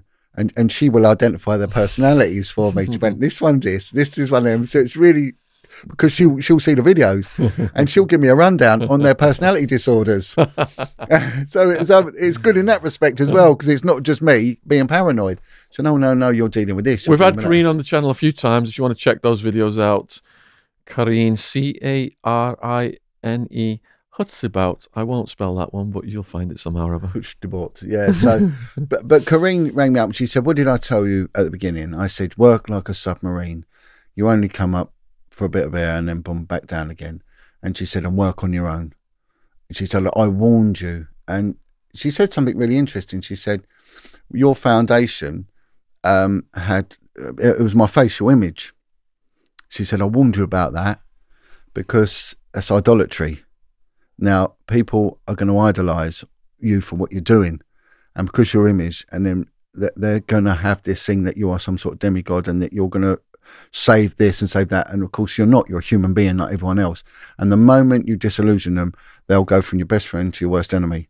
And that's exactly what happens. So one minute you'll get someone, yeah, yeah, I'm with Johnny, I'm with Johnny. Next minute, he's went for MI5, he's this, he's that, and you saw it. Yeah, I had this discussion with Ron Swanson, who exposes things on the dark web, and he said that when you build up a following on social media, there's always a percent of those followers who are toxic, Yeah, yeah, and they will do exactly what you just Yeah, described. They're yeah. re- ready for you to just yeah. to stab you in the back at the slightest little thing. And, and and they will micromanage you. They, they will go through the minutiae of everything you say. I mean, I had one uh, individual that um, I, I left the police with with a pension of 27 and a half years service. My actual service was, was just over 25 years. Um, so then this individual was saying, well, look, he's lying about his service. He's lying about his service. You know, and so, and then the other thing, which was really interesting, and I, I did an interview with, with a lovely guy called Joey Barnett the other week, and I said, Joey, I'm gonna I'm gonna give you now verbatim what I said on another podcast, and this is how it got turned. So I said, I think that what they should do, and I, I probably mentioned it on, on one of our podcasts, Shaun, is that the world should be shown a child porn video. And the reason for that is this, right? It will show the sheer horrors and the sheer graph. It's a bit like how do you get people to change from uh, from how animals are slaughtered? You show them how they used to slaughter animals, and people are like, oh my god. And again, and I, I started off by saying I am not advocating the viewing of child pornography at all. No way. It's appalling, and it should. And, and if I had my own way, I would eradicate porn, straight porn, normal porn, whatever they call it, because I think it's destroying our society. But when, as part of my job as as a child abuse investigator, that's that's one of our disciplines. You have to view it. It's incredibly disturbing, and and I, I gave an example of when I was in court, and there was one image um, that there was thousands, thousands of images, but one that all stood on my mind. It was like an altar, and I think it actually was an altar, and there was a priest or someone dressed in priest garb, but I think it was a priest, and there was um, an infant, and I mean an infant, being not just raped but tortured. You can't, you know, Was these photos or a video? these were photos. You know, there was videos as well, but there was thousands of them, and um, and it it really hit me this, and it really shook me. That you know, and certain things you can't unpick them. They're in your head. They're etched into it. Even my head right now is thinking that can't happen. That can't be. But but what was worse was the guy that was that, that I nicked for it. He come out with like all paedophiles do. They come out, thank God you stopped me, and you know I really needed stopping. It was getting a thing, and I'd only look at one, then I'd be disgusted with myself. But that's a lie. You know, you know, this is how groomers work. It's all they nicely, nicely, but the reality is they're monsters. And uh, the reality is, once it went off to the laboratory and the report come back, had to full extent. Not only was this guy viewing it, he was sending it out, but he was sending it out with comments. And the comment he put under this picture was, "She's really getting it. She loves it." Oh So this is what this. God. So this is what this. Now, now this is why I say about people should see some of the things that I've seen, and it's a bit like war. You know, the Second World War films. It's all death or glory. Then we got the Vietnam War films, and people really started seeing what war was. It was absolutely horrific, you know, and it, it isn't what was portrayed in our black and white Richard Burton films and everything else. So the, these uh, there was a legal argument. I won't go into it because it's a bit dull, but um, there was a legal argument going on between the barrister, their barrister, our barrister, and the judge regarding the way that I'd um, categorised, you know, these these images because it's between the level one and level five. Five, you possession of one level five image, you're going to prison. This bloke had thousands, you know, and um, anyway, so this argument went on and on and on, and in the end, the judge said, "I'll be the adjudicator of this. I'll be the the, the arbiter of this one." He said, "Officer, can you bring me the laptop?" So I brought the laptop up to his bench. We sat on his bench. So I'll go up, open his laptop, and he said, "If I have to look at one image, I will look at all of the images." Right. So if you're disputing this this officer's ability to categorise, I'll be the judge. I need to see all of them. So he said, "Just put it on a slow scroll." So it's going through a slow scroll. All of a sudden, he's seen this image. And he's gone like that. He went, stop, go back, go back. I knew exactly which one. And he clicked, he- said, click on it and enlarge it. So, and his face, you could see the, the blood just draining from him.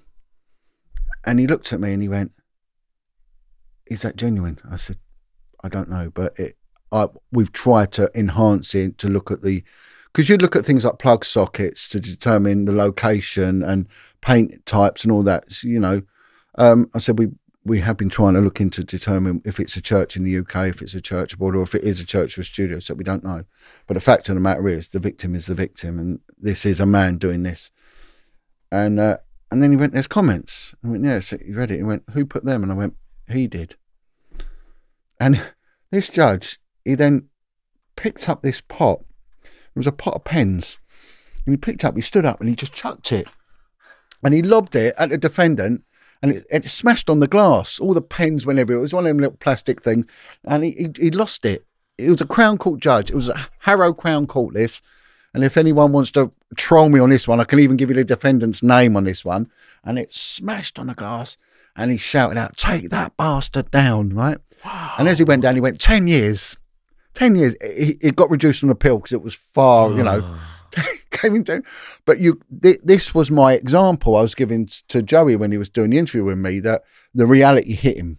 This What, is what was that picture that caused him to snap? the the one with the priest and the young, Ah, you know gotcha. because it was so it was just so horrific but it brought the reality home to him but also the comments that this is a man claiming that that he's a victim they always claim that they're a victim you know and all of a sudden we're, we're now in his world in inside this bloke's head which is where you need to get sometimes. And this is what if you was to show it this is what you get. Anyway so i fully explained uh, the preamble to joey the reasons my rationale and then the after effects of it okay? And the reason for doing it. And the reason i would say doing it is because it would change criminal justice and sentencing guidelines in an, in a heartbeat. And it would give more sympathy to victims and survivors of abuse without a doubt right? Well what was the backlash from trolls jon wedger and again taking like harvey's done with your your voice and sound you know Effing Jon Wedger, effing Ian Puddick, effing Shaun Attwood. They all work for the New World Order. Yeah, yeah. Well, the New World Order and MI5, they must own more employees, and I hope they've got good like recreation facilities, you know, and a social club and things like that. We can have I a wish all my trolls Yeah. made songs about me. yeah, you know. Um, so, so, but then these trolls put on Jon Wedger's advocating child porn. Look at them, he wants it, and this is how they turn it and They turn, turn everything, everything. around, everything and, around. and, and this is why now when when you look at um, seasoned interviewers and interviewees, that they, they've got it off pat. They now allegedly, and or they'll do this because they know people like Piers Morgan. They know exactly what they're going to face. You know, post event. But so so that was it. Coming to a crescendo with me, where it was all in fighting. There was a lot of mental health problems going on. There was people with agendas, um, and I just thought, no, and I, I literally turned off. Now I feel sorry for for the innocent ones that got caught up in all this. That generally wanted me to carry on and needed me to carry on. But you know what I'll say to them is I did what I had to do. It now has to go to a more professional level, and my doors were wide open. So I was basically I was just a conduit for any, any you know anyone that had a gripe, had a problem with the police, had a problem with anything. Let's go and chuck an emotional dart at Jon Wedger. He'll take it, and you know. And I always kept smiling, always kept going on the street. But the gauge, how I left it, the gauge I left it was that I walked down the street, a busy London road, you know, in the middle of a protest, I would be hugged every five metres. I had one absolute moronic idiot shout some abuse, and that was it. In all the years I've been doing it, um, and and that's it. So so basically, you know, when it comes to that, you know, I, I think I successfully achieved what I had to achieve, and it's a time to take elevate this to to a more professional level, which is which is what I'm doing. But those I started off with, I'm still doing what I'm doing. But you know, Facebook has totally and utterly gone now. But um, it's um, and it's a change in times as well because we are seeing people getting arrested. You know, um, I always knew that that would happen. Arrested know. for what? Um, contempt of court. You know, we we sort of, Jeanette's been arrested for contempt contempt of court. and- Oh yeah, yeah. Should we go over to Jeanette Archer? Um, because there, after Wilfred, the questions coming in are all about Jeanette. So my understanding, and please correct me, is that she was arrested here in Guildford, and there are rumours that she may have named allegedly people that the uh, what's it called, the family court didn't want her to name. Yeah, I don't, know, I- if, I don't I- know if any of that's true. I mean, going from the limited amount that I know, I would say that, um, and I haven't spoke to Jeanette over this, and uh, but I spoke to a friend. I would say, and I said to a friend, if she's named a child, then then, then that's contempt of court. And I straight away said, because no one knew why she'd been arrested, I said it will be contempt of court, in my opinion. If it's an ongoing thing and there's a child, you can't name the kid, you know, and that's that. Boom. Unless you know they waiver their anonymity, that child I think was eight years old. It- it- It's beyond the age of criminal responsibility anyway. It's, beneath the age of responsibility for the family court, so the kid can't acquiesce to anything. Um, so to name the court was a no-no. And uh, to be honest, to even talk about that case, you, know, you, really have to be switched on and tuned on because you, you're, you're going to end up in a world of trouble. Now, I know that that my site was heavily monitored by the Metropolitan Police because they told me. I, I got a phone call from the security services, and again, they told me as well, you know, that they'd monitored not only uh, that but also my phone calls. Um, now, security services were, were really good to me because what all what they said to me was, "Do not delve into politics." And the only time that I ever really sort of got What, what's your interpretation of that? Um, I think it's because I may be influential. What do, what do they mean? What what do they actually not you want? What you what do they not want you to do? I, I think take take a political opinion and voice that political opinion and maybe set up a budget. So if we look at, and this is one thing that, that got me shut down off social media for, for a period of time. Um, I did a podcast and I was in, I think I was in Su- Suffolk or somewhere. I was going to be giving a talk at a, um, a military place. They'd asked me to go in their social club and, and give a talk about the work I did. So, um, and what happened was there'd been there'd been a, a news coverage about Tommy Robinson being at a Center Parcs in Woburn in Bedfordshire with his his little children. I don't know the age of his kids, and he'd been arrested for assault. And what looks like has happened is that his little girl has gone into a, a, a bathing area, swimming pool, you know, thing. Uh, I don't know how old his kid was. I think she may be 10 or something like that. Anyway, she's a little kid. And there's these three men there um, who apparently had been booted out of a Center Parcs before. I'm not too sure. But they'd, um, she'd been sexually assaulted. She'd been groped. They'd groped her, her bum, her bottom.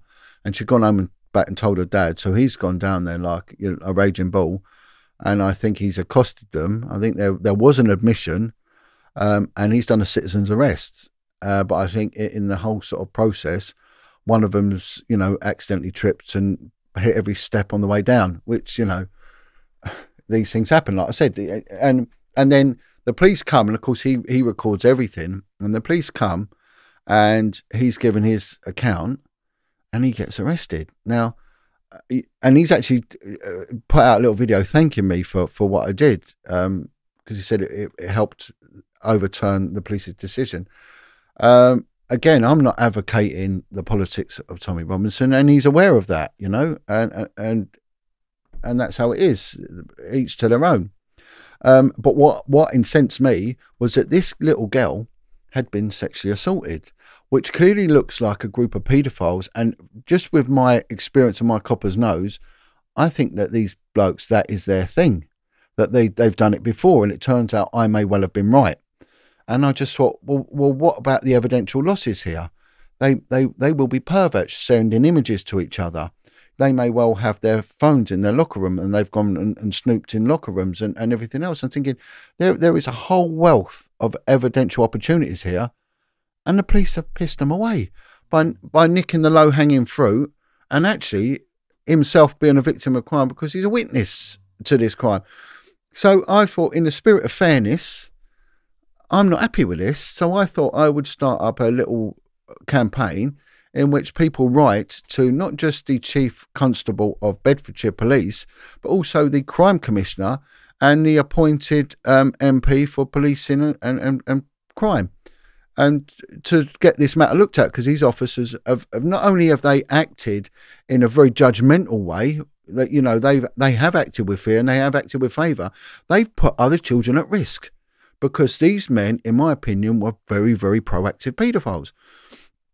So I got very incensed by this, you know. And again, I've got no political opinion on what he does. And I want to make that clear because I can see how this is going to go. Jon Wedge now promoting the works of Tommy Robinson and all this sort of stuff. But it wouldn't matter to me. It wouldn't matter if he was an Islamic extremist. I would still take the same stance because that's the sort of person I am. And and I just thought this is wrong. If this is the benchmark of policing today, this needs to be addressed. It needs to be addressed now at the highest level because making a complaint to their inspector is just going to get a load of nonsense back, which is exactly what happened. But there was a letter writing campaign, and the police did end up overturning what they did and went and arrested the people. They didn't search their premises, they lost a lot of evidence, but apparently they did get prosecuted, which I thought well done. And, and he actually did say a thank you on, on, on some YouTube channel. And I just thought, well, job well done. And that little podcast lasted eight minutes, and I got 40,000 instant views, right? Which was quite incredible, you know? And I think I was running that. So when you podcast, if you run about 200 hits um, instantly as, you, as you're doing it, you're going to get 10,000 hits by the time you finish. But I was, I was sometimes I was running at 2,000, you know, if I did something. Um, but then the next thing, I, would violated broadcasting standards. And um, and I thought, well, how? How have I? What have I done any different? And and all it was was the, the fact is I mentioned his name. So this shows how much that this is this is monitored and how unfair the system is. So when you gets back to what you were saying, Shaun, about um, MI6 going on to me about um, political um, uh, intervention and all that, or, or affiliation, because maybe I'm an influencer, you know, and, and I have some sort of stand in, and it could then cause a bit of a, a problem. Um, and you know, they said you're okay, just stay away from politics. So, so getting people to write letters in and things like that, campaigns, uh, it's to the attention of powerful people. That's what they want you to stay away from. Yeah, yeah, and and what happened then? It, it was quite odd because then I get invited down to Cornwall, um, a little town outside of St Austell, and I go down and I, I meet a guy in a pub in, in the back, and uh, I, I want to actually say his name because he's got quite quite uh, he's changed his name, and uh, but I won't do it. I, I, won't. The guy's not very well at the moment. But um, he said, "I like you. You're you're a good kid, you know." And he said, "I want you to know a bit about my background." And he was um, ex infantry officer with the British Army, um, and then he went on to become a um, a specialist. He went into the basically the SAS, as it were, you know, and he started wanting to talk to me about um, contract killings, how contract killings work when they're politically motivated and they're government sanctioned. And I went, okay, and he said, now you're at risk because of what you're doing, and he said more so now that you're de- you're talking out about the satanic stuff, which very much dovetails into what Wilfred said. And he had with him a little bottle of water, and he said, I've never done a, a killing um, on the UK soil. He said, I did one in Ireland, but we, we class that as enemy territory, not as, as sovereign soil, as it were. And he said, um, I've done them in Hong Kong and, and other places, right? I know guys that have come over and they've done similar stuff, right? And he said, um, it's business, you know, and that's how you see it. And, and he said, you're talking about guys that are, are totally desensitized. And he said, borderline psychopaths. Really, they, they that's what they do, you know. And I, and I worked with a guy, and, he's a lovely guy. I never denigrate him, and he was in the special boat squadron uh, for many years. And um, he said the same when it comes to killing. He said you put it back in your mind, it stays there, you leave it, and that's that. It's just business. So he he got a bottle of water. He said what you do is you get um, a little pistol, and he said I make out I'm drinking. He said I'd see you, I walk up to you, and I'd bring the pistol up, the bottle of water, bang, and I fire the bullet through, it would silence it. The water would silence the round, and it goes straight in your head.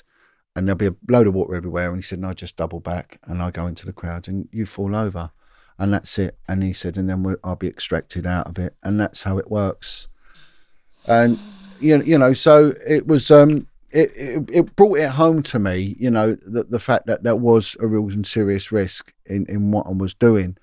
Uh, I mean, the more obvious risk would be from the contempt of court issue. So, having had a grounding, you know, in the, the criminal justice system, I was pretty much aware of where I could or couldn't go, you know.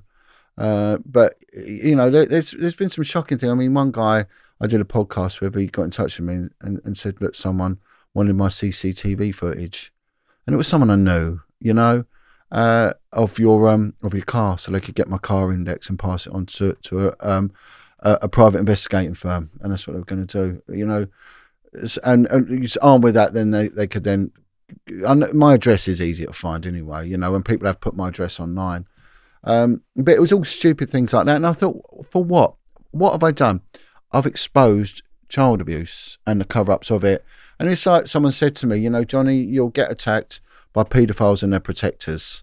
And so, to a, to a more or less degree, I'm not call, calling a lot of the trolls paedophiles, but there are going to be an element of the people that have attacked me, specifically me, that are active paedophiles and and they're involved with paedophilia and they're active Satanists. And there will be. I mean, Wilfred Wong finds it quite amusing that I get attacked because he said, if you upset a Satanist, you're doing a good job. carry on upsetting them. Carry on. He wants me to keep getting attacked and trolled because he says you're doing your job.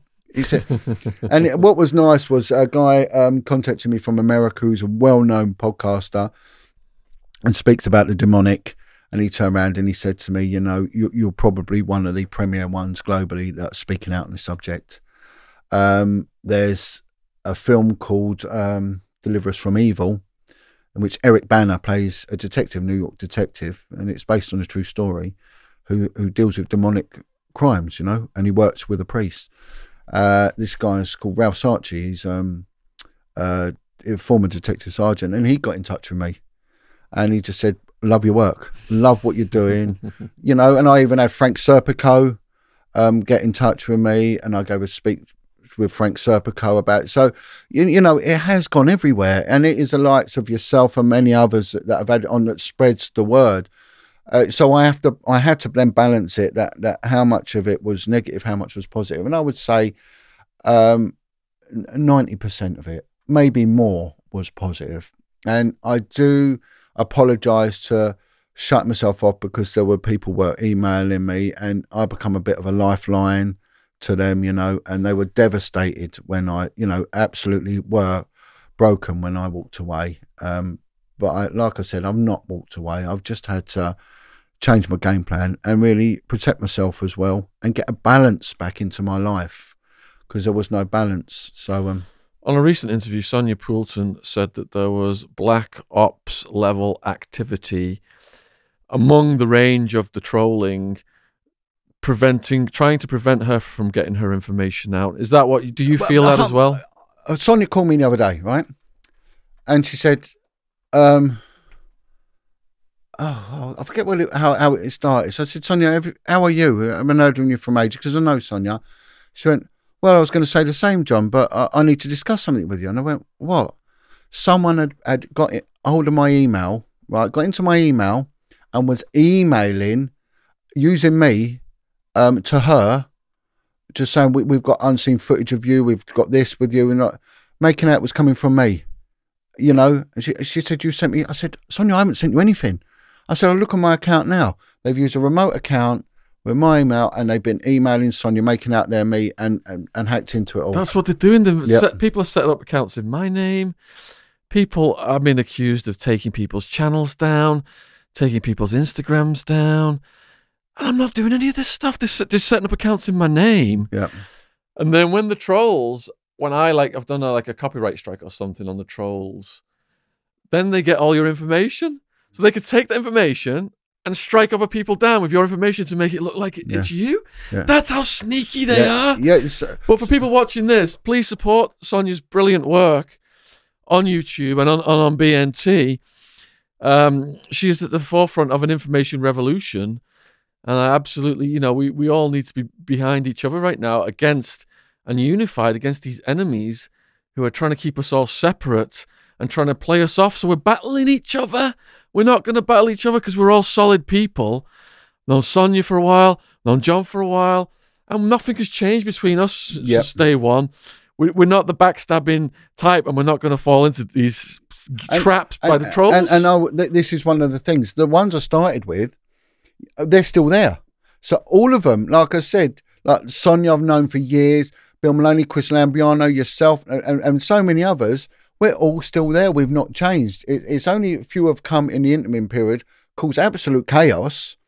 You know, like a whirlwind, like a, you know, Tasmanian Devil smashed everything up, and then they've effed off, and then they turn around. I mean, one person was come on board and then got all the information was given it to, to private detective agency and, and, and to, uh, to a trolling group you know and i think how spiteful and some of that information involved my children. Now i don't care what they say about me but you know there's a line you know and that's where you know if my kids are mentioned i will go to the police and that and i'll do that in a heartbeat. I don't want to grass anyone up but if, if the- moment they're they're caught up in this then that's that. You, you can have it back. Um but yeah, no, it, it's it's very very bizarre, you know. So I've I've had the other thing I I, I did a walk, so I've I have walked hundreds, I'm just short of a thousand miles with my dog, length and breadth of the UK, right? I've cycled hundreds of miles on a crappy old bike for charity. I swam round the Isles of Scilly, t- nearly 20 odd miles around the most treacherous waters in the, Atla- you know, to raise money, right? And I've raised thousands and thousands and thousands for charity, but also I've raised money for my campaigning. Now, because um, when you do GoFundMe, it gives the, the the amount. A large percentage goes to charity, and the rest you need it to carry on doing what you're doing. Which, but then of course, no, they're not happy with that. They're saying, "Well, Jon Wedger nicked all this money, and he's nicked." So the thing about this, Jon, is it's not the donors who are not happy with it. no, no. It is trolls pretending to be concerned yeah. citizens that contact GoFundMe. So GoFundMe needs to have something in place whereby the only people who can complain about giving that you having that money Yeah, are the people who gave the money in the first Yeah. place. Now I learned that because a few years ago, my first podcast guest was Jamie Morgan Kane. Some controversy arose around him. And as soon as that controversy arose, I bowed down and refunded all of the GoFundMe's. yeah, And the people were like, why are you refunding this? We support him anyway. We don't believe this bullshit. yeah, yeah. And I thought, all right, I just, to be clean out of this situation, I just need to refund the whole thing. But I learned from that lesson never, ever to do that because it's the evil of the trolls that's putting in the complaints. It's not the donors. No, no, it's not. Well, well, there was one troll put some money in, and I made sure he got his money back because he did that on purpose. And he, he's a very, and he's a very strange individual.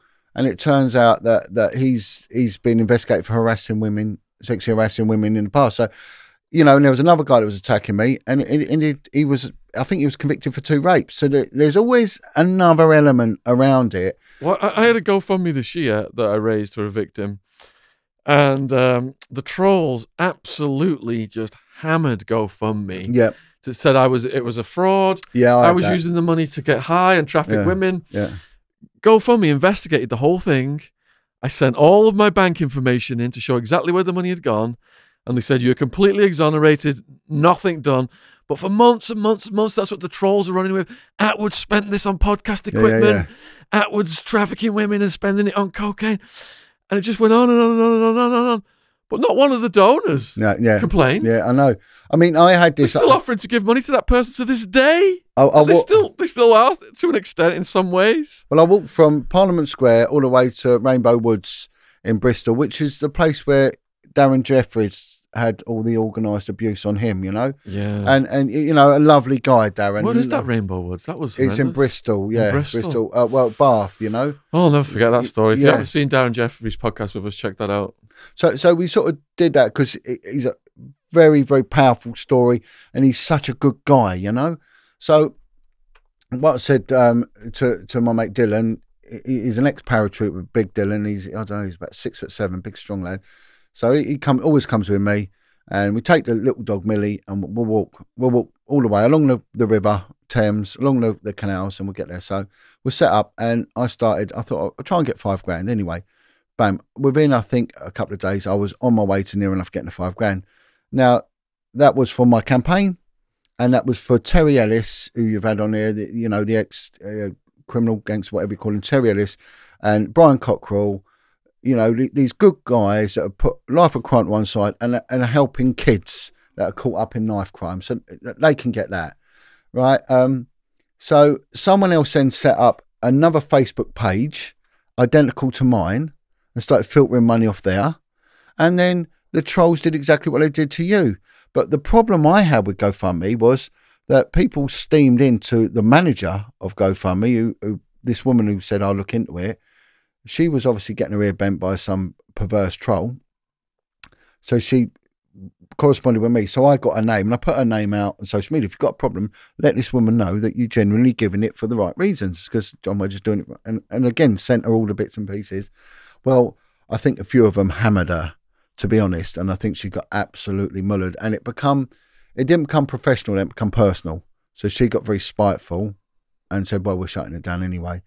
Um, so that was it. So, and then the people that you're helping don't get that money and they go back to a bad lifestyle because of the trolls who say they're saving the person because you're just defrauding the money in the Well, first Shaun- place. Shaun, one, one, one beautiful individual Insane. gave me a thousand pound on their deathbed, right? They were dying, and they said, "Jon, I want you to have a thousand pound for this for this walk for this charity." Brilliant, right? And of course, money got refunded, but in the interim period, this poor soul died. So that's gone into probate. So that money never got back. So they caught, they kept a thousand pound.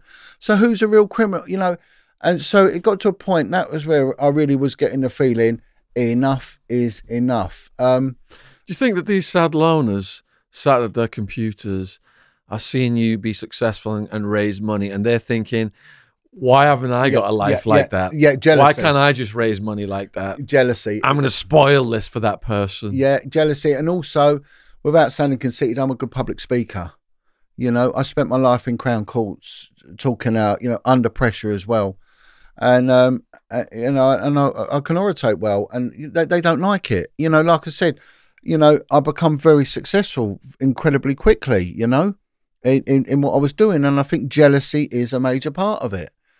Um, they are hateful, uh, but when you do see them, they are they're twisted. And one of them, I rang one up, and one was accusing me of fraud and everything else, and and and basically saying I'm going to have it out with him. So I rang him up and I said, "What's this? You're going to have it out with me?" He went, "Oh no no no no." Uh, all I was going to do was I, I wanted to meet you to give you some financial advice and do some book work for you. And I said, "Well, no, you weren't. You was accusing me, and just a coward, just a, a, a real twisted, horrible." And after the phone call, he went and called the police and said, "Jon Wedger has arrested me." And and and this is what they're like. That they're weird. They're, they're total weird.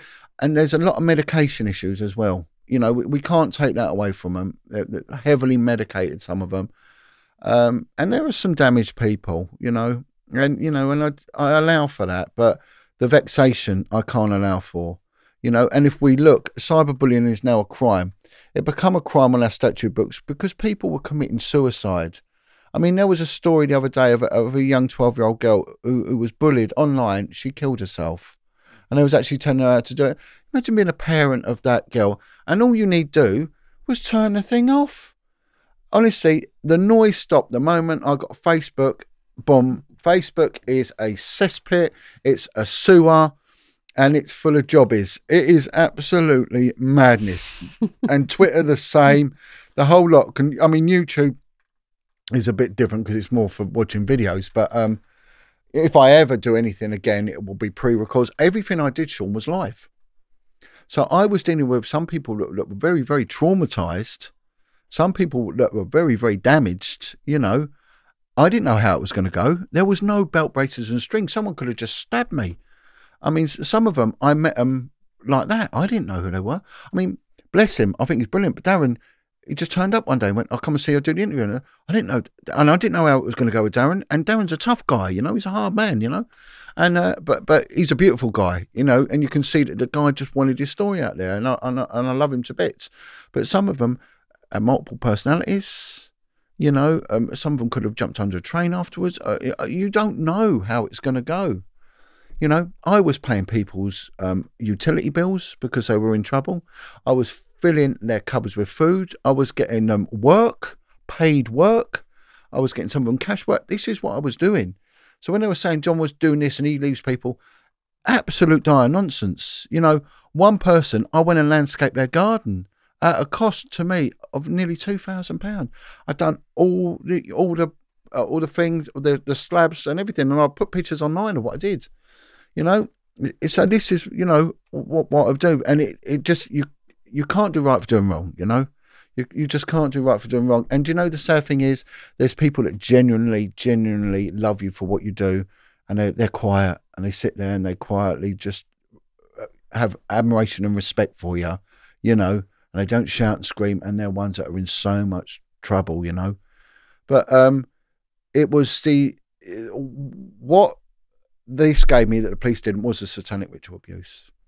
That was the the area where um, I think that um, I was meant to do this because I think that was my raison d'etre.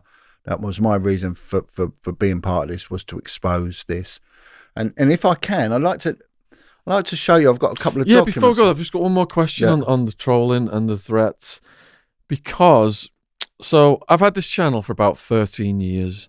It was the first prison channel, and I exclusively started with my story and then interviewing other people about their prison stories. Then we branched out into true crime. So that brought us then into interviewing not just people who've been in prison, but ex police, yeah, yeah. ex victims. And then the Epstein story became one of the biggest stories on the Oh, channel. yeah, yeah, yeah. Now, the trolling has happened with some of the um, ex prisoners. But once I got into the Epstein case, and once I got into talking to people like you and Sonia, the magnitude of the trolling and the death threats just went completely off the scale. And someone told me that when I first started getting into um, exposing elite abuse and child abuse, that people who do that end up dead. They do. Yeah, and and and they cited some people who had ended up dead. So is it part and parcel of what we are doing, and perhaps an, an, an acknowledgement of the success of what we're doing that this trolling and death threatening becomes so diabolical and al- almost appears to be like a black ops level of trolling as described by Oh, yeah, Sonia. Yeah, this is organised um, on two on two levels. Firstly, you you you- you've got people that are just mad, bad, and sad. Okay, um, and they're sitting indoors and they love to hate. Haters love to hate. Hurt people hurt people. Okay, and they're never happy. If you live next door to them, they'd be a nightmare. And I think even their own kids probably don't talk to them. Do you know what I mean? So, you know, and you just become this this light that these moths can come bombarding into. But on another level, there is this organisation. Now they're saying they've got this thing called the 77th Brigade now, which are are um, a, a, branch of the intelligence service, military intelligence, uh, and that there are a, a military unit on the intelligence regiment that's set up specifically for social media. You know, um, so of course I, I got the police contact me, and I got the intelligence services contact me, and, and I also then got an ex um, hitman for for for the you know the ex SAS hitman contact me. So you know, and he and he was just saying, be careful because you're going to come into our remit soon. You know, so that obviously is now. Now, I think that's an extreme way to go um, to to shoot someone because it's also very high risk. You know, um, and it's going to get looked at. But if you can take someone down through social media, then then that's So it's straightforward. the, it's the character assassination before the physical assassination. Yeah, and and I think with me that you know I, I think out of all of the podcasters I got the biggest kick in the Jacobs, as they say, when it comes to trying to attack my character. You know, literally everything, everything. Um, um, I, I- the, the key to it is you can't respond to it. You must not respond to it. Don't bite with it because then you engage it, you feed this beast, but it takes your time. And they contact everybody you've ever had any interaction with throughout your life. For example, they've contacted all of my podcast guests. Yeah. And 99% of my podcast guests have got my back and they've just, you know, contacted me continuously throughout all of this drama. But they do manage to twist the odd one's mind. And, and, and, and the, and the, the uh, two channels that were responsible for that recently were live streaming accidentally and exposed themselves as complete con artists. They, for for like um, almost an hour, they didn't realize they were being recorded. Oh, and they live streamed yeah. it, yeah. and they were just laughing about how much money they were going to make making videos about me, and um, mocking guests they had contacted to turn against me. but actually speaking badly then about those people and what they really thought of them. Just expose themselves as complete charlatans. But um, it's like there's a whole spectrum of forces against you, isn't there? Yeah, oh yeah. Like, like, like mentally ill people, loners, yeah. more organized people, and then black ops level. And the, it's it's like this this nexus that you can't quite. F- Well, well, well, with me, it was the SRA. That's when it went to this level that, and that was it. Bang, you know. And it was it was really strange because when I was um, whistleblowing in the police, the same pattern occurred. Now, um, I was contacted by a guy called Lenny Harper, and Lenny Harper's a police officer who, who exposed Haut de la Garenne in Jersey, you know, and, and he'd be a lovely guy to have on because he is a lovely guy. And he just said, Look, you watch things start happening to you now. You're going to get arrested. You're going to get um, this done to you, this done to you. And he said, The other thing is, your bank account will get shut down. Well, that exactly what happened. And Maggie Oliver said very similar to me as well, you know? is she going through this, Maggie? Yeah, yeah, yeah, yeah, yeah. She, you know, exactly the same. So everyone, Sonia, Yeah, Maggie, yeah, everyone yeah. is going through I, I don't know whether she goes through the, the trolling so much at this. I mean, kind of, but but I'm talking about when we were in the police together because when I was going through it, she she was very good to me, you know, as was Lenny Harper, you know, and they both said that there is an algorithm of bullying. This is what they're going to do, and with the police, what they do is that they they destroy your character, right? So exactly the same thing. What they do is they start going through. Um, things that are going to get you screwed up. And the easiest one is data protection violations. Now, in the police, especially detectives, you, you've got access to a phenomenal amount of intelligence. How you disseminate and utilize that intelligence is a point of conjecture, right? And and it's a judgment call. So I could be looking at someone, um, and I could justify it to myself, and I could justify it for the whole overall investigations, but I might not be able to justify it to some sort of crime commissioner or, or intelligence commissioner who says, "Well, why are you looking at this person?" Right? And when you look at a name, I could put in Shaun Attwood. I don't know who's looking at you, but if you're flagged up by the intelligence services or the National Crime Agency, they'll be told. You know, and it's the same as if you ever do a name check on someone who's been in the special forces, they get told, right? Um, and, and the civilians don't tend to understand the depth of intrusion. You know, I saw it from the police, and some of my work did coincide with intelligence services. So, so all of a sudden, I started getting these um, discipline papers, what they call a 163 form, served on me, right? And it's basically a summons. And it's saying that we're investigating you as an officer for data protection violations because you looked at this information, this, right? And uh, and also we're sending it to the CPS. So it's a summons. You're being summoned to court now. So it's the same as being arrested. I end up nine of these things served on me, all told, you know. And so this is what they want to do. And no, knowing that one of them would stick, and then they look at everything else and they really really try and, and so firstly what they're doing is they want they want you arrested and then they're going to offer you a deal so what they'll say to me is you resign and take a caution. That's it. You don't you're going to court and that's prison. I mean one of them and this is this is what they'll do. They um there was a guy i worked with um who was an undercover cop right? I think you have spoken to him, but he didn't want to come on. So you know, anyway, won't name him, but uh, anyway, so he was an infiltrator, uh, and he was brilliant at what he did. But like all undercover cops, he went mad. They they totally they because they, they they've got so many personalities, right? But he was a good friend of mine, and we worked on a lot of good work together. You know, um, mainly drugs work, but he was brilliant. And, and his legend was he'd live as a tramp, right? So he would go. Um, it's really strange, and this is one thing. The um, they, the Welsh police don't use their own officers for undercover work because everyone in Wales knows everyone, so they all know each other, right? So, oh look, there's there's Dai, there's you know, so they go on. So they always have to drag in people from elsewhere. So he ended up like in in in Wales and places like that as a tramp, and he'd get involved in all sorts of stuff. But he he was so convincing. He he got tattoos everywhere. He'd have a little dog with him sometimes and he would piss himself. He would literally piss himself, and he stank piss, right? And he always had a little bottle of methadone on him as well. And uh, he lost the plot. He left the police. He went to live in France, and he got lonely, you know, because he was isolated. This other thing they do is isolate you as well. You see, so he ended up um, totally and utterly isolated, very depressed, point of suicidal. Uh, his phone he didn't have it anymore, but all he knew was that my I'm the only wedger in the police. That's it. There is no other, right? There's no others in. I don't think in the UK.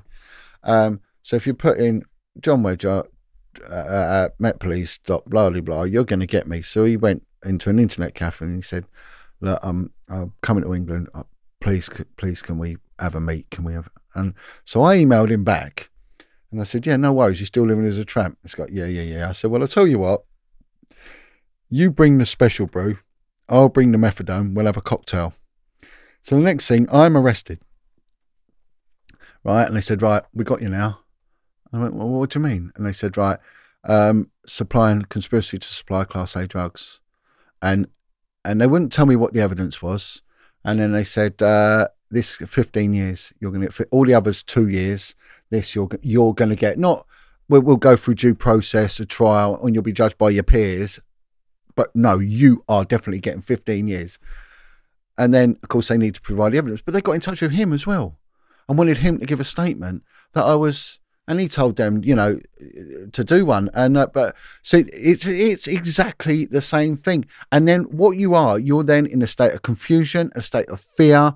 You can't think right, and you're like a person at sea. When you're at sea, you will cling to anything. You will cling to anything. So any lifeline, you'll cling to it, you know, and you'll accept their terms and conditions. When really, what you got to do is is get a grip, take a step back, and realise you're not in trouble at all and there is another way out of this. So your prescription for trolls then is just to completely blank them. Totally and utterly blank them. You know, and and funny enough, like talking to Karine, and, and of course she started then giving me a profile. And I give her a couple of examples of people, you know, that have been doing things, and, and she's bang on, you know, and um, and she said that they get one chance, you know, and that's it. You know, if they're going against you, then that's it. Boom, that's it. Boom. So if your You're gone. followers call you and they've seen they've seen something negative about you from a troll, and the follower says, "I've just come across this. Can you explain yourself?" What kind of a thing would you say to Uh, a genuine well, well, follower? well, what, what I do now, I say, we, look, I'm not explaining myself. And that's what I said to someone the other day. Someone said, look, you got to watch this video. Someone's put video out about you. I said, I don't care. I'm not interested. I'm not, and I'm not. And, and I like to think that their judgment would be good enough to know to know who I am and what I am. And I, and I just say it's nonsense or it's bollocks. It's I just put it's bollocks. Don't- Ignore it. I've ignored it. You should, because it's not about them. It's about me. You know. Um, but what I would say to people, anyone that's going into this podcasting, I said to when I did an interview with Joey Barnett, I said, Joey, the moment you put out you're doing it, you watch. And he went, when I went back for a second part, he went, fucking hell, Jon. He said, unbelievable. I've been absolutely it. He said, but when I go back to these trolls and I look at them, he said, it's all nonsense and they're all weirdos and all saying the same thing. And it's the same like with Team Harvey. It's the same little, you know, nonsense. Jon Wedger. Yeah, you know, it, honestly, it is. It's just, but, but you know, Please listen to Brian Harvey's song about us. It's great. but uh, some of these people, New World Order. uh, it, it, I know, it, it, it's just mad, isn't it? And what's the other one? Shill. I didn't even know what a shill was. You're a shill. Someone said you're a shill. And I went, oh, thank you very much. you're a ducky yourself. You know, what, what was that? You know, um, but but when you look at them, there's no substance to them. But but there's some of the people that have attacked me. They're dirty. I know they're dirty. I know a lot about them. At no point have I had any need to attack or denigrate them or point a finger at them or, or character destroy them. Which one or two of them I could absolutely muller them. I don't want to. I have no need to. And what it would do, Shaun, it would you spend your time going through all that. You've lost a day. Creating content. Where's Yeah, it yeah. gone? You just Yeah. troll attention. And, and how do you feel afterwards? You you feel what a awful. waste. What a waste of a day. It makes you feel horrible. You feel paranoid. You think everyone hates you. But then, like I did, walk out, you know, and I think James was with us. So people were coming up, weren't they? You know, Jon, Jon, you know, and, and that's the real gauge of it. Do you know what I mean? So, um, and that's how I deal with it. But look, if, if someone knows you, they know you, you know, that, uh, I mean, We've they- got we've got almost six hundred thousand followers now on the channel, and it goes up every month. of course it will. So those toxic people and the people who are just falling by the wayside, goodbye, basically. Yeah, basically. yeah. And if you was to put them all in a room, you know, they'd amount to no one anyway. And then they'd all start fighting with each other. Then they'd, they they are. then They they'd go to the toilet and fight with themselves in the mirror, wouldn't they? The targeting They're doing videos on James the cameraman now as well. Oh, you know, you watch it happen, James. Sorry, It- it I've, is- I've been giving them information, It- James. it- you know, it, is humorous some some of the things um what was i going to say so yeah blank the trolls but you know if we're staying on this mission do we just expect yeah. the heat to Yeah, yeah. increase and acknowledge that as being confirmation that we're doing the right thing Well, well, well what, what does an actor do, right? You can't just get hold of an actor's details, right? Has to go for an agent, and an agent will be filtering them out. They'll be weeding them out. And if you speak to any actor, they'll be getting hate mail, you know, and and all the time. So so you need a filtration system. I had nothing. I, I you know there were a couple of people who started doing it, but then they had access to my emails, and then that started getting abused. So um, you need to filter out what it is. Uh, you know, you, you need to get a grip of where you really stand in all this because when you're when you're getting the incredible hits that you're getting, it's working. You know, and when you look at their work, you know they'll have 308 views or something like that. You know, and, and so it's. I mean, I've been attacked for having a suntan. You know, he's got a suntan. I cycled a crappy old bike I found in a canal 300 miles across Cornwall and Bodmin Moor and all that. I was dehydrated, right? Um, it was the hottest summer we've ever had, and that's why the suntan. And, and of course, my father was Sicilian, so I'm gonna go like an Asian. And I was gonna say another word, then it's gonna happen, you know. what are they attacking you for james what are they saying Oh, they're saying I was um, But it's linked to Didn't me. one of them say you were gonna working you. you were gonna beat one of them up or something Yeah, well, I was having a go at him saying he'd blown off during one of his videos. you can hear it in the audio. so making fun of that came back to me and uh, like, slagging me off. So you farted on an interview. Very, very silly. Oh. I, was, I was like just taking the mickey out of them back and trying to give them some Yeah. uh, Well, I- medicine. Well, well, well, I know that um, it is fun sometimes to do that but one one of them did contact um, someone who follows me who, who is hard man, you know, and they got it. They absolutely got it. And he's rung up and he said, Look, I'm not saying this is right, Jon, but uh, this person will never, ever mess about you again. And he said, They've, they, they've, they've had a visit, you know. And um, so, you know, I'm not saying that's right or wrong, but sometimes they're going to, they'll pick on the wrong person. They will pick on the wrong person you know, and that's that. But it, it is inevitable. It, you're going to get it, and you're going to get critics as well, you know. And I mean, one of them, it was Private Eye magazine, were attacking a lot, were attacking me quite a bit. were they Yeah, yeah. And again, they've got a history. They've got a history of things, you know, and they get away with it because Ipsos are the regulatory body for newspapers. They're classed as a satirical magazine. But it was all to do with involvement in talking out about satanic ritual abuse, and of course, boom. But there's a history of it there, you know. So, but you, again, you've got to look at it as recognition, recognition. But some of it is dangerous, and I think what what they did with Wilfred, how the media portrayed Wilfred, was was dangerous. And again, I think I've done my fair share in redressing that balance and, and telling the world, you know, Wilfred Wong is an outstanding human being who will do anything to he will he will fight any Satanist anywhere on the planet, you know, shirts off in a car park right here, right now, and and he will protect children and he's a good, good guy. So um and he's paying the price for keeping it real oh, you know, uh but but he's he's in he's in good spirits, you know, he's in real good spirits. Um but he just said it's the boredom, the absolute boredom, as you probably know. I did. I sent him some books. I hope he gets them. know. Yeah. So you've got your satanic. Right, right. Yeah, I'm going to just move on to um to what um something that occurred just prior to me sort of um exiting left on this one was a, a lady got in touch with me, and and this sort of proves um how deep this goes, and and something about the attacks as well. Now she um corroborated so much of what everyone else has said, and I've had the response I've got from victims and survivors of satanic abuse is that's bang on, that's bang on. And she said to me, Have you got a pen? I went, Yeah. She said, Have you got a bit of paper? I went, Yeah. So you sat down. And I went, Oh no. She said, Well, sit down. So I sat down and she explained the hierarchy of Satanism, how Satanism works and who's put in place. And she said there are police officers and they are usually on what they call the fixer level. And I'm going to go through these levels with you in a minute. And she said, one of them, she said, You've upset this guy. And I went, Okay. And she said a name. And I went, Oh my word. Said, You know him, don't you? I went, Yeah, yeah.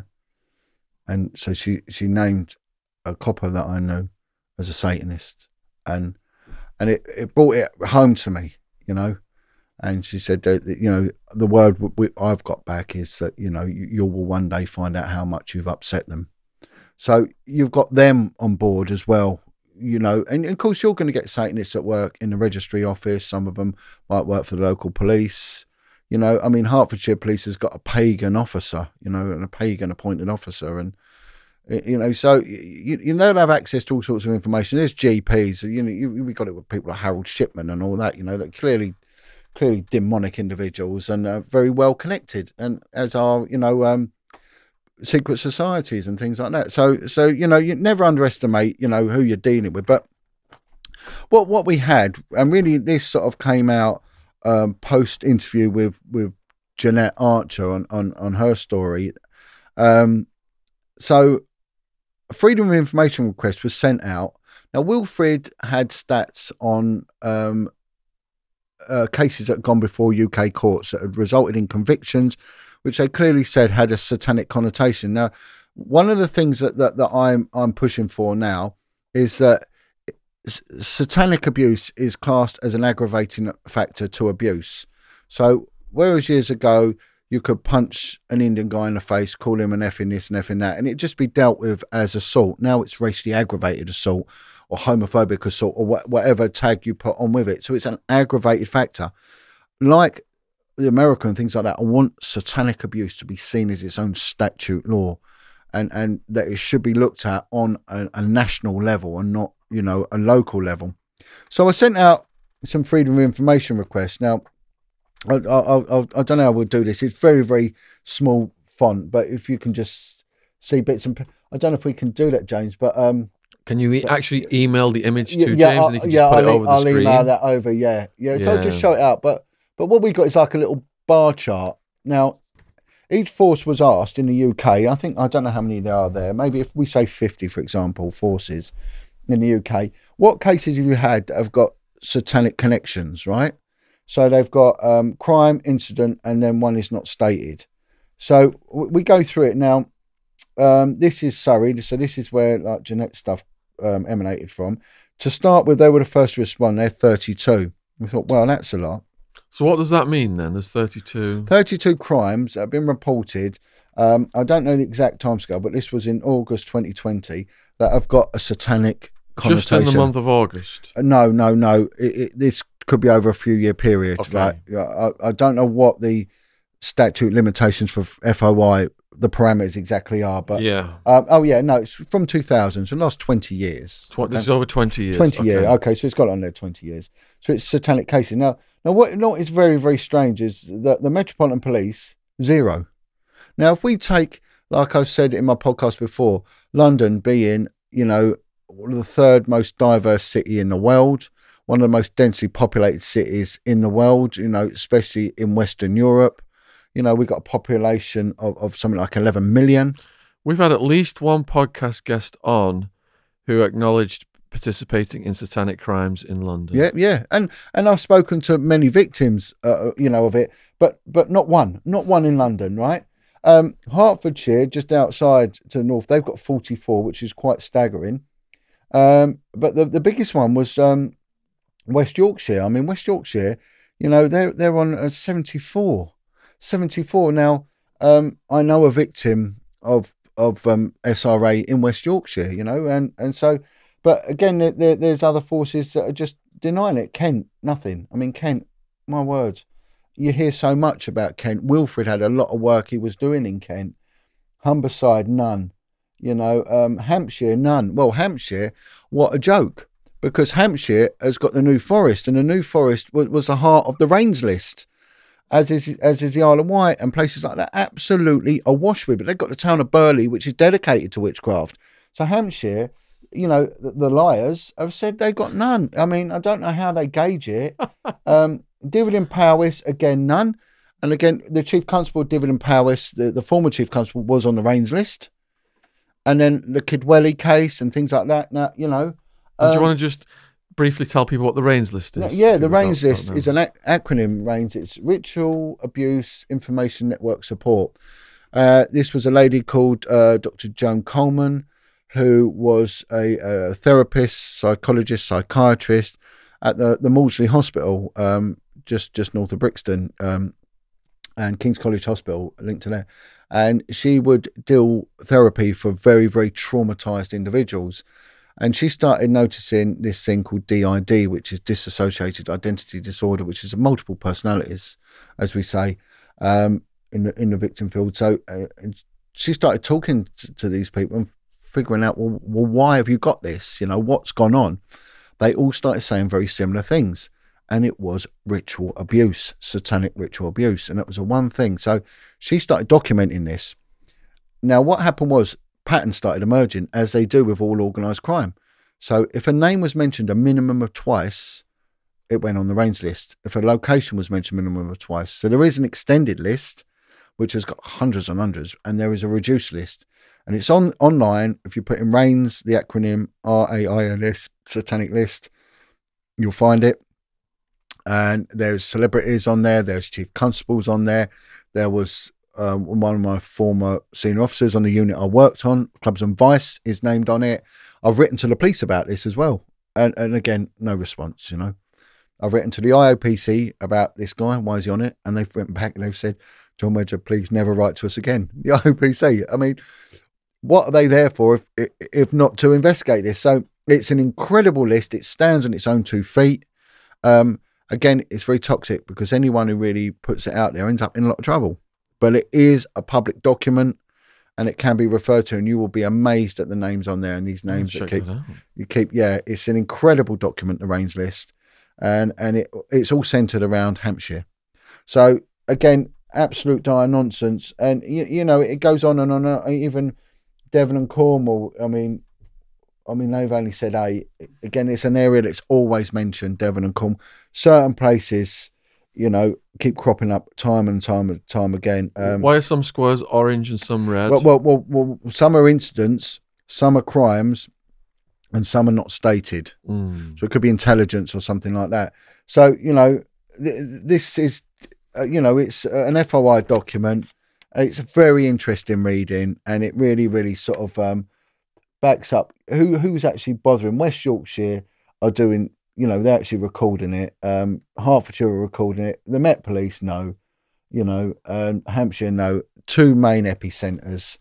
Uh, very, very sad, you know, sad. And and this is one of the things. Had I got a good little team that I wanted exploring, you know, I had a, a team of ex-military guys come to me, ex-special forces lads. One of them is well known; he's on the telly quite a bit. So we can put a team together for you for if you're going to do covert stuff. We're going to do this. You know, I'd, I remember the House of Lords wanted to put across a private members bill to get this all highlighted, and of course the trolls and everyone else brought this to an end. You know, so this was the level I was on. So when you're saying uh, was it organised? Well, I was onto something very big here. I had a meeting with the Home Secretary in October. Everything was stopped and put on hold. You know, so I think it genuinely was not not just a vexatious campaign, a jealousy campaign, but also a very orchestrated campaign to to to bring me to a, to a halt, to a grinding halt. To be honest, because I started talking about this. But and again, anyway, so this lady gets in touch with me, and uh, she is a victim and survivor of satanic ritual abuse. Um, she names many people that I've heard of, um, people that are in, in, in the public domain, and um, she again she names a copper that I'm aware of, and everything she said ties in. I've got no reason to disbelieve this woman whatsoever. She's a professional, um, and what she's given me is something that has been corroborated. Now, it's a pyramid, right? And I've I've deemed it the SRA hierarchy, right? Okay. Now, she said children are referred to as diamonds. Can I have a look? Yep, yep. And I send to the RAINS list because the RAINS list is. Uh, and what what I want to do is through go through each level and their roles, and uh, you know, and and this this does tie in with some of the stuff you've been dealing with with Epstein and things like that. Prince Andrew, yeah. You know, and because and what she said to me is wherever you get a site, you'll always get a labyrinth and a maze. And she said when you're looking at Epstein's Island, there is a labyrinth. You can see it. She said, Jon, that is not just a place of abuse, that is a place of ritualistic abuse. That's one thing she said to me. So if we start at the very bottom, these are spotters and lookers, right? So the um the lookers actually are are a degree above the spotters, but she said they'll be um they'll be going out picking their victims. So they're very proactive, the Satanist. You know, um, they're, they're never resting. They've got a job to do. and They'll go out there. Now, they could be anything, the spotters and the lookers. They could be a heroin addict that is going out there to identify. Mainly, they, they're picking on and identifying dysfunctional families, right? So this is a need. This is one of the things the campaign that I was doing was also bringing the family unity back and family values back. Because when your family's divided and broken, your kids are prey to these beasts, you know, and they are. And and we saw that with um, what was happening in in uh, there was a program about it. I'll come to me in a minute. In the north, they were deliberately targeting working class dysfunctional families. So they'll be going out looking for kids, kids that are, are sort of on their own a lot, latchkey kids and things like that. And the, strange thing is, one of the children that was um, killed by Sidney Cooke, the very infamous child murderer, um, his best friend contacted me and said, you know, when they abducted this boy, his, his- I can't remember his name uh, off top of my head. It was one of the boys that Cooke got convicted of murdering. And he said he was always on the street, Jon, always on the street. And they knew that he was easy prey. His mother was a drinker. And so they'll be looking out for, for kids that they can get hold of. They'll also be targeting families. And they will have people that, that will be working in the records office, in doctors' surgeries, and things like that. So they, they, they've got bits everywhere. So they filter that information back and they'll be paid according to it. Right. And she goes on about, um, uh, mentioned about Elm Guest House. She said, you know, there was stuff going on now, which is which has come out in the public domain, but also when when a child is needed, not just for a satanic ritual for a murder, but also kids are needed for sex. So clients will come over to the UK from abroad and they want a child. So the lookers will be sent out, you know, go and get us a very skinny little ginger boy, for instance. That's what the customer wants. And they said they will have kids in the care homes, they would have uh, kids from satanic families and all that, that they can they, that they can pick in. But if there's not, they will abduct. So we have had cases of child abduction. And if we look at Marc Dutroux, he was abducting to order as well. So it all does tie in very, very nicely. Um, and and again, because she goes on for the reasons for it. Now, um, people will pay money for for spells to be put on.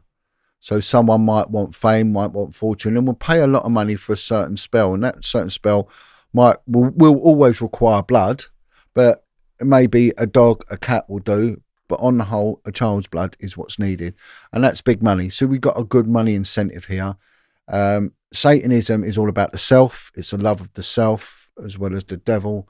But you know, it's all about me, me, me, me, me, I, I, I, and um, so they- they'll be sent out to look to identify not just for uh, a one-off, but also for a long term, right? And we move up now, right, um, to the cleaners. Now, this is where I said that there is uh, a, a police officer was mentioned as being a cleaner.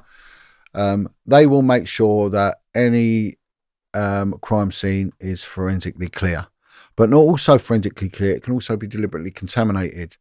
So which which was always a big concern with DNA, because DNA can be put you can be put on a scene with DNA, and um, you know I remember a bloke telling me once he's we was on one unit and uh, a guy took a bite, tramp took a bite of an apple through it, and he said that apple was picked up and dumped at burglary, you know, and the guy was subsequently brought in. and He had no excuse. And DNA, you know, fag ends can be flicked through letterboxes and things like that. So you can be put on a scene quite easily, you know. Um, so they can contaminate a scene as well as clean it. But also, if you're if you're going to have a ritual and a child is going to be murdered, right? There's a contingency needs to be put in place. So um, what's been mentioned to me is all sorts of venues, even things like Legion clubs, um, military bases, police stations on occasion. So, so uh, for instance, if there's a social club that's going to be used, right? um, how are you going to get that? Well, you, you're going to need to know the key holder. You're going to need to know that that cars aren't blocking the street. You know, so the police are called. The central station alarm, which a lot of them have got, has got to be demobilised, and you've got to probably have someone that's within a control room or whatever in the police. So if any calls are dealt there, they're intercepted and they're pushed off. They will have their sentries on the outskirts, or even a police car is sent in to intercept anyone nosing around. You don't want anyone gawping through. So there's a lot. And also, once it's done, it needs to be left as it was and cleaned up properly and the body taken away with. And and cleaners are given. They said there's five different areas in the UK, and they're they're given a certain area, and it's up to them, and they are heavily financially rewarded for that, right? Right, and then you go up, you've got the fixers, you know, and these are the people that will arrange it, right? And one of them was said to me as being a fixer was Jimmy Savile. Was said to me, and that's why they said Jim will fix it because he was a fixer. So they will they will organise it. They will make sure that the client gets a child. The venue is sorted out. So they will be like the area manager of, of this. So you you got you got these fixers now.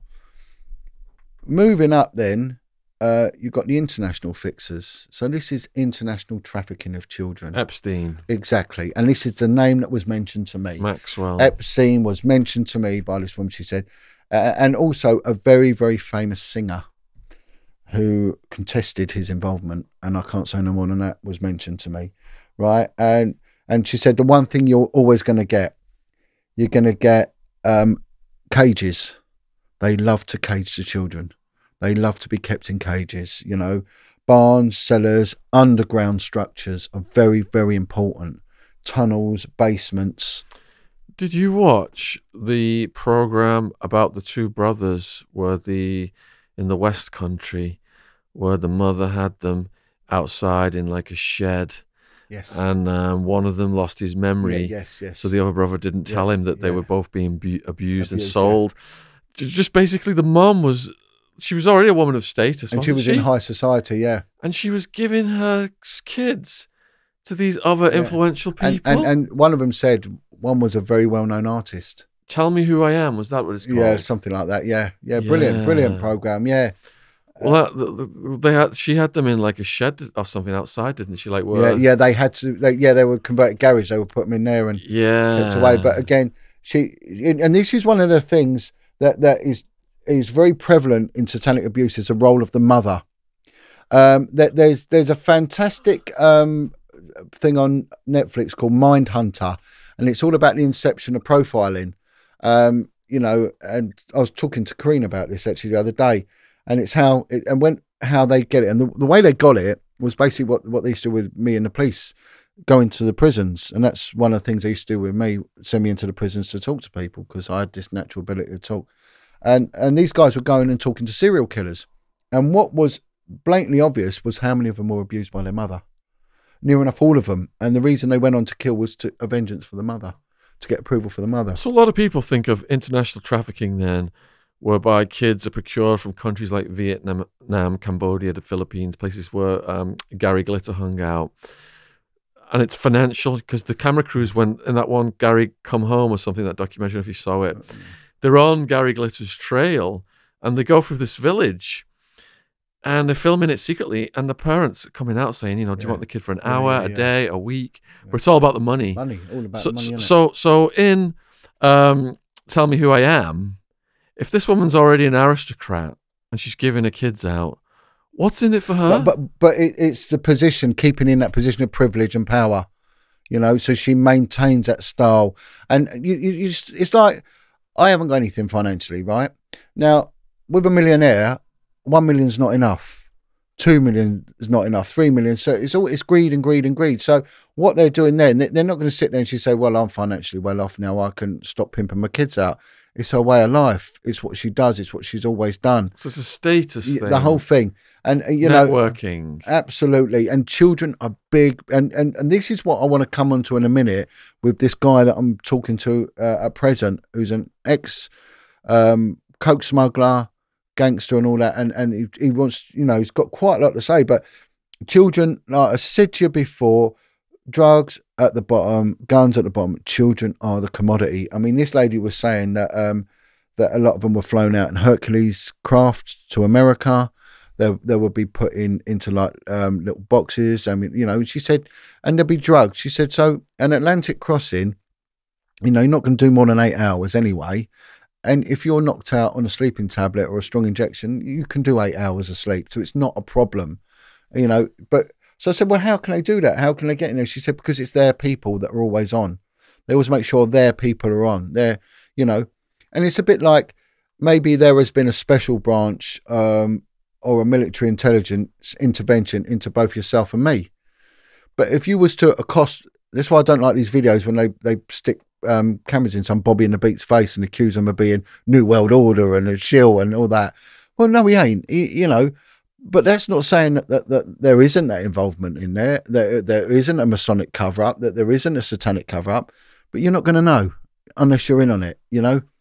I worked um, in an office in a CID office, and there was guys there that were doing covert roles. I never knew what they were doing and I was doing stuff for the National Crime Agency. No one knew what I was doing. It's just some days I weren't there. We had one guy, he was a former um, member of the Special Boat Squadron. He disappeared for, for six weeks. We never see him. And turned out he was in Sierra Leone. And no one knew. he come back with a suntan and a, and a mad stare, you know.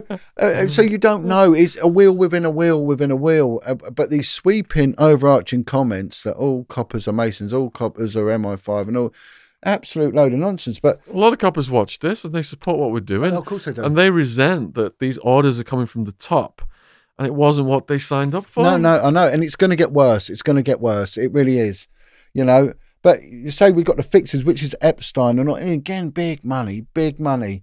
You'll admit to doing cocaine. You'd admit to having a gun.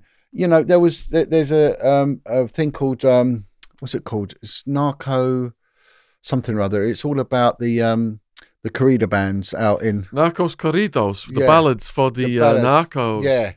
And I've got a fellow um, who I helped with his channel, OG Shadow. He's at 120,000 subs right now in a year from nothing. And they've just made a song about him in Mexico. yeah, yeah. Well, it's big. It's big things, but then It's on his channel. Check it out. and and these are subscribe these are OG. wealthy kids from LA. They've got no idea of, of what goes on in Juarez, the, the actual butchery that go, you know. And, and like they, they spoke to a copper in Juarez, and he went, look, look at these rich American kids, these corrido bands, and this is what we deal with. And look at them, you know. But they're sitting there. They go out to Mexico for for a week, and they're there with their guns and all this, and doing a bit of crystal meth and, and everything else. But but they, you- don't, won't ever see them on there with a little kid.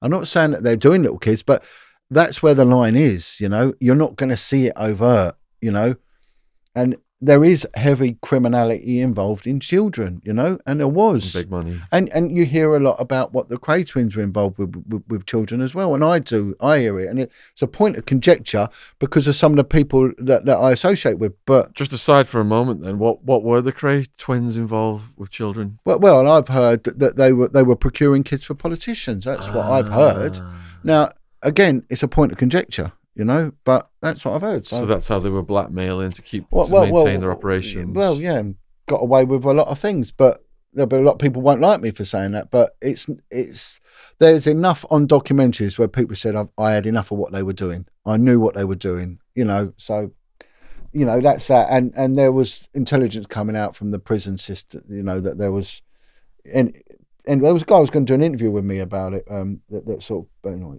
that that side above the the international fixers are the Bloods, right? And he said these are people of very high social esteem, right? You know, and if you you you're in that world, your heart's gone, your soul's gone anyway. I mean, you look at people like that, uh, Philip Green. I mean, he's he pays something like a hundred thousand pounds to to moor his boat for one day in in some port somewhere. I mean, what all them people whose pensions got collapsed by Maxwell and everything else, and they're living.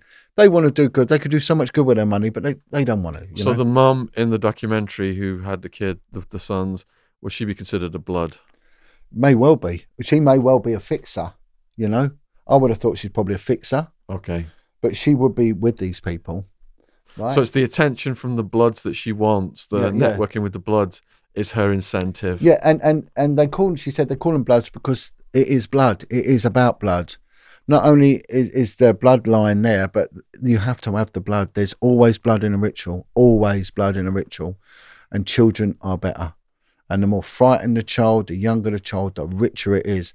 And she she goes on to tell that one day when um, uh, she said there's two sorts of children those that have come from satanic families that they're kept because of commodity because they're already sexualized they're used to the the, the, the orgies the, the pain and everything else you know?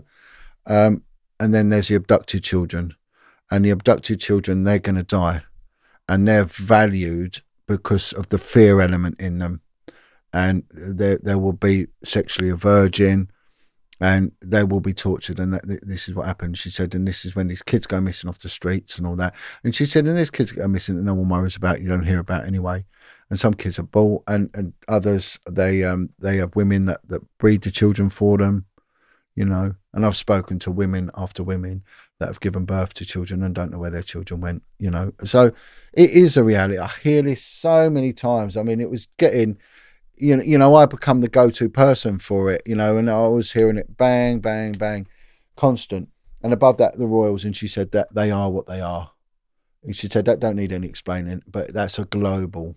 And thing. people through Prince Andrew, people have just woke up to that left and right, haven't they, in, they the- are. in the last couple of years? Of, of course they are, and and the, the- thing is that that interview that he did about it was this was it the pizza restaurant down here in Guildford was it Woking, Woking. Pizza Express. I mean, what a load of uh, uh, crap! I mean, His daughter said she can't even remember it either.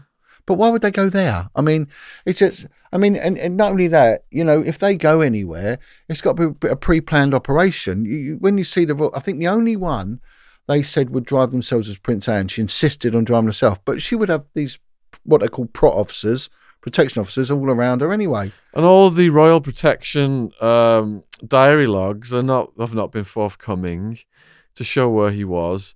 And besides, Pizza Express, I think it closes at eight or ten because we filmed there, and the nightclub he was at, Tramp, opens at the same time Pizza Express closes. Yeah. So how could he? How's that an alibi? Yeah. And, you, you know, he, he He's recently said he's allergic to horsehair as well. That's Oh. why another thing couldn't be possible. Uh, well, absolutely. uh, well, I, I had one guy um, come to me, and he used to. Um, he was a farrier, blacksmith farrier, um, and he would sometimes do work for not the Queen, but the other royals, you know. And um, he would tell me about a, a place in Hampshire that he would get invited to their parties, and he said, "Jon, they're orgies."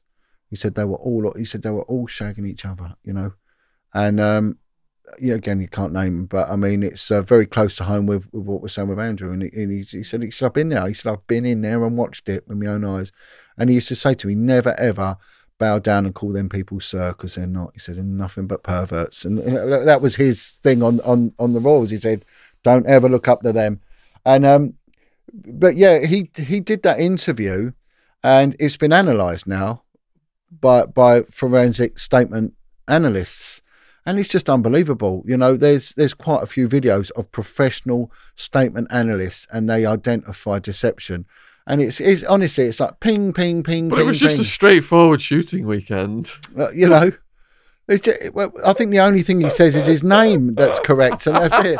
It's it's and, and they expect us to fall for that. But then, of course, what happened was we ended up in in this big health scare that we've got at the moment, and um and everything's been forgotten How, about. how arrogant was he in the first place to do that?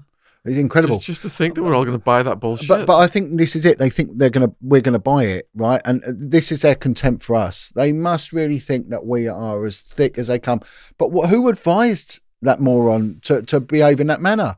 I mean, it's absolutely incredulous, isn't it? I mean, it's just.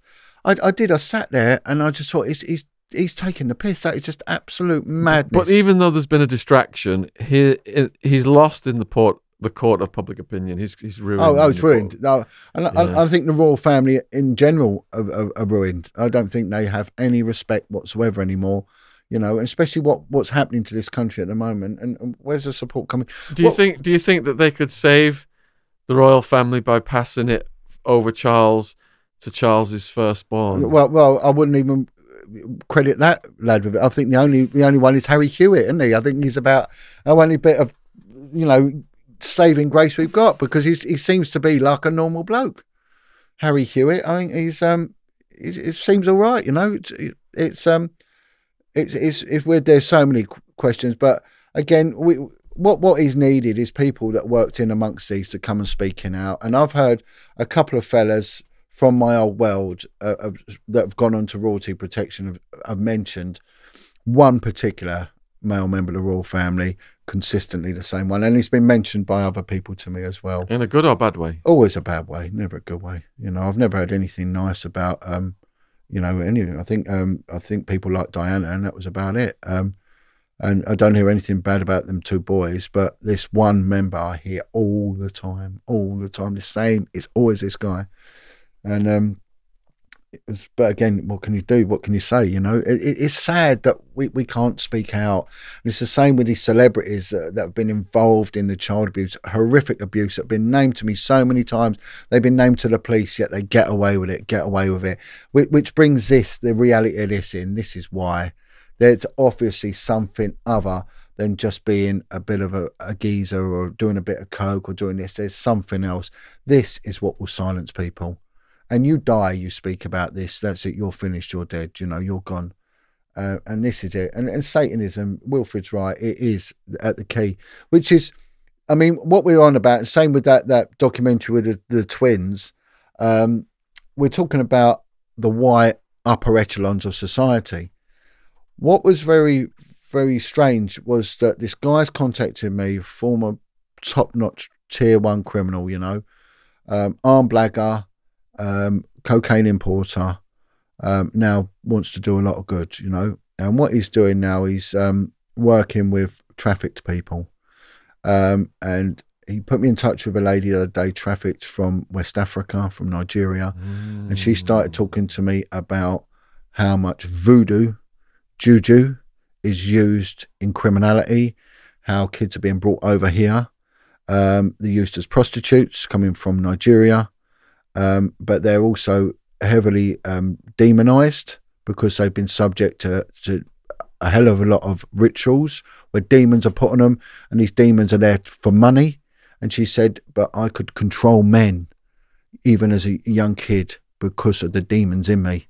Well, let me just confirm some of that because I spoke to for quite a while the guy who wrote the book about the torso that was found in Adam, the yeah, Thames. yep. And he detailed all of the satanic, ritualistic, voodoo um, methods that were coming in from that part of the world. But I'll, I'll let you expand on yeah, that. well, and, and one of it's them, very real. and, and, and this is very strange. You should say that. She said, but one of them is the the Leviathan, the water spirits. The water demons are the strongest. And again, she said, if you find water in a ritual, you're dealing with very, very demonic. And of course, Adam's body was found in the Thames, you know, beheaded, torso was, and it was my team that recovered his body, ironically enough. was it? Yeah, yeah, where when I was with the River Police. Yeah. Wow. Could Yeah. you detail that for us? Yeah, it it was. Um, they pulled him. I can't remember exactly where, but I was sent out um, to look for anything that, that could be linked to it. And over in Rotherhithe was a disused um, wharf. Um, we went in there because I think it weren't too far from where the body was found. I couldn't say exactly where it was found. Anyway, we went in there. We and there was a satanic temple in there. Um, so the murder team was brought in, and it was all photographed, and it was all um, pentagram six six six, and it was just satanic doorbins everywhere, all over the place. Whether that is tied in with with his body or it's geographically a bit different, you know. But I can always remember um, I was on a unit that dealt with passport deception, and we predominantly dealt with Nigerians. They seemed to be the ones that had it down to a T. And we went round a house in East London, over in Dagenham, once uh, to search it, and I found like um, it's like a sandpit, like a kid's sand pit, it wooden frame thing, and in it was all um, like chicken bones with uh, tags with names on it, all stuck in there. And I said, "What's that?" And he went, "It's it's the juju. It's you know the voodoo." And he said, "You sent me to court. Your name will be on that." And there there was all honestly all in there, and wh- which is what this guy that I'm dealing with at the moment is saying that um, he would go to see the juju man, and they used to advertise in the back of the Loot magazine. We used to have a thing called the Loot magazine, you know, where you could buy everything and anything it was always offered and then wanted, you know, a bit like the Dalton's Weekly. And in the back, it had these people in there. You know, there was like Mahamra bats and juju and problems with neighbours, problems with court cases or infections and that. I cure it all, and mainly sort of black fellas. You know, um, and and he said there was one particular one, and he would make us invisible. And he said he went on uh, an armed robbery, and he said the police come. He said we were bank rights, and he just walked straight past us. He said I've had a gun put my head three times, bang bang bang, nothing went off, nothing went off. You know, and he said it's but you are opening yourself up to demonic possession. It's very real. A lot of the the up and coming, very serious um, Nigerian gangsters, you know, that we get over here because it's ex-colonial. You know, it's heavily involved in it, and then they're influencing the other young gangsters are still getting involved with it, which is very funny because if you watch that that um, program about the the, the corridos, that you know. Um, in Mexico, what do they go to? They go to Santa Muerte, Jesus Malverde, which is you know the green Jesus, you know uh, um, what is it? And they pray to all these the the, the, the demonic entities for So with, with, protection. with the torso, then specifically, what religion or belief was behind that murder? Do they know, or was it just an investigation? well, well, I think it was it because they did go out to Nigeria, didn't they? yeah. Because they did a DNA trace and found it from this Ariba uh, region of northern Nigeria, which is because when you get Nigeria, it's neighbouring country, the, the borders blend, they, they're a bit open, and it was with Benin, and Benin is 70% voodoo. I mean, even now, 70% voodoo. What was the conclusion of the police as to why the kid I- was I- chopped up? I don't know. I, I really don't know. and did they catch anybody for it? I don't think they did. I don't think they did. You know, the problem with water, it destroys DNA. Mm. I mean, that clearly was a murder because he had no head. But you know, they pull out fifty bodies a year from the River Thames. Do In- they? in- yeah, between I think Twickenham and uh, I think down to the QE Bridge. You know, fifty one a week comes out. What's the with those bodies then? Are they mostly suicides? Well, they don't know. They I don't mean, even know. I mean, how they how they used to gauge it was if anyone jumped off a bridge in central London, it was a cry for help because help was going to come, right? But if someone was like further downstream from Wandsworth Bridge out towards Richmond, it was suicide. it was suicide. But central London, you go in the river there, uh, because of all the old foundations and everything else, and the river's so constricted, and it's one of the biggest tidal rivers in the world. You know, in its tidal range is nearly eight meters. So you've got eight meters rushing in, and when it rushes out, it goes out faster because you've got the current, the tide going out with the actual flow of water, and and it would it would drag you under. It, so there's a lot of bodies that get just dragged Yeah, out yeah. and they're never even And- discovered. Well, well, what will happen is that um, if if they've been sexually assaulted, the DNA is going to die. You're not going to find semen or anything else like that on a body. It's not going to happen. They're going to get hit by boats. The propeller's going to rip them up. They float twice. They instantly float and then they sink, and then they could be down there months. So if a body goes in now, right, the water's dense now, right? It's four degrees. It's it's densest. So the body will float initially, and then it will it will sink within a day or so. It will go down. It could stay down there till April, right? It's going to blow out. The white skin pigment, uh, pigments and goes black. So you think it's a black corpse. It's actually a white person. Black people go white. Yeah, they the, the skin goes white.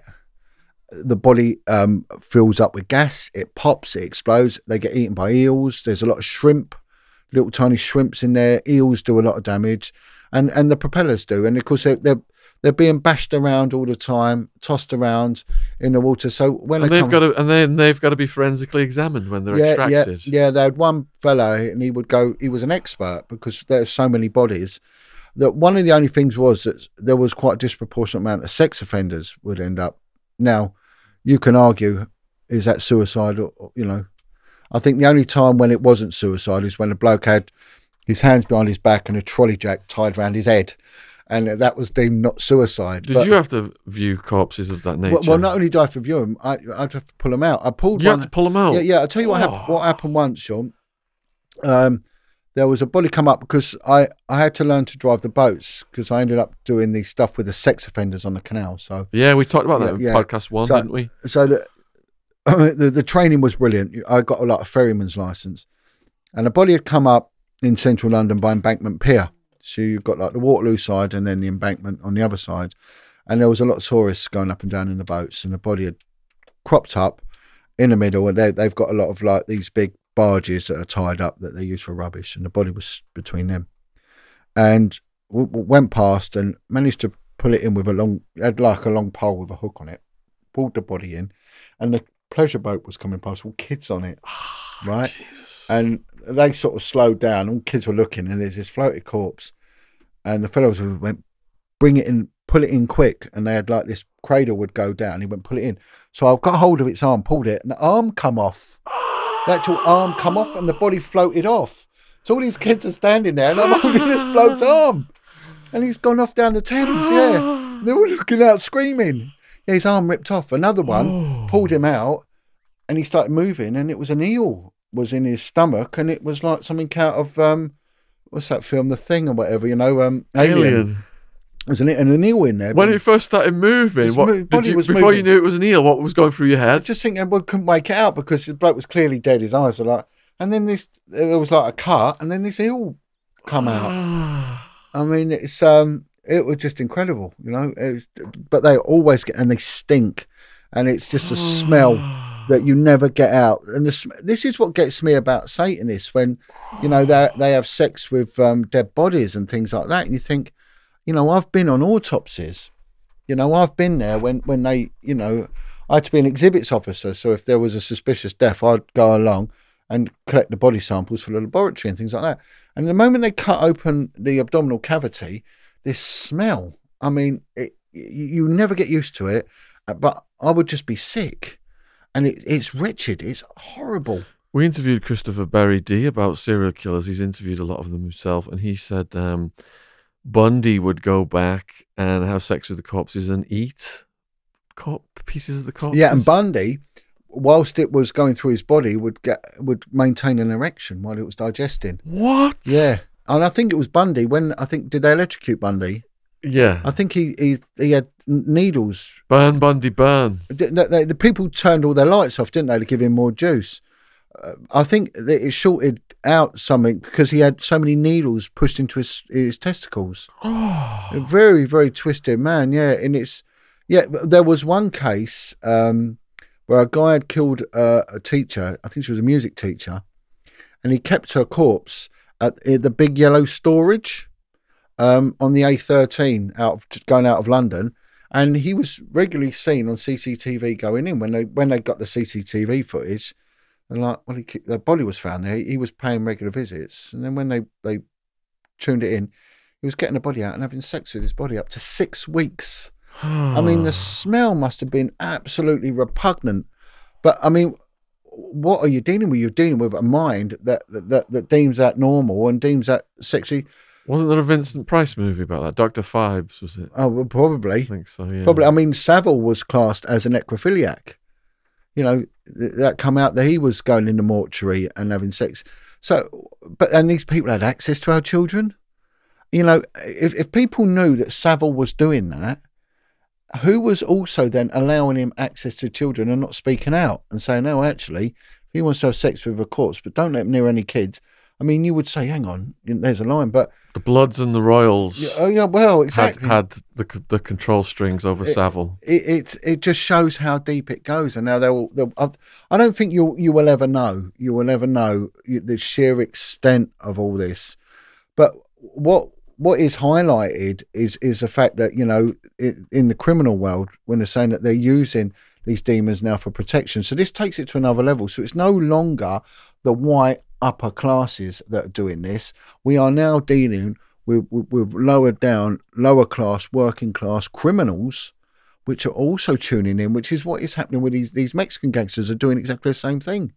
Tuning into it, tuning into this demonic protection because it gives them protection, keeps them alive, keeps them strong, and everything else. I mean, Well, what, Escobar's hitmen, they all um, prayed to the patron saint of, of the hitmen, and, and they had that weird satanic uh, Colombian flavor of um, whatever it was they were worshipping.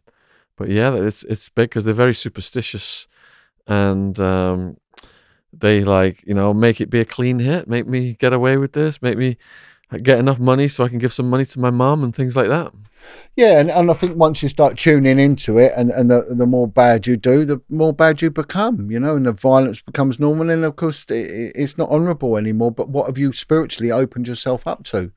A lot of badness, and it's going to take a long time to come out, you know. And it's you know, and it's only when you start talking to the people like I've done for many years now, they they realise that you know they had to turn their whole lives around and realise in themselves they they were absolutely racked with demons Yeah. totally and utterly right with me. This is reality. This isn't fiction or anything like it. This is reality, and it's consistent. And that is the one thing you're seeing consistent. It, it- it's going across cultures and social and economic divides. It's it's absolutely rife, you know. Um, but yeah, so for the time being, you know, that's on hold. But I, I was at one point, I was really on board to putting out a lot, a lot of videos, you know, on this sort of stuff. But again, a lot of disruption would occur as well. But again, there wouldn't just be this concerted disruption like like we discussed. There would also be this spiritual disruption that they would be putting out, you know, and they would deliberately be doing it. So someone wrote in, "Hey Shaun, you may know this, but you could be undergoing some serious demonic attack. Yeah, This 100%. happens when you are seen as a threat, and thus that is when the oppression starts. You have been doing great work. Um, blah blah blah. Don't give up. Just know the enemy. It's almost I felt in the, in the last year when all the attacks just multiplied and multiplied, and I was, I was it was it was pulling my energy from content creation to dealing with it. That it was demonic It is demonic. and um, I discussed it with some people, and um, it was like we needed we needed to clear the energy somehow. Some of my friends were like, Pray. "Get get a hold of Jon Wedger and Yeah, get some, get an exorcism Yeah, off, off Jon Wedger." yeah. That's what they were Pray. saying. Pray. Well, what, what I do, I mean, before I did my walk, Yeah, I felt all throughout that walk that I've been stabbed in the stomach. Before I uh, went for a walk, took the dog out, and I went with Dylan, and there was floral wreaths laid outside the back of my house, and there was an, like an altar made out of acorns with all things stuck in it, you know. And it, it really, it was like a little satan, like a pagan sort of thing. And all through it, I felt that I was stabbed in the stomach, and just I just pray through it. Now, uh, what I do sometimes, I sit and I, I call up Chris Lambrianou because he's a very committed Christian, and we pray together. We pray together, you know. And Wilfred, he always makes sure that we pray before anything goes on. We pray and pray and pray because they are doing the same. They are. This is real, you know. And and Jesus has warned us about this. It's there, and it is, and it is a matter. But if you stay in the light, they they can. I thought that when I started doing this sort of stuff with with the with the child abusers and and the satanic, that when I come up against people heavily involved in Satanism, I thought that I would be facing raging bulls, grizzly bears, great white sharks. I wasn't. I was facing little mosquitoes, right? Little ants that bite you, wasps that sting you, you know. And this is what it is: it annoyances and but you they know, swarm, don't you they? swarm, and yeah, drain yeah, you. drain you, and you know they they are the stone in your shoe, the crumb in your bed sheet. You know they are the the, the ant that's gone down your shirt, and, and this is mm. what they are. And they, then I thought it would be an honourable enemy, but it's not. It's a vexatious, vicious enemy. They're tell teacher, that sort of thing. Always belly aching to someone else, always trying to undermine you, calling someone else up, and and this is what they do all the time. They're non-stop. Because I've looked at some of my videos in the from the thick of um, the attacks, and I look a bit disorientated and depressed and, and just not Yeah, myself. yeah, I can feel my strength coming back now yeah. with the strength of Wild Man um, looking out for me. But um, it, it it drags you down for a period Oh, of time. oh, it does, yeah. It? Yeah, so you emerge from and- the, the the darkness. And and this person who's written in is bang on because I've had people ring up and they've said, Jon, we know you're being attacked. This guy that, that, that's talking with me at the moment, you know, he works with with deliverance, taking demons out of people, with a pastor, and he and he said we can see the attack. We can see the attacks on you, Jon. You know, you must close down now. Start shutting doors and stay in prayer. Stay. You know, I mean, I do this because God wants me to do it. You know, I said this on many things. I feel driven by it. I believe in Jesus, and and but the devil will hate me for what I'm doing. Doesn't want it. One of my podcast guests, and I won't say her name, um, she asked me to ask you if you do or you know anyone who could do an exorcism on yes, her. I do. I do Okay. very much so. I'll convey that Yeah, information. then. very much so. Yeah, yeah. Um, do you have anything else to say on that, or do you want to get on to the next subject? No, I mean that's it, it's. I mean, I could talk for hours on that. You know, on Yeah. on, on, on this. Yeah. It's a it's a deeper, dark subject, and, and you know, and it'll be a podcast in its own right. But no, I'm I'm I'm happy to move on now. Um, So, so the next subject then was um, IICSA and Catholic Church. Oh, Catholic Church yeah. cover-ups. Yeah, well, um, IICSA is an acronym for the Independent Inquiry into Child Sexual Abuse, and it started about uh, eight years ago or so. And it was the government saying, right, we, we've got to do something about this, or proclaiming they were going to do something about it. It's, been wrecked with controversy, and uh, and it was all to do with all the care home cover-ups, uh, you know, police cover-ups, and in order for them to go forward, they need core participants, which are witnesses survivors and everything else. Um, they had, are on the fourth chair now. So the first one uh, was linked uh, to Leon Brittan. And of course, Leon Brittan was mentioned in there. Um, I think the next one was also linked to Leon Brittan, was his sister in law or something, uh, which wasn't good. And again, we mentioned about Leon Brittan and the last one we did, you know, how his Home Secretary and many accusations about that bloke and the cover ups that went on. Um, one was um, an Australia, a, a New Zealand um, chair. She left, uh, claiming that the British intelligence service will never let the truth come out, which I would like to go on about, actually, to be honest, because um, that has been proven. And they've now got the former head of social services is the chair, Alexis Jay. And so under that, I was asked to give evidence myself and Maggie Oliver to give evidence. And what happened was the uh, the government blocked us from giving evidence, right? Um, we fought, and they said, well, they can give evidence, but statement form only, not in person. So they didn't want either Maggie or myself being cross-examined. Um, however, we did get our evidence out there, and, and my evidence was well received. And, and and when you look at the inquiry on the whole, we had the fact that Special Branch were exposed for funding PI, which is a paedophile information exchange. Mm, we've done a lot of work on that with Yeah, Sonia. Yeah, so Special Branch was shown as funding it. So the Metropolitan Police's intelligence service were funding. These- what was the motive? well, they said that they could monitor them if they did that. Um, it's just mad, you know. Uh, there was that. I mean, what's just come out with the head of the the Catholic Church, uh, Cardinal Vincent Nichols. Cardinal Vincent Nichols. Um, I had a lot of correspondence with him because I said, as the uh, spiritual leader for the Catholics, what are you going to do? And basically, he turned around and told me to sod off. And then a lot of Catholics wrote to him and said, Jon, we just got a point. So he said, okay, come and see me. So I then went to see him and I went with my friend Tracy. Big respect to Tracy. So they, they, they wouldn't let Tracy in. Um, so uh, Tracy weren't allowed into Westminster Cathedral. And then Vincent Nichols said that he wasn't about, he was elsewhere. So he was deputised to a bishop called Paul McAleen. So, but as Paul McAleen came in to meet me, Vincent Nichols walked past, you know, so you can make up. Um, I walked out of the meeting because the bishop for, for Westminster and the London area um, turned around and started blaming the victims of Ted Heath and saying what what horrific reputation, you know, damage to a good man's reputation.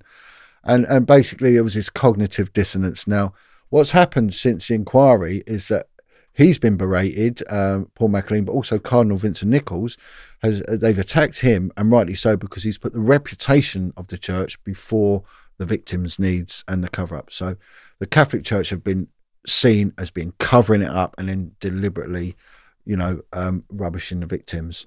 So absolutely appalling what's gone on, you know. And I've spoke to many, many victims and survivors of not just the, the Catholic Church, but also the Protestant, you know, the Anglican Church. Um, there's, I don't know if you're in touch with them. There's a, a brave um, couple of twins called the Blair brothers. They're, they're, they'd be great to get on your show, to be honest. And they're victims and survivors. Bobby and Joey Blair. They they they're real stalwart campaigners. They're very good friends uh, of mine, and they were in a care home in uh, in Northern Ireland, and they were uh, pimped out by the police. It was appalling what they went through, and then made to uh, have sex with each other and things like that Oh, whilst the priest would sit around masturbating and you know oh and and to, to get justice the- these boys are, are priceless to get justice, the police wouldn't wouldn't listen to their um, their gripes. They wouldn't, they wouldn't report their crime, right?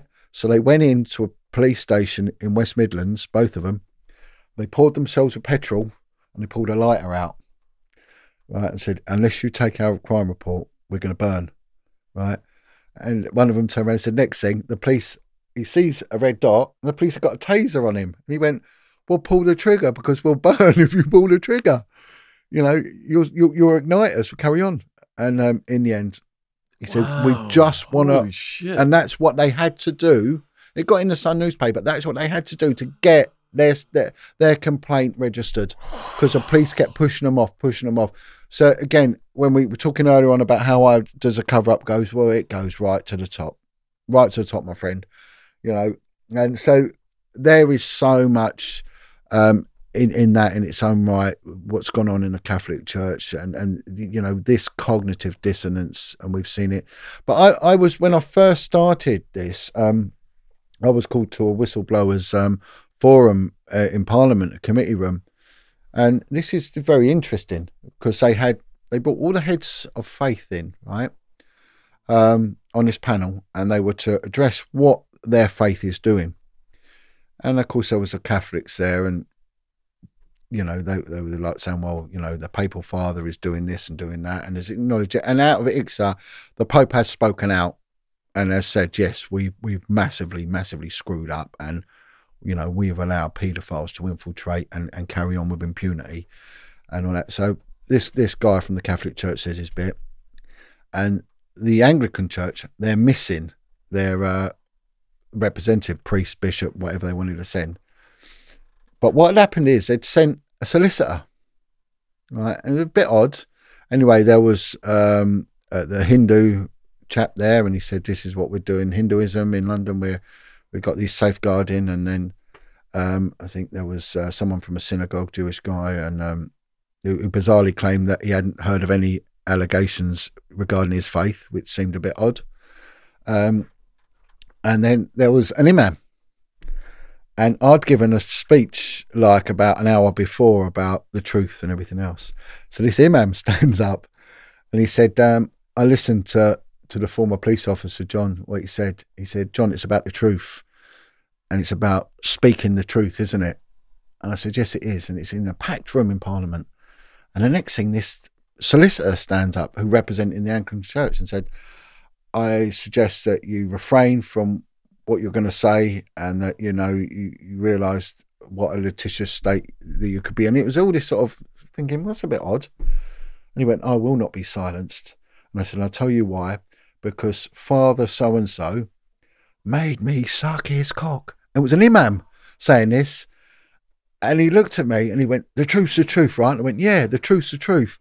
And he went, I went to so and so's boys' school and this bloke, boom, boom, boom, boom, boom, boom, boom. And he shouted it out, right? Anyway, um, it turned out that this priest had something to do with, with a police force. He was a chaplain for a police force. And the solicitor was his brother, right? The next thing, the imam um, rings me up and he said, "I- I've just been bailed. I've been arrested. I went, why? He said, contempt. They've, they've arrested me. So they've arrested him, a bit like what we've seen with what's happened to Jeanette and all that. All he did was speak the truth. He was sexually abused by by the bloke who's now quite high up in the Anglican Church, and they expected the imam to give a speech about safeguarding. What a geezer! What a geezer! And he said, "What do I do?" I said, "Well, you you, you go to court. You go to court." He went, "But if they find me guilty, I I'll have a black mark against my name because I'll have a conviction and I won't be able to work. You know." I said, "Don't worry." I said, "I'll help you where I can. I'll help you where I can." Anyway, he went to court. I said, "Just go to court. You must go to court." So he went to court, and it was uh, uh, in East London, and they turned up. They opened the case, and the Metropolitan Police withdrew their case, withdrew everything. You know, lo and behold, withdrew everything. You know, and and see, this is this is the you, you could not make it up. You know how dirty it comes, but who sanctioned his arrest in the first place? And that's what you've got to look at. Who sanctions these things? And they're the ones you go for. But it shows they haven't got the balls to see it through when you speak out. That's one of the things where these podcasts are so important. They probably save lives to a degree They probably do, because if you was loose lipped and everything else, you could be taken out. No one know. But when you give a testimony, it it might not negate people from uh, other problems later down the line. But I genuinely believe that people's lives have been saved because of podcasts like this, like many others, like some of the ones I've done. You know, they've definitely saved lives, and they- they've brought awareness beyond awareness. But the IICSA thing, it's coming with mixed uh, reviews. But the one way I say it, look, any way of speaking out is a way of speaking out. And and when change is brought about, it's a slow change, and it has to go through the legal procedures. And they are changing now, and they are listening to people like me. So for once, I felt very honoured because I was listened to for the first time. I was officially listened to, and it was recognised, and it was documented. You know, on on a on a national governmental level, you know, and on national media as well. So it was a good thing. You know, I Brilliant. think. So, during your interactions with the church, then you learned that Cardinal Cormac O'Connor was on the RAINS. Yeah, list. yeah, yeah. Which right? So we've got the head of um, the, the the Catholic Church now, which is you know Vincent Nichols, Cardinal Vincent Nichols. But before that was a bloke called Cardinal um, Murphy McCormack, right? Um, now I don't know much about this guy. All I do know that his name, he's dead now. His name is on the RAINS list as being an active Satanist. So the head of the Catholic Church for the United Kingdom and overseas territories is an active or was an active Satanist according to Joan Coleman's RAINS list. Okay, um, you know, so having uh, you know checked out the RAINS list, I mean, I stand by its validity. I don't know. I mean, you know, I'm going to sit on the fence legally here with this one because I don't want the Catholic Church suing me, but they never contested it. They never contested it. They never made any statement against it. And this was one of the things I was doing was with my campaign, not only with this senior police officer who's named on there, who was in charge of the clubs and vice unit, which I was working on, is named on there. There was also the head of the Catholic Church. So I said to people that this needs to be written in there. And if we look at, um, I think it's is it George Carey or um, Lord? I think it's Lord George Carey now. Um, who's a former Archbishop of Canterbury anyway. Uh, he's now a Lord, House of Lords. He he stood up for a bloke called Peter Ball, Bishop Peter Ball. Bishop Peter Ball is a child abuser, a convicted child abuser, and he was protected by Prince Charles for, for many years, you know, and he's a vile individual, um, Bishop Peter Ball, and and this, and I think it's George Carey protected him, and prevented a prosecution against him, which would have saved at least one individual because he went on then to to abuse one young lad who then took his own life as a result. You know, so what? So what I was doing was a campaign saying we need to write to House of Lords to to uh, question this bloke's validity and his reason for standing. You know, as a peer, he should not be unless he fully explains himself. He was, however, brought in uh, by IICSA and cross-examined over Peter Ball as well, so that they, they do get their way. But the problem is, is when when you put your questions, that's why they didn't want Maggie and myself giving live evidence because they can't control us. There'd be a mic on us, a TV camera, Sky News would be there, and that'd be going all around the world. So I could say what the hell I wanted. So it was a wise move on their behalf as protectorates of the perverts to have us as statement only submissions, you know, and every question that my team had to put across to the government, everything else had to be filtered, okay, double filtered, then okayed again. And then, so it was an arduous process and it was full of constant arguing, legal arguing all the time. But God bless my barrister, you know, um, did a phenomenal job in, you know, in in getting it out there.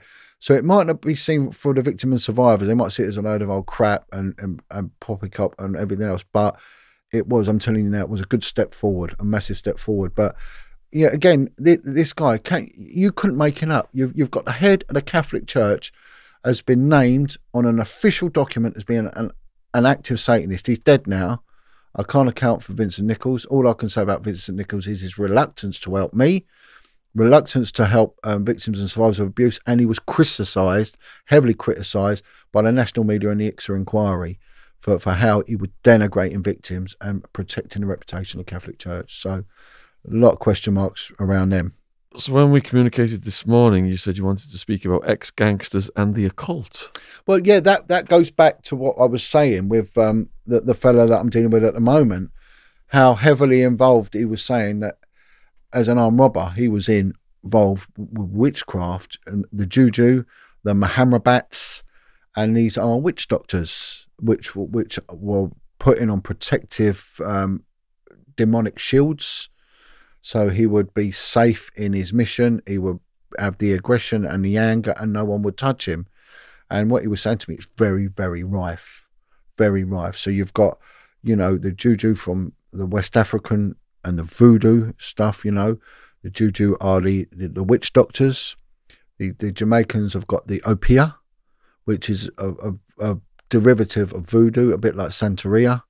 You know, and, and it's very active with their criminals as well. You know, and um, and he was just it was it, it- it's an ongoing thing at the moment but yeah i sort of covered that a bit earlier how he would be absolutely invisible he said i'd be totally invisible i would just the police couldn't see me and, it, and he, he said it involved me having a reign of terror for a very long time So, cops and racism, and we had the guy in America who got um, what was the guy's name who got choked out? oh yeah yeah they, well they knelt on him. Yeah, yeah, Yeah. um yeah i mean he was a convicted drug dealer wasn't he? And um there's a lot there's a lot of strange stuff going around there but i mean one i mean anyway he died and that's tragic enough. Um they call it positional asphyxia as well. A lot of people would die when people were on them uh, I used to call it the Met Police freefall team because everyone would like diving on top of some. Um, I've even been in situations where, where someone's had 10 people on them, just stood up like nothing's happened and just thrown them off. But cops and racism, right. Um, uh, it's a bit rich me talking about racism. I mean, the only thing I've ever been called is a gyppo. They thought I was a gypsy. So, who so called you that? uh, Not the trolls. Everyone. They all call me. You know, I used to put pictures up if I was to move, uh, and they put a picture of a caravan, wedges on the move. You know, any scrap metal. And and I was asked if I wanted to buy a senior officer if I wanted to take it further. I was like, "Mm, no, you know. but that was they just thought I was a gypsy. I was always poor and on the cadge for something. So they just uh, anyway. But uh, you, you know, I'm I'm writing. I'm writing a book now. Um, I'm well on way now to um to getting a, a good chunk of it completed. And I've been talking to colleagues uh, about racism. You know, because it's one thing that, that, that that's very on vogue when when you talk about the police, the police racism, and uh, you know, I said to them, "Have you ever experienced racism or seen racism?" And the answer tends to be no, no, and homophobia. And what what seems to be consistent was, and one guy, um, he, he'd always worked in southeast London. You know, uh, a lot of black officers, a lot of gay officers, and it was we had a lot, a lot of lesbians when I was on the team. You know, a lot, and um, I was on a team of of six, and we had two black geezers, um, and a les and a gay bloke. That's right, and you know, so when you come to that thing, the, the when people get ostracised in the police is where they're snidey and they don't have a go. Street policing, you've got to get stuck in, especially if you're in a in a dangerous area. You get judged by whether you get stuck in or not, and that is in a fight. And that, that's that's it. Because if someone stands by while you're getting stamped over, that ain't good enough. So they didn't care if you was gay, lesbian, black, Asian, whatever. They they didn't care. I'm talking on a low down level. Higher up, yes, there is racism. Yes, without a doubt. Yes, I'm not black, so I wouldn't have experienced it. And and when you talk about racism, racism is mainly aimed at at, at the black officers. My mate, um, I won't name him because he's still serving, but he um, Jamaican, and he used to to when he joined in in sort of the early eighties, he said it was rife, which it would have been because when I joined, officers had joined in the sixties and the seventies, and and yes, back then it would have been, you know, heavily, but everywhere else would have been, to be honest, you know. So where I saw racism was before joining the police at work, and then subsequently after joining the police, I went back to building sites. I ended up working as a labourer and a, and a block layer on building sites, and it was absolutely like going back in time. The banter, it, was honestly, it was because it, was all white geezers. It was all like old, well, say old school banter, but it was it was proper racist. And I thought, there's no way you'd have got away with that in the police. You'd have been sacked. You'd have been in prison. So No, no, I'd say no. If you work certain areas, you're going to get a bit of a disliking for certain cultures. So, um, if you work Southall, some of the Sikh boys would end up getting on your nerves because they would be in your face and they would be the boys on the street in Southall. And if you work Peckham, it would be the young black lads would be the more prominent in your face. But if you talk to officers who work in Hertfordshire, their problem is travellers, Irish travellers. And they'll say, uh, our biggest problem is Irish travellers. And that's how it goes. So it depends, you know, where, uh, you know, and one of them, he um, said to me, he worked um, Golders Green and he, he didn't like the Jewish community because they were rude. He said they were just always rude. You know, so, so that's, that, that's how it was. So um, it was mainly the demographics of where you worked and what you dealt with, you know. Um, but like I said to someone, that the people I, I saw get picked on the most were ginger haired people. They actually got picked on and openly, you know, berated and whatever more than anyone else because they were fair game, you know. But um, so so it's it's an interesting topic to to go on. Um, but um, that I'm not a black officer, I'm not an Asian officer, you know. Uh, had I would been, it, it would be a different story. But I would say on a higher up, I know one guy. He he was he was passed over for promotion because he was Catholic. Because the Metropolitan Police had never ever promoted um, a, a Northern Ireland Catholic above the rank of superintendent. So you've got sectarianism. And if you if you was to go and policing in Scotland, you go to um, uh, Strathclyde as it was, it was a predominantly Protestant police force as is Northern Ireland, 90% Protestant, absolutely horrifically sectarian. Now, if you mention sectarianism down there, they're like, well, what you on about? It it, basically isn't there.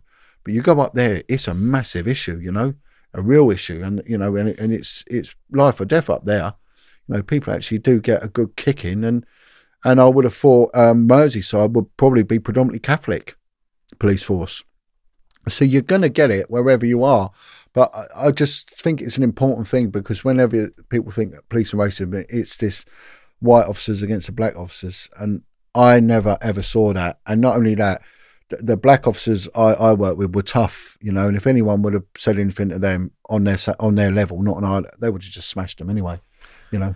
So I lived in America for what, 16, 17 years, very multicultural. Had friends who were black, Mexican, Korean, on and on and on and um, all those people would make jokes about other races, yeah, yeah, racist yeah. jokes. Do you think then that racism, everyone t- has got a degree of it in them, whether they show it or not, and perhaps racism and nationalism? There's some kind of psychological explanation about protection of the hive. Of course, of course.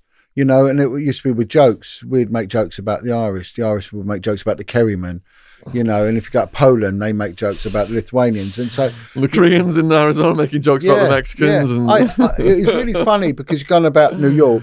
I, I had to go there with, with the Met Police to New York, and and I, I turned up and I went to um, Midtown Station. I had to meet someone, a copper there, you know, and they had they're very old fashioned, and they had a, a desk sergeant where we we got rid of them like a decade ago, maybe two decades ago in, in, in the UK. And he's there with his stripes and he's got the Irish tricolour badge. And I think, oh, okay. And he, and he said, oh, explained who I was, where I come from. And I was with a colleague. And uh, he said, well, where, where are you from, son? I thought, I've just told him from the Metropolitan Police and I've come to see Detective so And he went, no, no, no, you don't understand. What's your heritage? I went, well, I'm British. He went, you don't look British, you know, because it was a summer and I I was tanned, you know, and I said my father was, you know, uh, from from Sicily and that, and uh, he said you don't look. I said, well, I am. He went, no, son. He said, your real heritage, your heritage, your real heritage. I went, oh, and I sort of got it, and I went, oh no, no, no, no, my dad's from Sicily, and he went, you were, and I went, no, he said you're. That's right. He said you timestamp these. We might have to um, YouTube policy. Yeah, yeah, yeah. But uh, I mean, means without passport. Yeah, right? yeah. You know, but you know. there's policies. Yeah, right, yeah anyway, yeah, so, so, so I said, uh, oh, I suppose so. He said, you don't want to talk to me.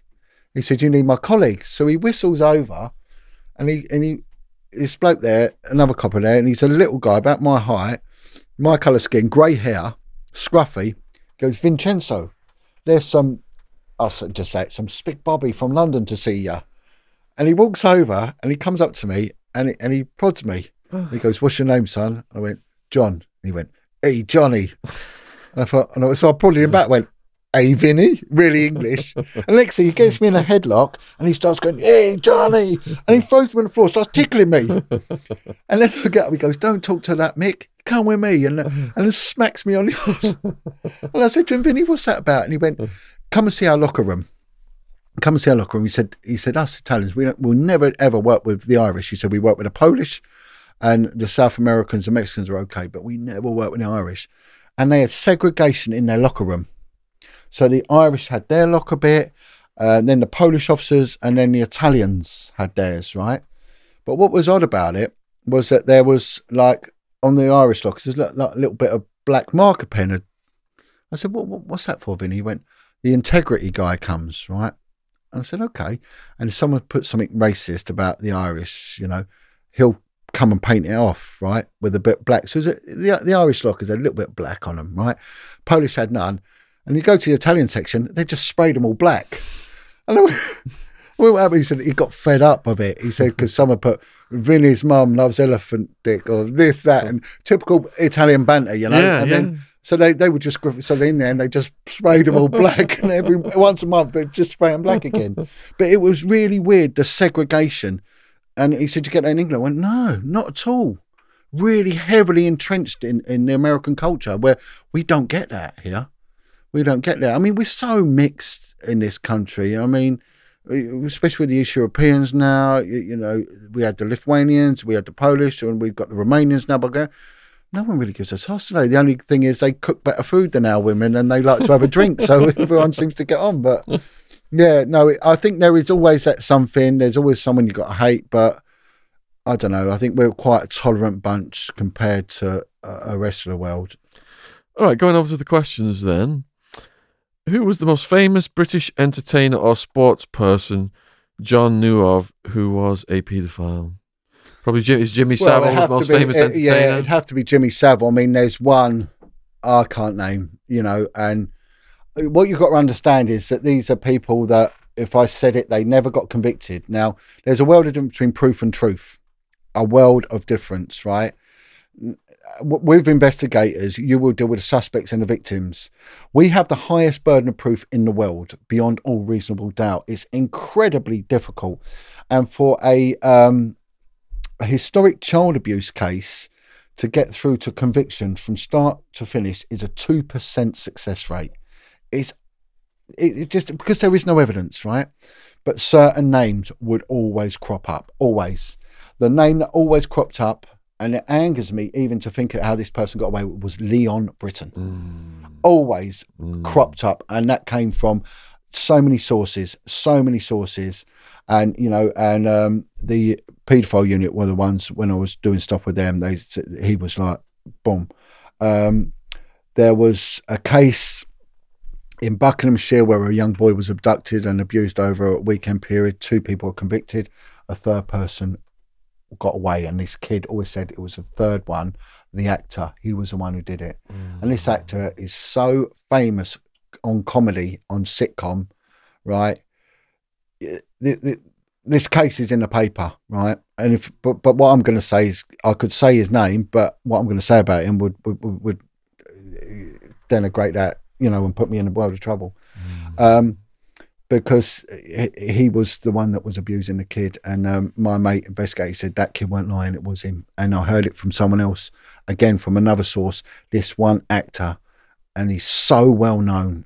The comedy people love him. They love him. They dress up like him, and their their mannerisms like him. Say his his sayings and all that. And he's you know, um, and again, there was you know a famous singer, you know, and um, I've heard that from quite a few coppers. This bloke was prolific and actually was worse than Jimmy Savile.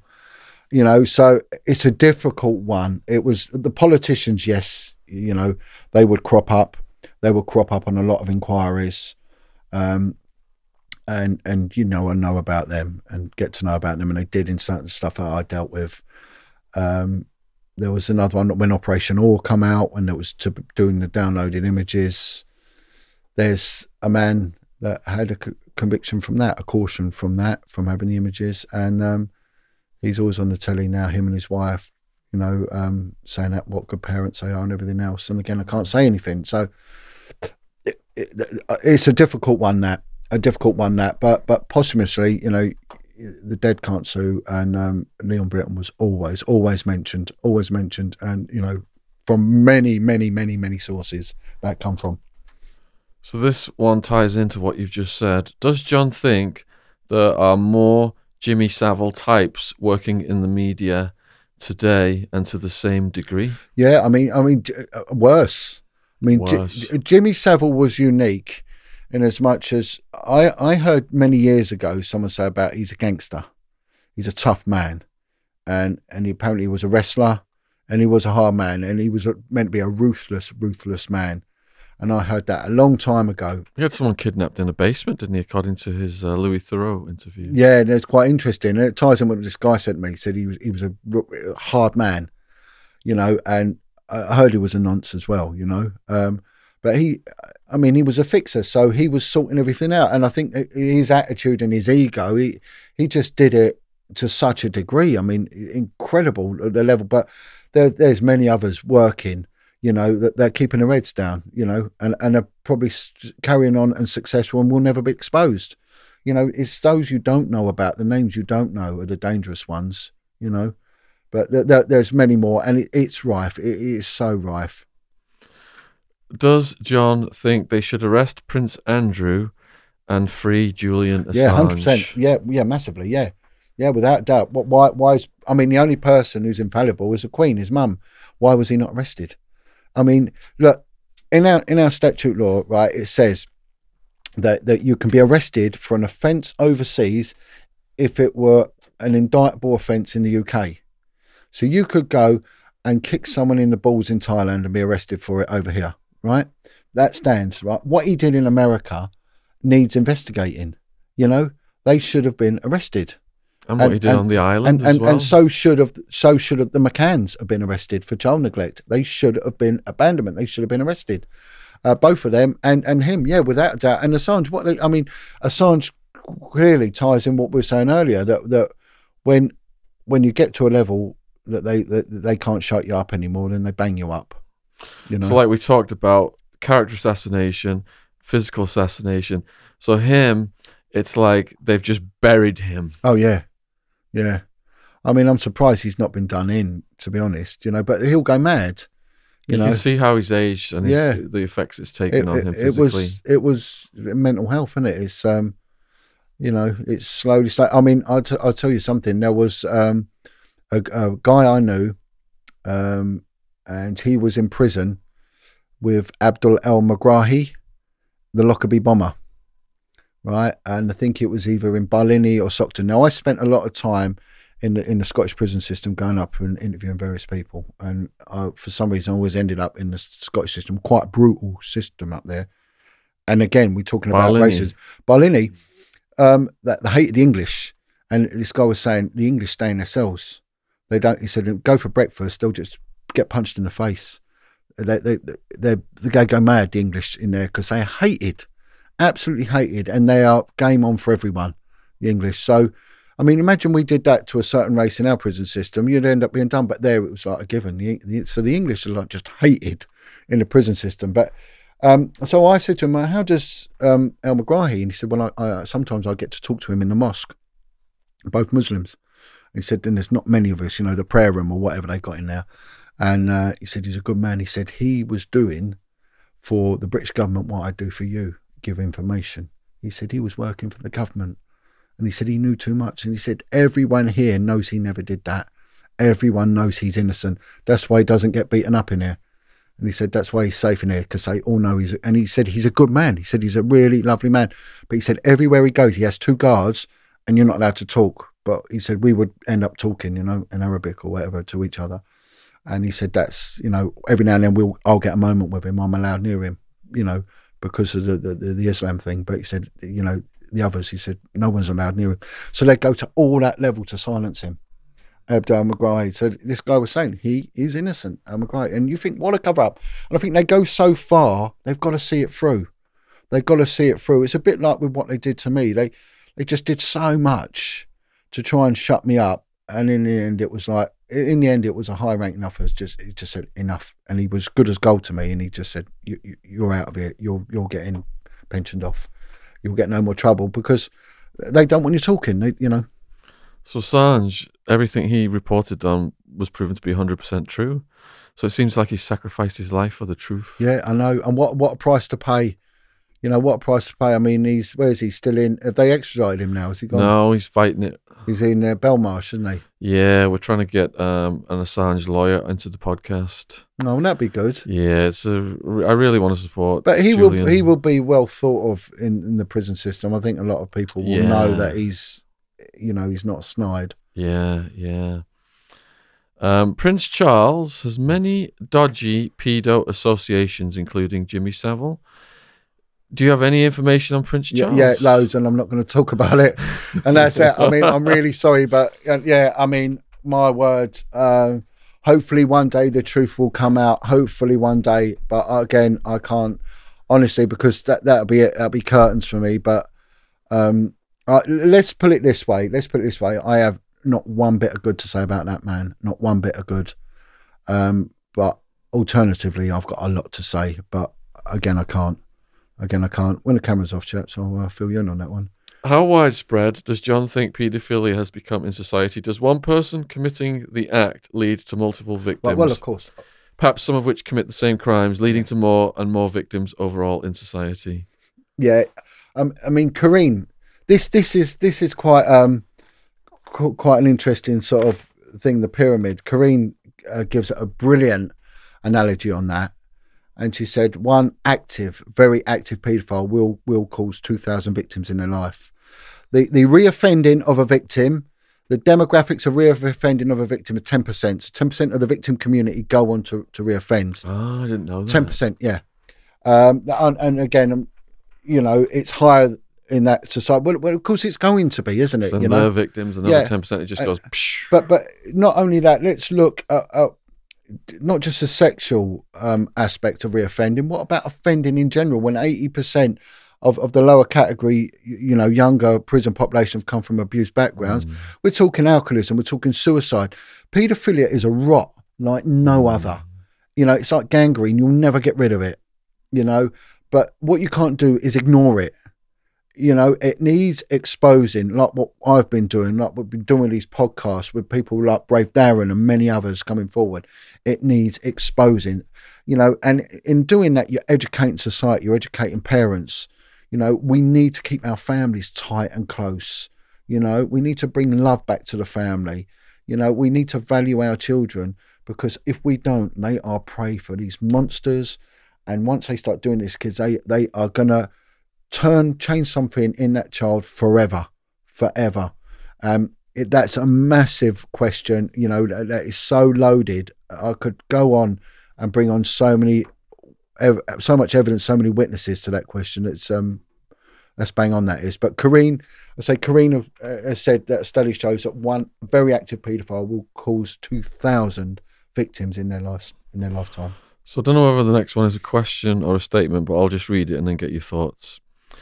Hi, Shaun. I just wanted to know if these elite horror allegations is just going to roll on and on and get milked for all it's worth for decades, like the alien conspiracy, indefinitely without any of us ever getting conclusive proof and eventually fizzle out just like the alien stories because it's quite frustrating being kept in suspense. And two, I think people will simply switch off and get bored by that at the same time as being called upon to pay attention, and then the alleged have won.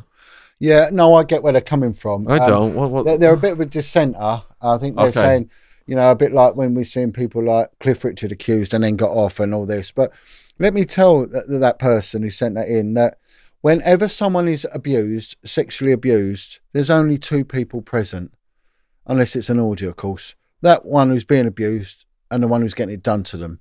Right? The, the, the fundamental thing is you always lack evidence when it comes to, child abuse allegations. Usually, when people come forward, it, it's years, years later after years of torment and, and self abuse themselves, self worth, you know, loathing and all that, you know, drug addiction and everything else. And, and all they want is some corroboration. Now that's where good investigation comes in, and, and it is doable. I had an eighty percent success rate on a two percent parameter, so I did very good at it, and, and was commended and rightly so for it because I enjoyed what I was doing. So you're never going to get that. But listen, if the same person is being accused time and time again, there's something in it, my friend. And this is one thing I say to people: if you've got a young family, right, a, a husband and a wife and a little kid, and they're going to go out for the night and they want a babysitter. So they, they say, well, who do we get? And they say, well, th- this person here is lovely, beautiful, never any problems with that person, really sweet, kind, the kid loves them and all that. However, there's that one, never been convicted, but there's a lot of rumours and allegations. I mean, are you going to send your kid there? Well, the answer is no. The same analogy. How are you ever going to know? Right? You're never going to know. These celebrity allegations aren't malicious, right? I would say to anyone like that, you know, just just sit in on an investigation where you'll never be privy to it, and you see when the kid gives the AB interview, the paediatric examination, the evidence that the kid will give about the place and everything else, and then it's corroborated by another, by another, by another, by another. I mean, Janner is is is is the one, Lord Janner. You know, victim after victim after victim after. Oh, you could go on and on and on and on. And one of his victims, a brave, brave guy who stood up and, and kept himself alive just so he can speak out and inquire. He was harassed by, by Janner's son, Daniel, and then and then by his daughter as well, trying to demonise and rubbish them. And because they can do that, because these are on the whole lower and working class people that are usually some of them are illiterate, especially if they've been in the system, the care system, and then the prison system. You know, they might have weight issues for overeating because they're tormented, drink issues, drug issues, whatever. And then they're going to have convictions, usually for dishonesty or for violence. And they're easy to trash and rubbish. But, you know, this is coming from someone who's very ignorant to how this goes on. This this is coming from someone who has no victim intervention, you know, and has no reality of what goes on in these things. So the, the, I get where they're coming from. But what I'm saying to it, the reason they're going on is because the police is not investigating it. They're refusing to investigate it. They're sidetracking it because higher up in the government, they don't want it coming out. And I'll tell you this if the truth note, that person, if you ever knew what I and so many other child abuse investigations knew, you know, from our intelligence and from the work that we've done, I tell you what, you'd never watch a Hollywood film, you'd never watch a BBC comedy for a start you wouldn't even turn the radio on, you know, and, and, and you'd take no interest in politics, you, you know, and that's the reality of this. And it's deep and it's dirty. How come our corrupted government has been put on trial for treason when they, our politicians, are loyal only to their bank accounts? Yeah, that's a bit of a freeman of the land thing, isn't it? You know, because I think going into Europe was classed as a treasonous act, wasn't it? By by, you know, if we're going down the, the common law route. All right, let's else. let's move on. Yeah. Are we moving towards a society that accepts paedophilia as a sexual orientation? Because there has been some jurisdictions yeah, and places course. around the world where they're yeah. trying to lower it, aren't they? Yeah, they are, and it's just the LGBTQ, and now they want another one. And uh, I'll tell you, I'll give you an example of that. That's a good question. There was um, a lady who was a former prostitute got in touch with me, and I was going to do an interview with her. Uh, but again, the, the, the, health scenario stopped all that. But she was at a conference and she was giving a talk, and there was a politician there, and this politician had um, either a conviction or a caution for I think sexual assault on a child or something like that. Anyway, child porn or something like that, and um, when we look at, I, I think it's the, the, Reform Act where a politician can have convictions that they, they can only be kicked out if they've served a prison sentence of greater than a year. And if they can, after seven years, they can get that expunged. So, you know, they can basically do what they want and keep their job, which which is wrong. It shouldn't be allowed. And she said there was this politician who had there had been uh, something to do with criminality involving a child, right, a young boy and she brought it up. She was a victim survivor of abuse herself. She was a, a, a, prostitute and then a madam of a brothel, and now she's an outreach worker. Very streetwise, worldly wise, and outspoken individual. And she called this guy a nonce, right? Uh, meaning paedophile, you know. And he then went into a meltdown, a bit, and then demanded that she was removed. And he turned around, and his answer was I'm not a paedophile. I'm a minor attracted person. No. Mike, they call him a map. And so he- he's and and he was then seen as a victim. She got booted out, and then he went off sick and put in for some compensation or something. Because yeah, and he turned around. I can't remember his name now, and uh, I've lost contact with her. But yeah, he's a minor, and this is in terms of a big public forum, a minor attracted person. So it's already underway. I mean, if we look at pornography, what is it doing to our youth? That's mean- how the teachers tell me the kids get their sex education off the phones. Oh man, and and of course, and what education are they getting? It, it gets more and more extreme. It's gang banging, you know. It's you know this multiple ejaculation and on faces and all. It's horrific, really. What's desensitizing them, and again, and, and where how years ago you had to go to the top shelf, and you wouldn't be able to buy one anyway because they wouldn't you buy one, you know. Um, now where where where is the the gatekeeping on it? You just go on it and that's it. Whatever you want, porn, porn, porn, porn, porn, and there is no attempt to to diminish it or regulate it. No attempt whatsoever. It's absolutely horrific. Um, so it, it's it's wrong. And the other thing I think they should um, ban is is when people are videoing someone fighting, and they're cheering while someone's getting their head stamped on. I watched one, a special needs boy, and there was five girls stamping on his head. Hmm. Imagine that was your son, you know, and they were cheering, and it made me feel sick. And I, I just thought, well, what have we become as a society? You know, Well, we're doing a series on this channel on the dark web and red rooms. Are you familiar with red rooms? was it a nightclub? No, no. Red rooms is where like they have a live broadcast of a kid, for example, in the Philippines, Right.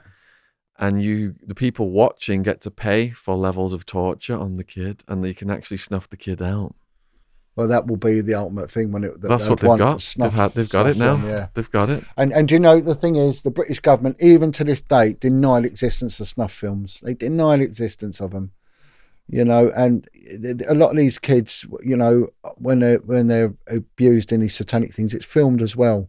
It's filmed. I've heard of so many that, that it was filmed. It was filmed. It was filmed, and it's just um, oh, the the stories I could tell on that alone. That will come out in the book. I'm going to individual um, accounts that people have given me and what, what they've experienced. And it's all to do with, with the torture, the rape, and the murder of children, the murder of children. Please, could you ask Jon about his views on the Samantha Baldwin and Oh, Victoria. Haigh cases Yeah. and the hamster to cover up? Yeah, of course I will. Oh, Samantha Baldwin is without. We've had her on the channel. She's brilliant. Yeah, yeah, she's What- great. The most honourable. She's got a book out, um, so please buy a book. The most honourable woman. I will stand by Samantha Baldwin one hundred percent. That is a woman telling the truth. Um, what she's gone through is appalling. What she continues to go through even to this day is just just absolutely shocking. How this woman even functions. Her own mother has gone to prison for for standing up for her and her grandchildren, and um, yeah, I feel all the time for Samantha. I, I just think she is a decent human being. Uh, Vicky Haigh as well. I spoke to Vicky again. Very similar circumstances, you know. And this is the the, the, the secret family court covering it up, covering it up.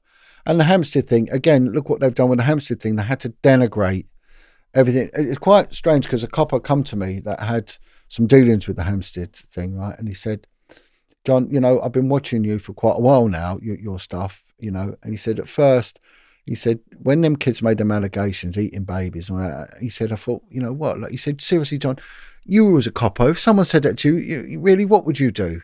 And he said, they were all, all the protesters were all sort of like lefty lot, and they got on our nerves. So you can sort of see where he was coming from to agree. But he said, having watched your stuff now and listened to it, and many others now, I don't think them kids were lying, Jon. I said, well, I'm telling you now, the kids weren't lying. They were not lying. My opinion, I, I'm not giving any opinion on, on, on the parents. The children were telling the truth. They gave a free flowing narrative, totally unbroken, free flowing narrative. How that evidence was attained and put out was probably going to diminish the case because it's already been put out there and therefore their, their, their first account will be trashed. But what was put out and what I saw of it and the way that the kids articulate, they were telling the truth. And it ties in very much with what we spoke about, you know, on, on many stuff anyway, you know. So, yeah.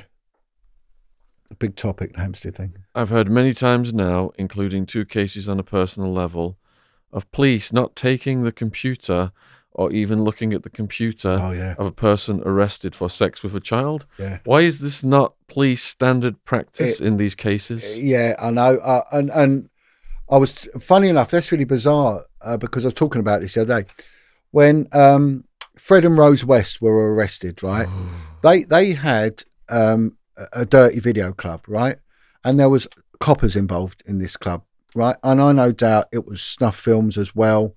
I mean, these, these were serial killers. They were probably killing to order as well. And they were making their own porno films. Because she was having sex with some of the police, wasn't Yeah, she? she was, She's been yeah, yeah. to them. There was 900 videotapes seized. Not one, not one was watched. When Marc Dutroux was arrested, right, boxes and boxes of videotapes were, were seized and not. Now, when I when I used to take, I would take everything by the kitchen sink, and it would all go off. This is what I was saying about the Tommy Robinson thing earlier with his little girl in the swimming pool. Then blokes who had recording devices. It should have all been interrogated.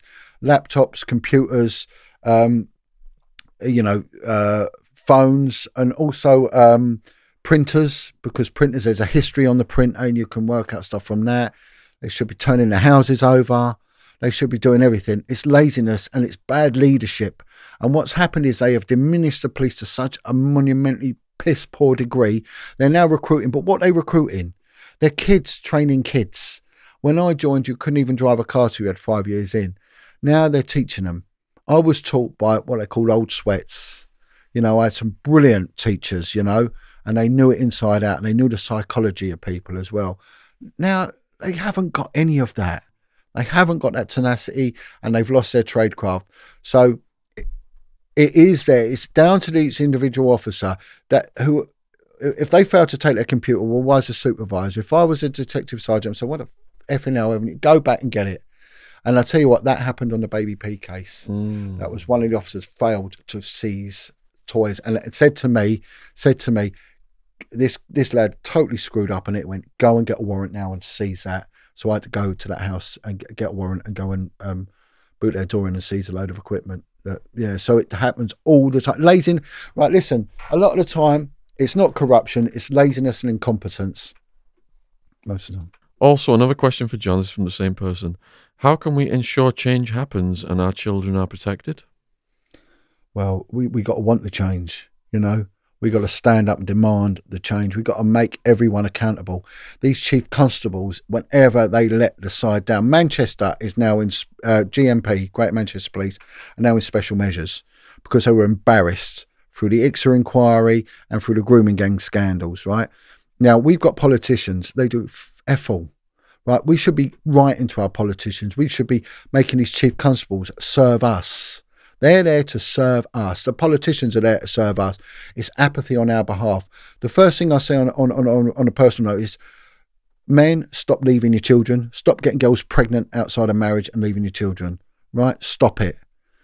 Women, take an interest in your children. Right? Lioness, protect your cubs. On a personal level. All right. On a greater level, a bigger society level, or whatever you want to call it, start making these highly paid individuals earn their effing money, you know, and bring decency back. I should have thought though. Lioness protect your cubs. Yeah. What about these women who are offering their babies up to Lostprophets? Yeah, yeah, Singer yeah, Ian yeah. Watkins. Ian Watkins, yeah. What yeah, possesses yeah, someone to do yeah. that? And and you know the, the strange thing is, um, his one of his girlfriends, she said straight away, I knew he had uh, an unnatural interest in in young girls, right? And didn't she end up getting investigated? Yeah, she did. But prior to her, he'd been going out with was it Holly Willoughby or one of them?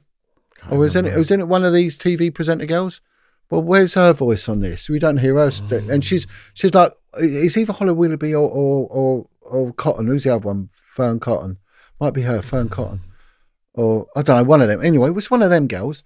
We don't hear them speaking out about it, and and they've locked away the files for forty years. Mm. Haven't re- he got a forty year sentence as well? So we never really know what he was up to and who he was linked with. But yeah, appalling. But you know, again, we look back at the satanic abuse. It's the mothers that were grooming the girls for a lot of it and procuring the kids for it. So Jon, you talk about satanic ritual abuse, But do you know the difference between Satanists and occultists? Oh, it's a bit like Satanists and Luciferians. I mean, it it depends, right, who you're asking. Now, if you ask a fundamental Christian, right, anyone who sort of stargazes is an occultist and therefore doing the work of the, the demonic, right? I, was in the bank once, and um, this little old lady heard me say that I did yoga. yeah. Again, I was just she, going to was, say, she was like, I was just going to say, Satanist, Uh, Satanist. I was just going to say yoga. yoga um, is another one that they turn around and say that the yoga opens the chakras and it, and yeah, it's yeah, and there's yeah. a form of yoga which which is deity worship and idolatry and so I mean and and then you go down the, the topic of demonology so it's a big subject. I mean you have to draw the line somewhere right? I mean I know people that think that that Muslims are worshiping who worship Allah are worshiping a demonic god. You know uh, um, I'm, I've had Christians say to me I can't interact with Sikhs because Sikhs don't believe in Jesus. Therefore it's you know I I don't entertain that because you know if I was born in the foothills of, of Pakistan, right, there is no way I'd be a Catholic. You know, I would be a Muslim. You know, and the same if I was born born in certain parts of India, I would be so. And, and of course, on it goes. You know, um, but with Satanists, you know, th- these people intentionally are worshipping a very malevolent and negative, well, the ultimate malevolence deity, which is Satan. You know, there, there is no ignorance here and there's no do you know what i mean? They know what they're doing. Now there might be someone who goes and buys a few crystals and someone will call them a satanist and be, well no it's nice. I like holding them. I like this. It's not you know again that's maybe lack of education or whatever it is or a choice but they're not deliberately and intentionally worshipping satan. So is the difference then someone who is worshipping Satan versus someone who is into esoteric practices? Yeah, well, well, well. Again, I mean, I have other people say there's no such thing as a white witch. I mean, I had white witches who contacted me and say we're sending you protection. I had one, one woman. She's she was heavily involved in the satanic because her parents were Satanists, and she was and and she become a pagan, right? And she she would give me some cracking information, right? Brilliant. And one day she said, "Oh, can I can I meet you? I've got a present for you." And I went, "Okay." So I went and met her, and she said, um, "Well, it's not a present as such, but what I've done is I've put a curse on all those who've hurt you." And I went, "What? No, I don't want that. Uh, please, no, I don't want." I said, "If you want to do something, go into church and pray for me. I don't want you doing. Don't ever do that again." But she thought she was helping me, so you know, um, I, I think when- if if you're if you're dealing with like Wilfred, there's a line in the sand, you know, and you don't cross that line, you know, very good because because any doorway is a doorway, you know, and and sort of again what we discussed earlier about praying, you felt oppressed, spiritually oppressed because you you're bringing the truth out. The devil don't want the truth out. It wants to be occult means hidden. It wants to remain hidden. Now I don't believe in the in the occult because I want everything in the open. Let it out and let it breathe, you know. So it, it depends on what degree you're involved in it. I think those that are very heavily involved in it, and I may have been on the precipice of getting heavily involved in that as well. So I had to keep myself very much aligned to Jesus because I was up against such demonic malevolence, and but sometimes my life isn't clean, you know. So am I opening the doors there? So it's it's a big topic. I mean, we're going into theology here, and we're going into demonology, and we're going into the, the real crux of Christianity as well. So it's a big topic. Um, but what I say is, you can't be careful, because some things are veiled, very, very veiled, and you might not know really the real extent of what you're getting into until it's a bit late. You know. Going back to what we do, then I think on my channel now I've been exposing um, this kind of activity for about two plus years, perhaps. Yeah. There's a quote from Nietzsche: "If you stir too long into the abyss, Yeah, you oh, might fall in." There's a mate of mine likes that saying. Are and- and- we are we absorbing Yeah, yeah. what we are combating? It's, it's it's getting inside of You- us. You've got to be careful. You've got to be careful. And that's why I've had to step away. I mean, I'm now digging, I'm doing voluntary work, but I'm bricklaying, I'm block laying, and I'm converting a property for someone all for voluntary for free, you know, and all that because I had to, because I was I was staring into the abyss. And again, you know, we've got someone here there who always says that, and I think that's exactly what happens. You know, you, you live with these beasts for too long, and it can get under your skin, and you don't realise the effect. You know, But on the other hand, you you can be a shining light. You know, there, there's a lot of people that need help. They need help, but the problem is, uh, like a mate of mine who was in the Marines, he said, you go up to a drowning man, first thing you do is punch him because he's going to claw you and bring you down. So you've got boom, you know, align them and make sure you're you're you're in control. But otherwise, what happened with me? Everyone jumped on board, bang, bang, bang, bang.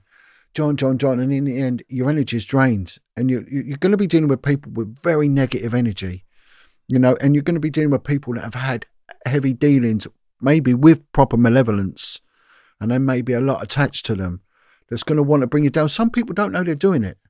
I mean, there's one woman. She, I think she's a lovely woman, but she's so badly uh, been abused and damaged religiously. She all she does is lie.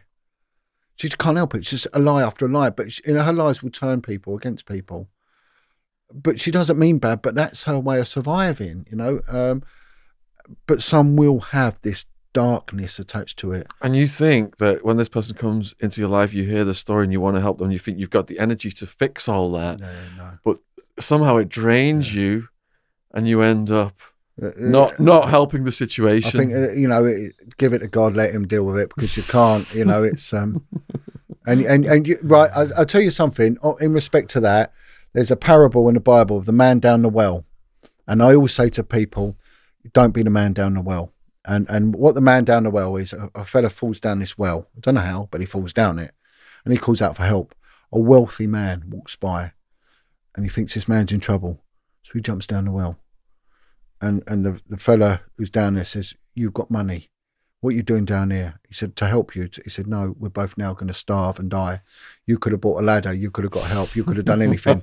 so you can't be the man down the well. So sometimes you have to say to people, you, you are down there. I can help you, but I'm not going to get in the pit with you." And that's how you have to draw the line. You can't jump into that pit with them. Don't throw your pearls to the swine. You know.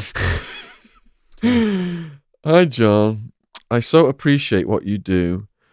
Could you list under the next video the SKIH organization which actively deals with pedos and any others that are genuine, and also any you may know of in New Zealand where I live? Oh, New Zealand. All right. SKIH? Is that person I- I- means Sikh, not yeah, S? yeah, I don't know. Yeah, it might be Sikh. Yeah. Pronoun- I mean, because the the, I mean, I, I had dealings with the what they called the SAS, the Sikh Awareness Society, and they're brilliant. They're proactive, and they were going out and they were they were helping kids, but they they did it in in, in um, a way in which they told the police. So they would say, "Look, this kid's in trouble. We want you to come with us.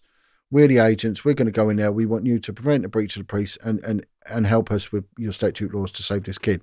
And of course, the police was, don't want to know. They won't do anything. So if it all goes wrong, then they said, well, actually, what was we meant to do? You know, under common law, we got a duty to, to prevent life. So that's what we did. Um, so it's probably Sikh. Um, they were great. I really liked them. I, I, I got a lot of support from the Sikh. Um, yeah, Chet Sandhu is Sikh, and he's yeah. a great guy. yeah, they, they, they and, and the other thing about the Sikhs, um, my old boss in the police was he, he was a cracking fella. But when the lorry drivers were in stacked up on the M20 because the French weren't allowing them in, they were basically starting to starve. Some of them dehydrating, and it was the Sikhs who went down and fed and watered them. Not the British military, not the Sal. I think the Salvation Army might have done, but you know all these other agencies that we've got. You know, British agencies. The Sikhs went down and did it. The smallest religious group we've got, and they went down and helped them. So you know, big them up. But New Zealand, I don't know. I don't know in New Zealand. Um, I know that there there is you know satanic abuse. I'm in touch with a couple of people from New Zealand, survivors, and Australia is very prevalent with, with satanic abuse. It's I get a lot from there, a lot from Australia. How many football players are into this activity? Can we get an idea who? In Germany, we got one who confessed this week being in possession of child porn, a very famous one.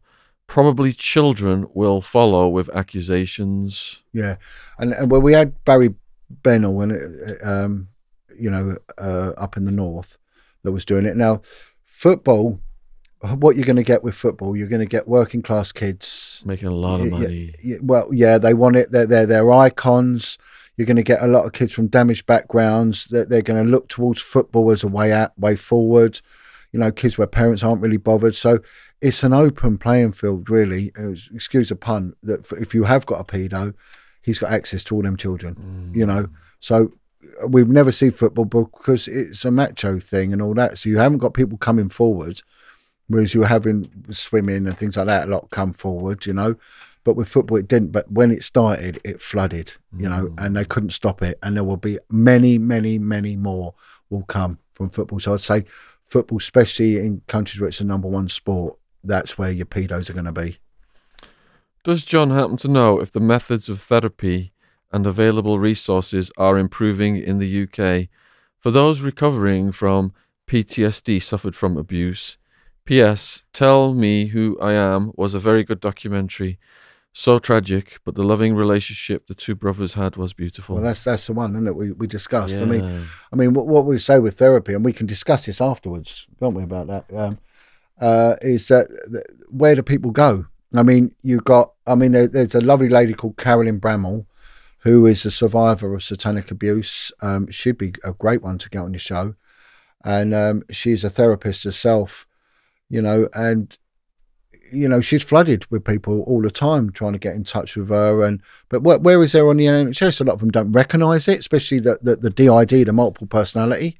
They don't recognise that, that the abuse especially when our society won't even recognise satanic abuse. So how are you going to deal with it?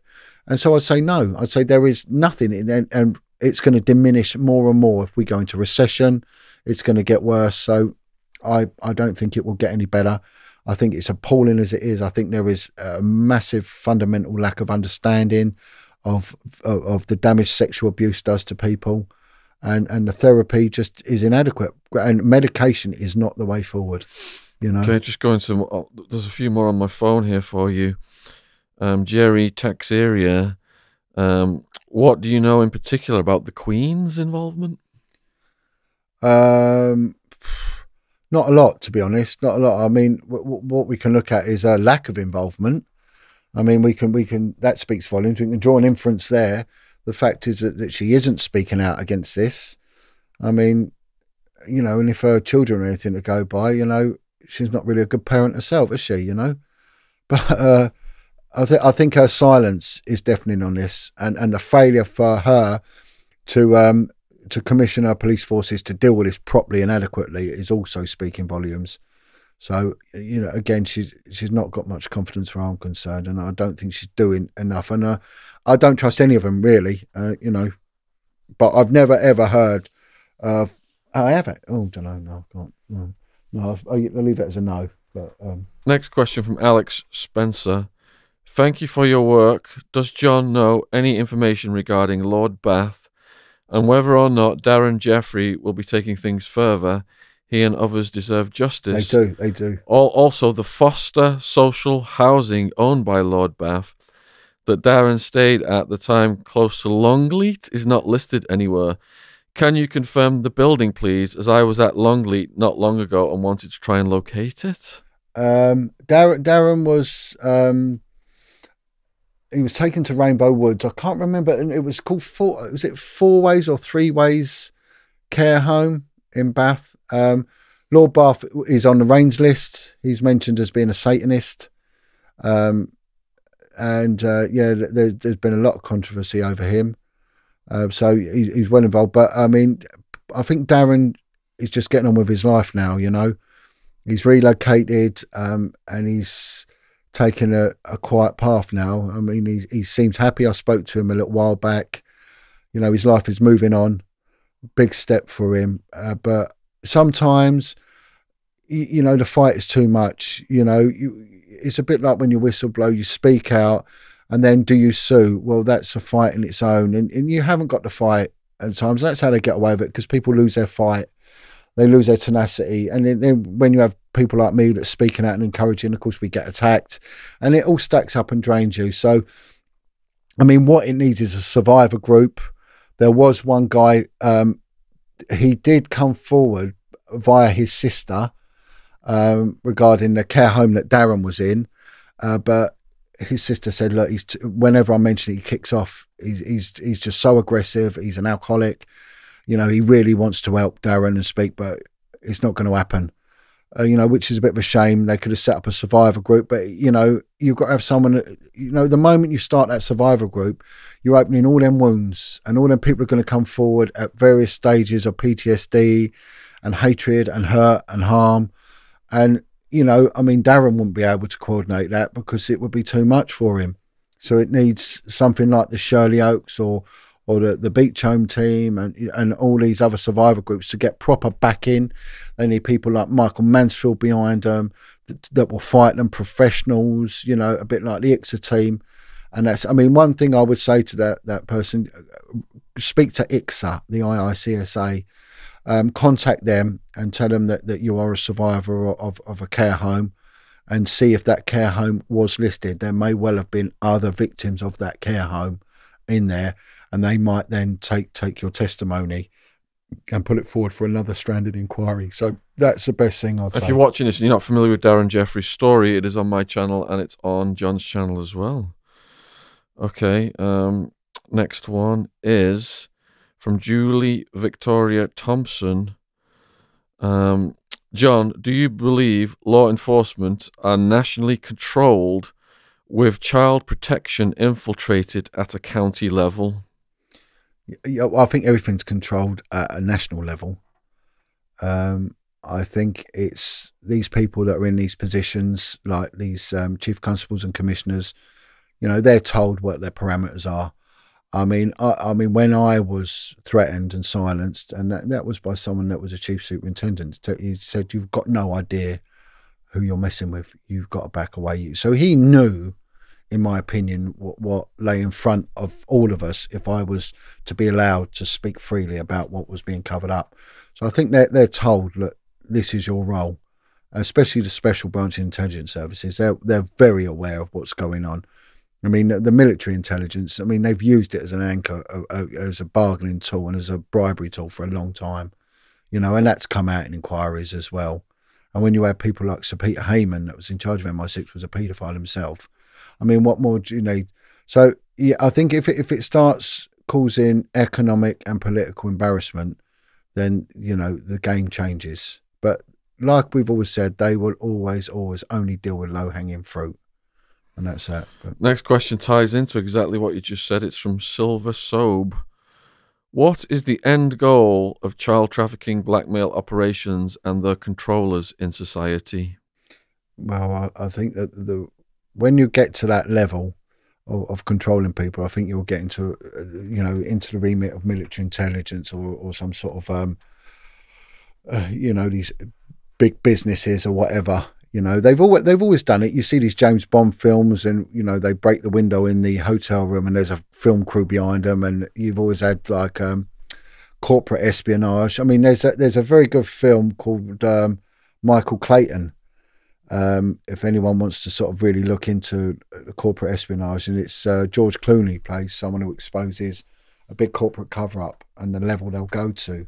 It's a fantastic film. Um, but yeah, no, the the the, the goal is. I, I spoke to um, uh, a survivor um, of I forget which care home, but it was a whistleblower for Elm Guest House. This person, and he was telling me about the politicians that were involved and everything else. And I said to him, "Why would when when there was um, paperwork in the police that that needed to go, it got burnt. They used to call it midnight barbecue." And I'll be writing that in my book. They'd have a midnight barbecue. Tapes as well. They say don't they can't appear on landfill sites, you know, because landfill sites get sifted sometimes. So everything would get it, it was something you know on a night duty there'd be like a, a little bin with a load of flames coming out of it, and uh, you know it would happen. You know, um, stuff would go on. But um, what was that question again? Was saying that So the question was, um, I've got my I lost my thread. let's see, it was. I have to scroll down a little bit.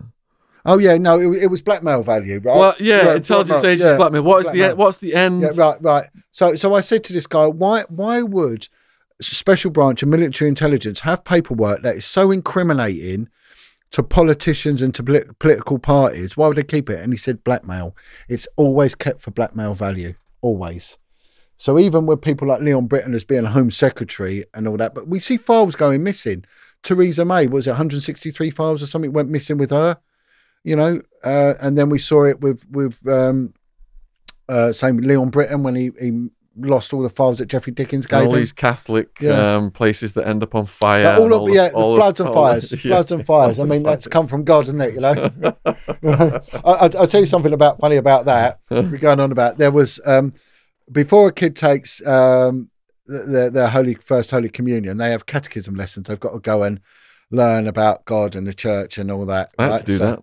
Yeah, yeah. So I. So you have the catechism. So there was, I don't know, somewhere in the UK, this priest brought all the families in, and he was doing the the pre catechism lessons, talk to them what to expect over the next few weeks of their lessons. So he puts got his laptop, which is linked to the big screen, puts it on, and a gay porno comes on. Right, a gay porno on his laptop. He blames it on the work of the devil. Right. Not that he's watching gay porn and forgot to download it or get rid of it. He blames it and he said this, and he used that as an example of how the devil can infiltrate. Oh. While, while they're all watching his gay porno. Yeah, oh. yeah, so it's just uh, what are people meant to do when they're in trouble? They're going to lie, aren't they? They're going to lie. They've got nothing less, just lie. You know. Next question from SL. Hi, Jon. Just want to firstly say thank you for being an angel and protecting our children. My question is How do you cope and keep your mental health on track?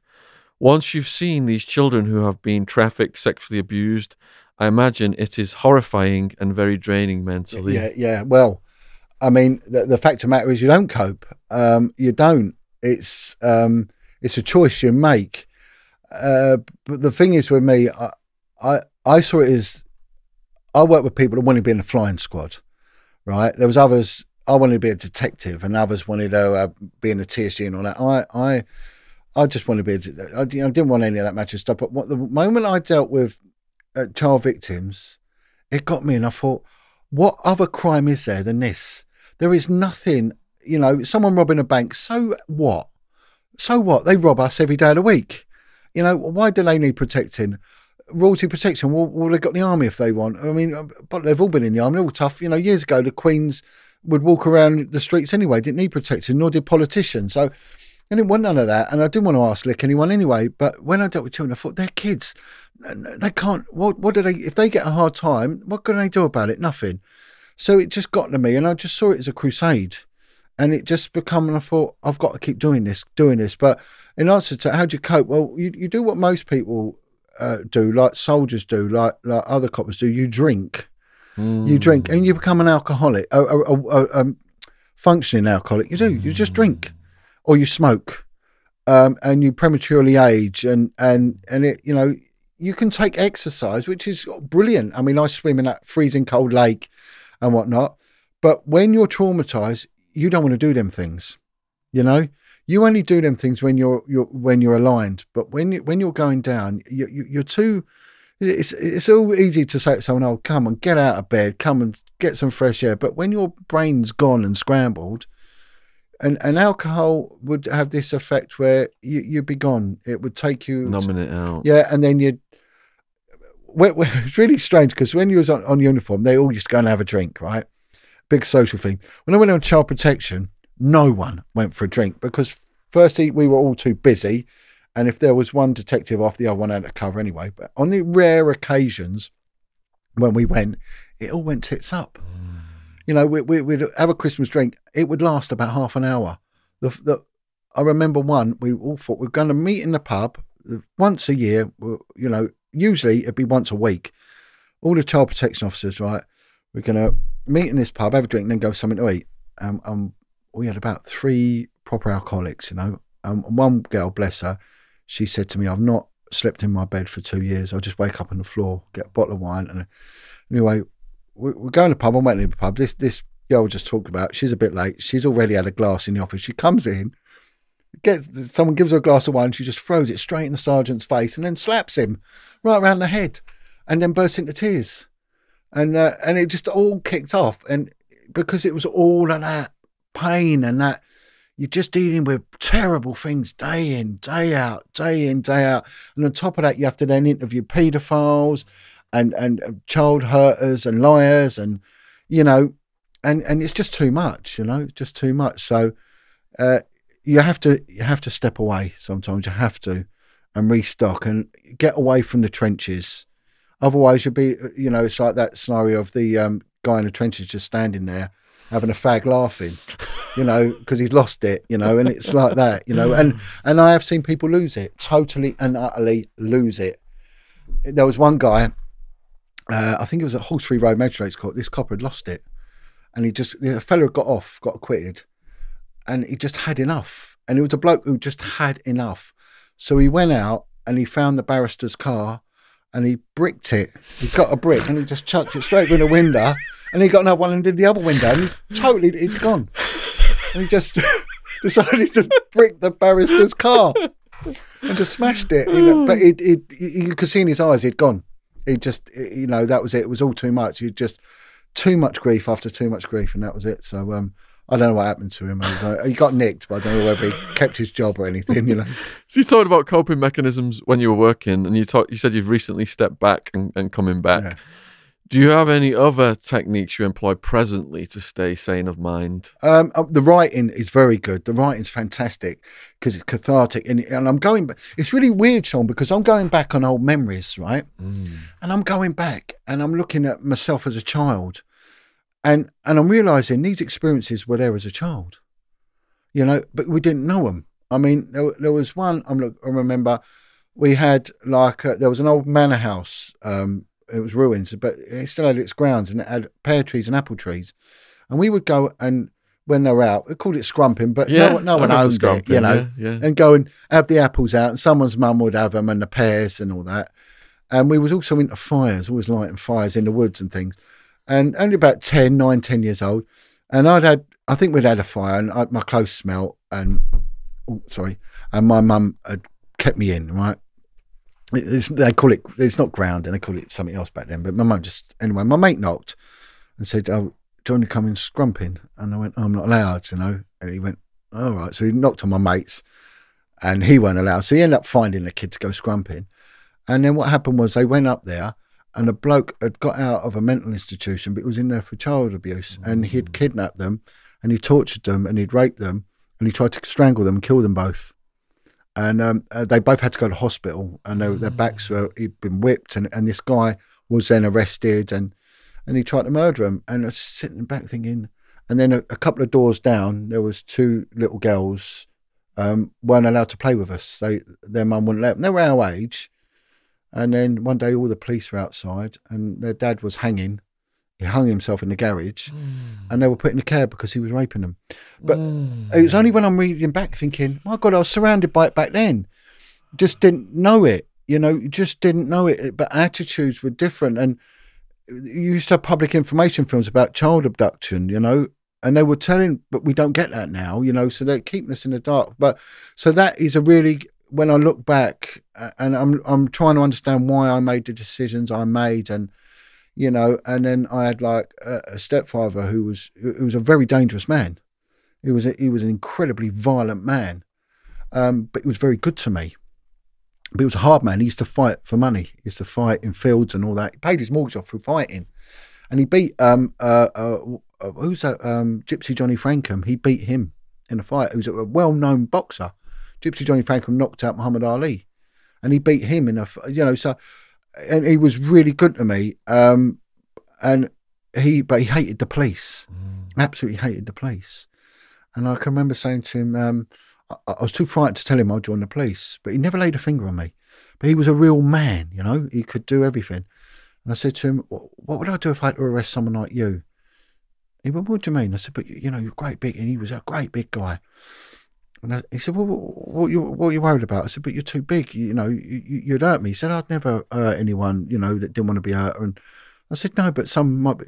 And he, he had a pint in his hand. He was a bit of a drinker. And he changed his pint to his left hand. He said, Look, it ain't what I'm going to do, it's what I'm not going to do. And he never laid a finger on me. And I thought, What does that even mean? And with that, he went bang. And he smashed me right on the chin and just knocked me out. But because I'm a dope idiot, I'm a tongue out.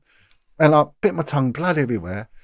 And he picked me up and I sort of come round and he went, Listen, the quiet one, it's the one who's not going to, they're going to hurt you the ones who, who, who threaten you, I'm going to this, I'm going to that, I'll do this, I'll, which is a bit like with the trolls, really.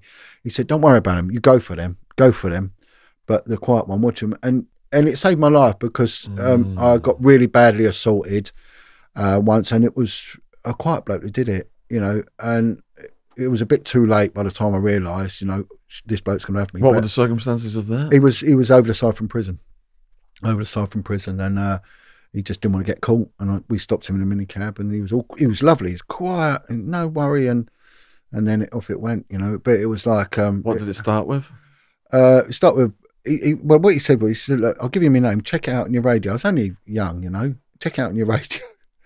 and I went, "All right." And as I went like that, he headbutted me. So I've gone back, but I managed to grab him, and, and with that, he's then kick punched, boom, and he just turned into a massive fight, you know. And you know, broke ribs and all sorts. It, it you know, absolute, you know, terror. But I kept hold of him, wouldn't go of him, but it, it, it just got messy. But my mate was with me. His mate jumped my mate, so you know, and the radios had gone everywhere. So it was just like two on two in the middle of southeast London on the streets, just smashing whoever you could, you know. And uh, luckily, it, it all got resolved. But um, and and the ironic thing about it is, um, he he actually gave up in the end, and uh, uh, it's just because he was older than me and I was fitter and younger, and, and he stopped and he shook my hand and said, "You fight like a man." He said, "You're you're, you're a good bloke." and anyway, I went back to the station. I was covered in blood. It was all, it was all down here, right? Um, and the custody sergeant went, "What's happened to you?" I went, "No, nothing, nothing. He's wanted." And and he went, "No, but what's happened to you?" I went, "Oh no, it's right." He said, "No, things like that are never all right. Go and change your shirt." And by the time I come back, there was an ambulance called, and they'd, they'd, they'd smashed him to pieces. About Wow. smashed him to pieces, and they they threw down their pocketbooks, and they said, "Copy them notes." I'm not saying I did. I'm not saying I didn't. Right, but it, it had no bearing on the truth. But he went went to court. Of course, this evidence gets given, and and he, he fair play to this guy. He turned up and he said, "You know, I thought the police had changed when they employed him. We had a fair go, and he, he's what he say? He best me, he beat me, and he said, uh, and I like him. He's a good kid. He's a nice kid, and he said, but listening to all this lies that's just come out, I'm not saying I lied. I'm not saying I didn't, but he said, I'm I'm appalled. I'm appalled. Anyway, he went to prison, and I thought the end of the matter, right? And uh, and he, he turned around to me. He said, "Don't you be like them." This bloke was giving me like a father son bollocking. Don't turn out like them. You're a good kid, you know. And then he goes away, and months Quite later, pathetic. yeah, months later, I'm in a garage buying a pint of milk. He's been released from prison, and he's with his mates. And he sees me, and he pulls out a knife, and he sticks it straight under my throat, all night garage, and like that. And he's poking it right, and and his mates were going, "Who is he?" He goes, "He's a copper," and they're going, "Jerk him, jerk him," telling him to stab me. And he went, "No." He said, "You learnt a lesson tonight, haven't you?" I went, "Yeah." He said, "I ain't got to stab you." have I I went, "No, please don't stab me." He went, "I told you back then, and I'm telling you now, don't you be like them." And and it, it was a major turning point in in in how I gave evidence. Wow. You know, uh, and it was yeah. And he said, "I, I liked you," and it, it- you know, you know, whatever happened happened. But you know, I deserve to go to prison for that. You know, fair play. But, but yeah, and he was. But I just think he, he because then they they brutalised him. They did brutalise him. He broke his arm and all sorts. He he was ambulanced off. You know, and it was wrong. It was wrong. So yeah, so that changed me. But I don't know what bearing that had on the question or not. Oh, this one's from Ronan. Well, um, a question to Jon is when he was in the police, did he ever come across SRA in any way or hear SRA reports? Yeah, yeah. No, that's I did, but it was from the African community, the Congolese community, and also the Jamaican, the Obeah, dealt with Obeah, but they didn't take it seriously, right? And and I I end up working in in Haringey on the child abuse, and um, no, I'm gonna I'm gonna give you another example actually, another example.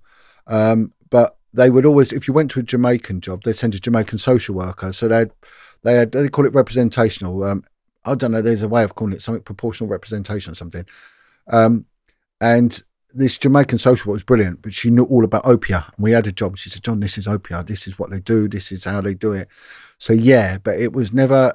You were never taught. Well, you were sort of taught it um, at the initial child abuse training, but it was never really forced on you. However, it was my team that also dealt with Victoria Climbié, which clearly there, there were very demonic and almost witchcrafty issues going on there with the mother.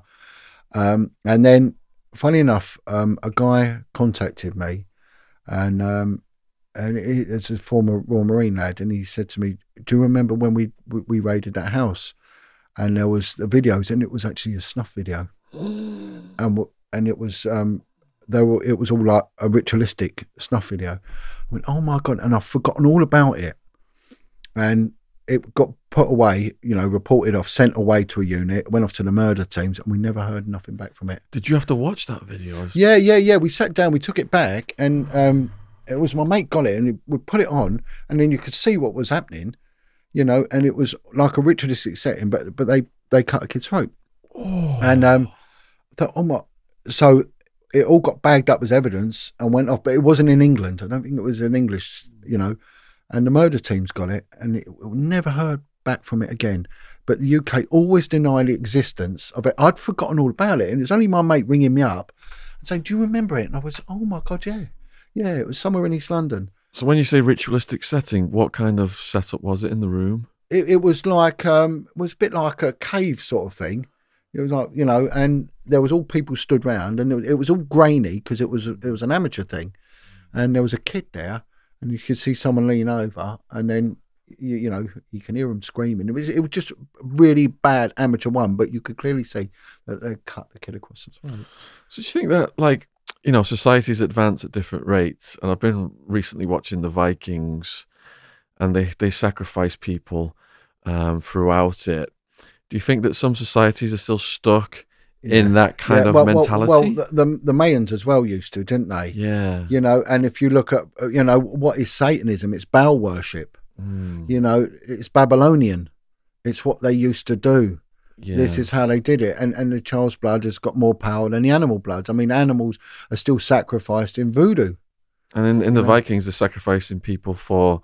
Like to, to have a good crop that year Yeah, and to have good luck in battle and things like well, this. well, well, if you look at um, the Wicker Man, the film The Wicker Man, you know that was you know brilliant film, and you know, and it's it's paganistic and all that, and it's um, and it's all gone on, and and you you hear about it in other cultures, you know, um, especially like the the West African, you know, there there was a story the other day where they a little kid and they said he's demonically possessed at two years old, and this poor little kid, they say he's got witches and demons in him, but a priest um was talking to me um, one one of the few good ones, a Catholic priest, and he and he is African, you know, and he said in the UK they don't believe in it. He said, but Africa it's alive and well. As he said, especially where I used to work, he said, Jon, it's alive and well. They believe in the demonic, you know. So it, it does go on, but the, the the satanic stuff. It was. It's only when you look back, there was a lot more that that had satanic connotations, but I weren't trained in it.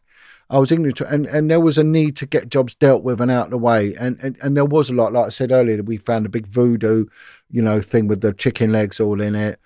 You know, there was a lot, especially in that community, uh, Congolese community. There was one where a kid was brutally beaten to get demons out, and that was in one of these. Um, it was in Tottenham.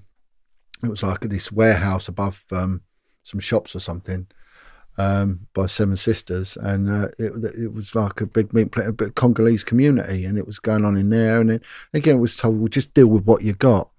And you're so overworked and tired, you know, not making any excuses, but you, you, just don't know what is really going on. It's only if you've got someone that proportionally represents that community, they'll tell you, look, this is actually demonic. This is actually like obeah. I never even heard of obeah.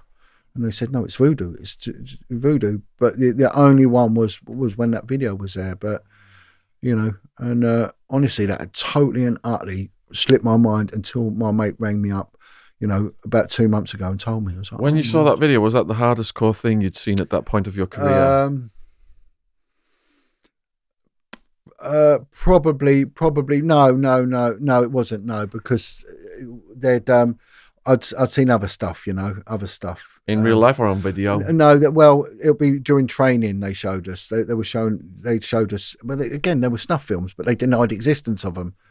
You know, and also in the training there was child porn as well. They show you child porn, and, and that was shown to uh, about two hundred of us in a massive auditorium. Is one of the goals of that to desensitize you for what's I, coming? I, I think so also to, to to show the reality because there was you know are people that have no idea. I mean, unless you've been sexually abused yourself, what how are you going to know about it? You know, so this, they're saying that this is what you're going to come across. You know, and then they'll show animal torture videos um, where the RSPCA had seized things and stuff like that. You know, so it, it, so it was yeah. I mean, uh, the desensitizing just comes with the job as well. I mean, we got sent to a um, uh, an autopsy, um, and that really is. So, and with, with the police, you, you're going to see. I mean, I've had two people commit suicide in front of my own face, In front of your face. in front of my own face. Yeah, yeah, Were they adults? yeah, yeah. You know, and one. I, I, I kept alive for, for 20 minutes doing CPR on him. I was covered in blood and everything. So, Had the person stabbed themselves then? Or- y- y- uh, no, he jumped off the top of a building. Tried to take me with him. Tried to take you tried with to him? pull me, yeah. Um, but someone grabbed me and I, he didn't. And then he landed on a, a flat roof. Bloody He was high up, and I, I managed to get down um, a pipe, drain pipe, but the fire brigade couldn't get up to put up a gantry to get the ambulance crew up. So there was about half hour wait, and um, and, and so I was just there on my own, and, and a firearms officer managed to climb up and get with me and help me, and uh, he did die, but I was covered in blood and everything, and he was a builder that had lost his business, and it all got too much, so you know. Uh, you know, and the other one was someone had gone in the river, you know, and, and things like that. So you you get it. But we went to an autopsy, and um, and then afterwards they said, right, we're going to the fridges and show you a few things. And they said to us as a little group, who's who's a parent? And this woman put her, her hand up. And the next thing, this thing gets slid across the floor, and it's a frozen baby. He takes it out of the fridge and he throws What? it. He throws it across the floor, this frozen baby, and it just lands in the middle of us. And and I mean, it's it's just sick, but it's just how it was. She screamed, and he went, "Oh, we got another one in here," and they're all, all identified bodies and all sorts. And um, there was loads of like yardies that had been shot. They didn't know where they were. But as they were doing the autopsy, there was uh, the pathologist and his mate, the mortician bloke, and they were having a fag, and they were chipping the ash in the body. And then they threw their fag butts in there and sewed it up. Yeah, yeah. Some I don't know who it was. uh, I think it was an old woman. And they went they because they, cut take the brain out and weigh it, and they throw the brain in there because they had they, they throw all the organs in, and they had their fag and then just chucked them in the. And then just sewed it up and went out, you know, and no one said nothing because that's what you did, you know. Um, but yeah, no, there was a lot of death. I mean, the, the last role I had before I left, I investigated road deaths, and you could deal with three bodies in a week. Oh. But the last, the last one that really did it was an eleven-year-old girl that was killed, and uh, that that really did screw me up. Really screw me up. Um, that that took a lot of getting over. Uh, but again, there is no there, there is no therapy. You know, you just get on with it. If you don't, you're considered to be a puff or whatever. You know, Yeah, yeah. it's seen as weakness, you know. So there was there was a hell of a lot of death, and it just was not healthy. It really wasn't, you know. And I mean, in the end, I started praying over them because some of them they just died, you know. And and I remember an ambulance driver coming up to me and put his arm around me. Went, I do exactly the same. He said, some of them are still here. And the strange thing, what I, I prayed over one lad who, who his head had been taken off. Oh man, it was awful what? and um and his his brain and brains are really funny they're really tacky and it sticks it gets stuck on your clothes it's it's it's it smells as well brain very odd. And i prayed for him you know and it was a little while later his wife come to see me and she said i he was in my dream last night my husband and he wants to say thank you for what you did for him. And i went what do you mean? She said you did something for him and he, he appreciates it he really thanks you and she said in his dream he'd come and said, That policeman, go and tell him thank you. And she did. She came down and, and thanked me. So it's yeah, yeah, a lot of a lot a hell of a lot of death and it does it just um it, it's it's odd. But also your sense of humour molds around it as well. And Gallows humour. yeah, yeah, it's it's but I actually like it. it I found it quite funny. And when I talk to my old mates, it's quite It's a coping mechanism, isn't it? brutal, but it's funny yeah, as well. helps you you know, cope.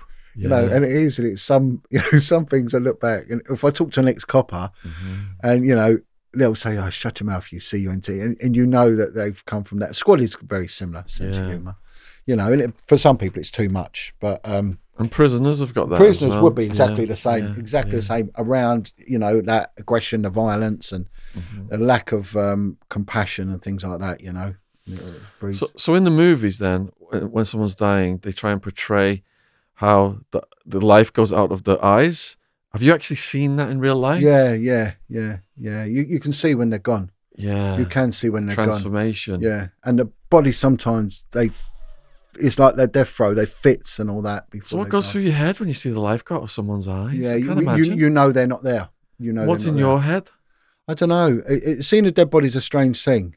But It's a- seeing the actual moment, you know what I mean? Yeah, it's. I mean, I know with this guy, he was alive, and then we lost him, and you, you, you could actually, you know, he's just the eyes glazed or whatever, you know, went like a grey, you know, and the body You're feels just thinking, different. I've done my best. Yeah, and the body feels different. It gets solid very quickly, the body, but Yeah. but but also touching the body because the, when there was a, a body there, it'd be a crime scene. Now it was my job to turn up, and I was in charge of the body, so I'd have to search the body, and then you'd arrange for the coroner to come.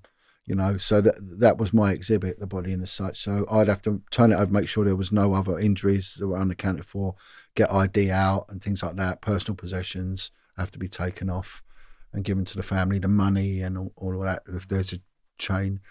And you know, that sometimes these bodies were badly broken. You know, distorted the limbs; they were unnaturally bent. Um, and it, it, it's a very horrible feeling. It's it's just and they're very heavy, like a dead weight. But it's someone's child, you know. It's but with an adult, I sort of gone with it. But when I dealt with an eleven-year-old girl, that I couldn't cope with it, and I refused. that to, was a road traffic yeah, accident. yeah, and I refused to go to the autopsy. I refused to go to, uh, and the pathologist um, said you don't have to go. I said, well, you don't. I'm not going to watch a little girl get cut open. I'm not doing it, and I, w- I refused to do it. I didn't want to see a child. Um, it was just, it was years and years of it. Uh, that was enough now, and I I wanted to speak out anyway, and that that was sort of um, my little, my, my defining moment, my pivotal moment, and I just thought, no, I, I've got to um, speak out and move forward. And we tried everything to try and avoid it. But I was after conflict. So what I would do is I would deliberately create a situation where I'd get in trouble. Mm. So I, I I would turn up. I meant to wear a suit. I'd turn up like this, and or I'd have a cigarette in the car so it smelt. Or, or sometimes I'd, I'd I'd drink. So there would someone at one point would try and it took months before anyone actually confronted me, and then I was like this hand grenade, boom, and I just went mad. And I just started shouting and just saying these are cover ups and all this because I needed something to to mm. spur it on, you know, because the world needed to know what I had to say. Um, but you know, it's, it's so I understand people when when when it all comes out and they lose it because it's too much, too much. Yeah, you know, it's going to come out one way or the other, isn't it? You know. Yeah. So this next one, I've been I've been guilty of this. I've heard guests use this terminology, and I've seen people get corrected by other people for it.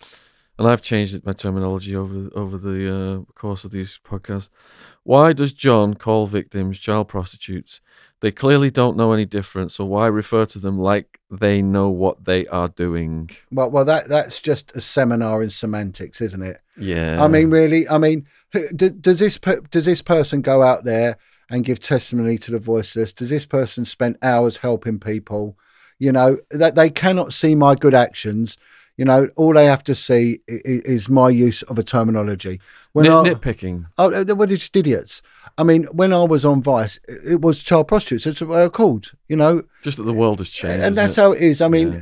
and they're they're making out that I'm inferring in some way that these are, you know, um, what do they call it? Um, victim blaming or something like that. There's a, there's a terminology for it, but I mean, that's just, I mean, that's just beneath me to even answer that. They cannot see the good I do, then I, won't even warrant that with an answer. Next one then. Max Green.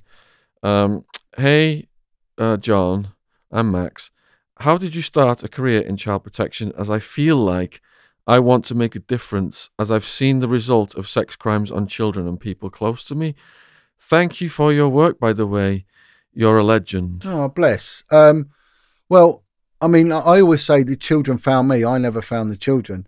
I was bringing up four kids on my own, Shaun. So the last thing I wanted to do was deal with someone else's snotty kids. But it was, it was when I ended up when I went to do an interview with a girl called Zoe, um, and I sat down with her, and you know, she had this reputation as being a right little horror and she's anti-police, she's this. And then when I sat down, it was a little kid. Mm. She was a little kid. And then she started telling me what they were doing with her. And I thought, why has this been ignored? Mm. And it just, I just saw them as my kids. And that's how I saw it. And it, it's in your heart with it. And it's, it's a hard, hard sort of road to go. Vice, when I was dealing with the child prostitution, as I boldly say, was different to child protection because child protection there's a lot of politics in that. You dealt with neglect issues, and, and they would have plans put in to keep the family together and all, you know like that. But the, the other stuff, the street stuff, these were kids that were being trafficked. They were in desperate need of help, and um, and it gets in your heart. You you, you know, I mean, it, you either love it or you hate it. Anyone who's got a heart, it would get in. Yeah, it. yeah, and it's understanding the magnitude of what what it really is that you're dealing with. But there's no glamour in it, you know, none whatsoever. Next question is from um, Leo Mulgrew. I want to ask Jon if the horrific things he's seen has informed his faith. Yeah, of course. It's um, it consolidates it. It does because you know you, you you're dealing with death and the real horrible negative elements of society. And at no, at no point have I sat there and thought, "Oh, Satanism looks beneficial." It's done the opposite. You know, it's made me realise how powerful being good is and how powerful God is. You know, not the other way round at all. You know, and I've seen those that perpetrate these crimes as weak, weak people. I don't see any strength in them at all. You know, and and also uh, uh, also working with people like Chris Lambrianou when when they've come from that real hardcore crime area and the good that that man does now, and I can see how how, how it can change people beyond all compare and go on to do good and to carry on doing good. You know, whereas when people go bad, everything goes bad. Everything around them, you know, everyone has to pick up the pieces. But when people go good, everyone benefits. So 100% on that one, yeah. And for the viewers, we had a podcast with Chris Lambrianou and Jon, so please check that out in the True Crime playlist. All right, so here's one from Don't Watch That, yeah. I heard a while ago that the police facilitate the gangs because they need criminals so that they can keep their arrest numbers up. Can you confirm this? Also, I've been told about something called the Parliament Clause, where the police allow a drug dealer to deal to the city boys, judges, and politicians, and when he gets really big, they take him down for a promotion and they just repeat the cycle over and over. And from my own research on the war on drugs, there is a massive amount of corruption with, with Well- what's well- going on with the drugs. Well, well, with the with the city, it's strange with the city of London because when I had um, the complaint going through Parliament with the policing minister, um, he said there's nothing I can do with the city of London because they're their own entity, and they are literally their own entity. Um, but what you're dealing with there is very, very high level stuff that's going on. You know, I mean, I can't comment on it because I didn't get involved with it on on the drug level basis. The the one thing, the nearest thing I can ever say to that is this that one of my informants once told me that uh, a shipment had come in of, of heroin from the Turkish gangs, right? And it had been brought in and it ended up in North London. And he said it was a container. He said there was something like, I don't know, a ton of heroin. I don't know. It's a huge multi million pound amount. And he said the police came, but they weren't police like you, Jon. Their badges were different and they had guns. And they, they handcuffed us all, but they drove the lorry away and then they let us go and we never ever saw it again. And this was a good informant, and you know, so whether that's the intelligence services that have taken the drugs and they've gone back into circulation, I don't know, but I don't think they do enough to, to, to stop the hard drugs. They seem to allow it, it seems to perpetrate, and again, they pick low hanging fruit, you know. They never go for the big boys that are bringing it in. it's all, the they, mules and all the they want to do is low-level deal by mouth, you know, you know. And then what they were doing was they'd send down, you know, like the Jamaican boys dealing ten rocks in their hand, down to Kingston Crown Court where they get 10, 9 years, you know. For whereas the big fellas that were bringing in the Turkish gangsters and all that, they were they were walking free. They were they were you know. All confirmed by our interview with Neil Woods, former undercover cop, and um, you think he runs Leap in this country, which is a brilliant organisation, which our um, cop from Scotland um, has become part of since he came on the podcast. Um, Angelican has asked, question for Jon. I heard him speaking about rituals in Ireland, Mm. Donegal, and Mayo. Yeah, yeah, Donegal, yeah. Can he give us any more information on those? Um, Uh, I, I can't say too much because the source of it, you know, um, bless her, she doesn't want to be um, identified, and, and she's she's very very fearful. But yeah, Donegal um, was mentioned, and, and that was one of the, the, the worst accounts I ever heard, and that's where um, she was made. This girl, as a young kid, they abducted a young boy, and and she said he's on, the missing list. This kid, if you, she said, if you investigate it, he went missing in whenever this year was in Ireland, and she said um, I was made to bite his beating heart till it stopped. Bite it. Mm. What? She said, and as she said, and as as he died, she said it was like this electricity emanated out, and they all started squealing like pigs. All the people. She said I had to bite it, bite into it, and that was in Donegal. Holy shit. Yeah, Donegal. And she named a politician as well. That was uh, a, a very high up Irish politician that was there, and she said it was all videoed. Donegal. Yeah, it was it was massive. Stan B wants to know if you have any hobbies to relax with. Well, I, I used to do my swimming. I used to love, love my swimming, you know. And I mean, and now I'm doing this building work, and I love it. Oh, I you like know? a bit of swimming too. Yeah, brilliant. Yeah, yeah. You know, I really enjoy me. get the body stretched. Oh, great! And Yeah. the cold water. But I went Christmas Day. I went for a swim in a lake, and it was a bridge too far. It was pain, you know. So there was, but I was doing it up until November. You're turning blue. It was horrible. It was oh, you know, it weren't good. It weren't good. But you know, exercise is always good. Always, always good. Rail Turner's asked, just wondering what your thoughts are on the policing system now in regards to people harming children.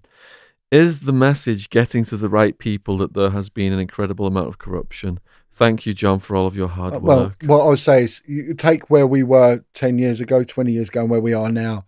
I mean, and the fact is now we're, we're looking at Prince Andrew, people like that being involved in in, in stuff like this. We, we've seen so many um, actors, actresses, politicians. So we've come a long way. So it's got into. I mean, they have tried to sort of curtail it, and then attack the victims, like people like Carl Beech and things like that, which has put a lot of victims away from you know off coming forward. But I think we've moved mountains. Really, I think we've really, really come a long way. You know, and once what was classed as incredulous is now deemed as this could well happen, especially in respect to people like Jimmy Savile. You know that Jimmy Savile w- was a game changer, right? I mean, I think that was you know as much as the- devil's sneaky, I think God's cleverer, and uh, Jimmy Savile really, really sort of he didn't know it, but he did God's work. He exposed so much corruption, paedophilia. Uh, He he is legendary in that respect, you know, because um, he never served his master when he got exposed. You know, God really won that one, and it really come out. And I think that was probably the biggest victory we've had in a long time was Jimmy Savile. In a previous, this is from Ash Watkins. In a previous interview, Jon requested speaking to a high ranking female officer when in the police, Yeah, as they wouldn't just, quote, roll their trouser leg up, i.e., he didn't want to speak to a mason. yeah. Can you get in, him to elaborate on why he's so distrustful of them? I'm I'm not distrustful of them, right, at all. And and it's really funny because that that that line I gave is used in that series Line of Duty. If you watch that series Line of Duty, when, when he comes forward, it's exactly the same scenario. Look, masonry is unavoidable in the police. It's everywhere, right? You know, and and um, one of my mates, he's a mason, right? But is he a bad bloke? Well, not at that level. I'm I'm not in agreement with masonry. I think it should be outlawed. I don't think it should be allowed. However, it, it, it's uh, it, it's a pledge within a pledge, right? It's an oath within an oath. I was exposing something so serious and so potentially dangerous. I had to cover my bases. Now I was working on a unit that was heavily Masonic, right? With majority of the high ranking officers were Masons. When you went to a unit that's heavily Masonic, how would you know it was heavily Well, well, Masonic? well, well that, firstly, they all knew each other beyond knew each other, right? And if someone left, they always went to a good job. Uh, the main telltale sign is once every so often on like a Wednesday or Thursday, there's no one in the office. You know, well, where are they all gone? They've all gone to a lodge meeting, you know, and they would all do each other favours without. And some of them, I mean, one bloke went, How do you know I'm a Mason? I said, Well, you've got a Masonic watch on. He actually had a Masonic watch. It's got like Hebrew script on it, uh, or they'd have the ring, you know. And some of them would even leave out, they've got a thing called the summons. So it'd have the lodge. There's millions of these lodges, and it'd have so and so lodge, Masonic lodge, and it'd have all their names and addresses, right? And it'd be the date of their meeting on there, right? And they'd all get one before a meeting. It was on his desk. Was- and I remember sitting there looking through it and thinking, I know him, I know him, I know him, I know. I mean, some are in police lodges and some are in non Masonic lodges. You know, you can have an actor's lodge, you can have, I don't know, anyway. So, but, and that's how they knew each other. And some of them would openly tell you, oh, I'm in the lodge with him. And there was one guy that was on our, our team, and he was, that year, he was a worshipful master, and the inspector was below him. You know? And so, and, and you just sort of got to know him. you know, you, you would get to sort of know who's who. And that's why I couldn't have that when I, specialist units uh, are massive with masonry because you, you, you, if you get in there on credit alone, you're doing well. Um, but a lot of them were useless. And how did they get there? Because Masonic, you know. We used to call them Larrys, Larry Graysons.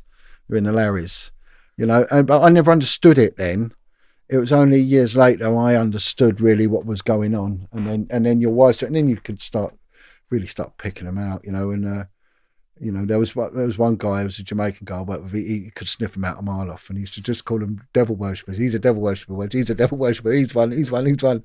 And he sort of, I said, "How do you know?" He said, "I know him. I know him. I know him all." Did they try to indoctrinate you? No, they didn't want me. I was always scruffy. Really? I was always scruffy, you know. Yeah. But but how they would do it was they, they'd have like a golf society was a big inner, and my mate said, "Oh, they've invited me to the golf day out," and I, I never had any money anyway. You know, I was always skint. You know, so why would they want me? You know, but you know, yeah, it's so, but others did. You you could see that's how they were going to go, yeah. and they would get in there. But you know, they quite a lot, quite a lot of them, you know, went in there. So, Jon, you're on the cusp of doing the longest podcast ever with us today. Right. You've beat all of David Icke's. We've got. Um, let me just see. Well, I, I, I deserve to beat him because he's given me all his trolls. So uh, it's about time I took something back off him. Let me just double check on um, what the longest one ever that we've done is. I think it was Yami B. All right. And um, let me just see the exact length of it because right now we are at. Do you do you know how long you've sat there and spoke for? Three, maybe. Four hours, ten minutes Four presently. Four hours. Oh, Yummy Bees was four hours, four minutes. All right. Oh. You, you've, this, is the, this is the longest podcast Sorry, ever, ever on this channel. Oh. And this is the first podcast in the Southern studio of 2021. We've got the strength of Wild Man. He has encouraged this to go to go for four. Is it four hours ten Yeah. right now? Well, God bless Four Wild hours Man. ten. Four hours ten, just to show the world we are back with a Yeah, vengeance.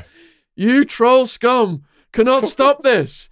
You troll us and we double. We double down to four hours, ten minutes. Take that. take that, troll scum. Oh. This is what you get for threatening James, my cameraman. You do any more James James videos and you've had it. For fighting. For fighting. They'll be moving on to Right. Joe next. Right. Well, well done. Well, they'll Joe. come. They'll have to do a, another big troll epilogue, and they to try and beat this. Does anyone have a, um like to say anything in conclusion? Have you got anything to say in No, conclusion? no, no. I mean, all I would say is that I've not gone away, but I've, I've just, I've just diversified for a little while. You know, things, things had to change, and that's that. But I'm still, I'm still about, still doing me thing. If they want to get hold of me, the website's still running, but no, no Facebook, no social media, uh, and that's it. Yeah, but um, but I, I am, I'm, I feel better because because I've just troll free now. You know, Yeah. it's it is like detoxing. It Your is. strength's back. Yeah, it It is. is. To talk for four hours, ten minutes. That's strong, Oh. man. Well, good job we bought a bottle of wine. We'll in a minute. Oh. All right, so people watching this, you've been on such a multi hour journey, and we appreciate you staying tuned. Please let us know in the comments what you thought about this. Please let us know what you think about what's happening with Wilfred Wong, Jeanette Archer. I'm sure um, perhaps Jon will be so kind to come back to do a part four. So, any questions, put them down there for him.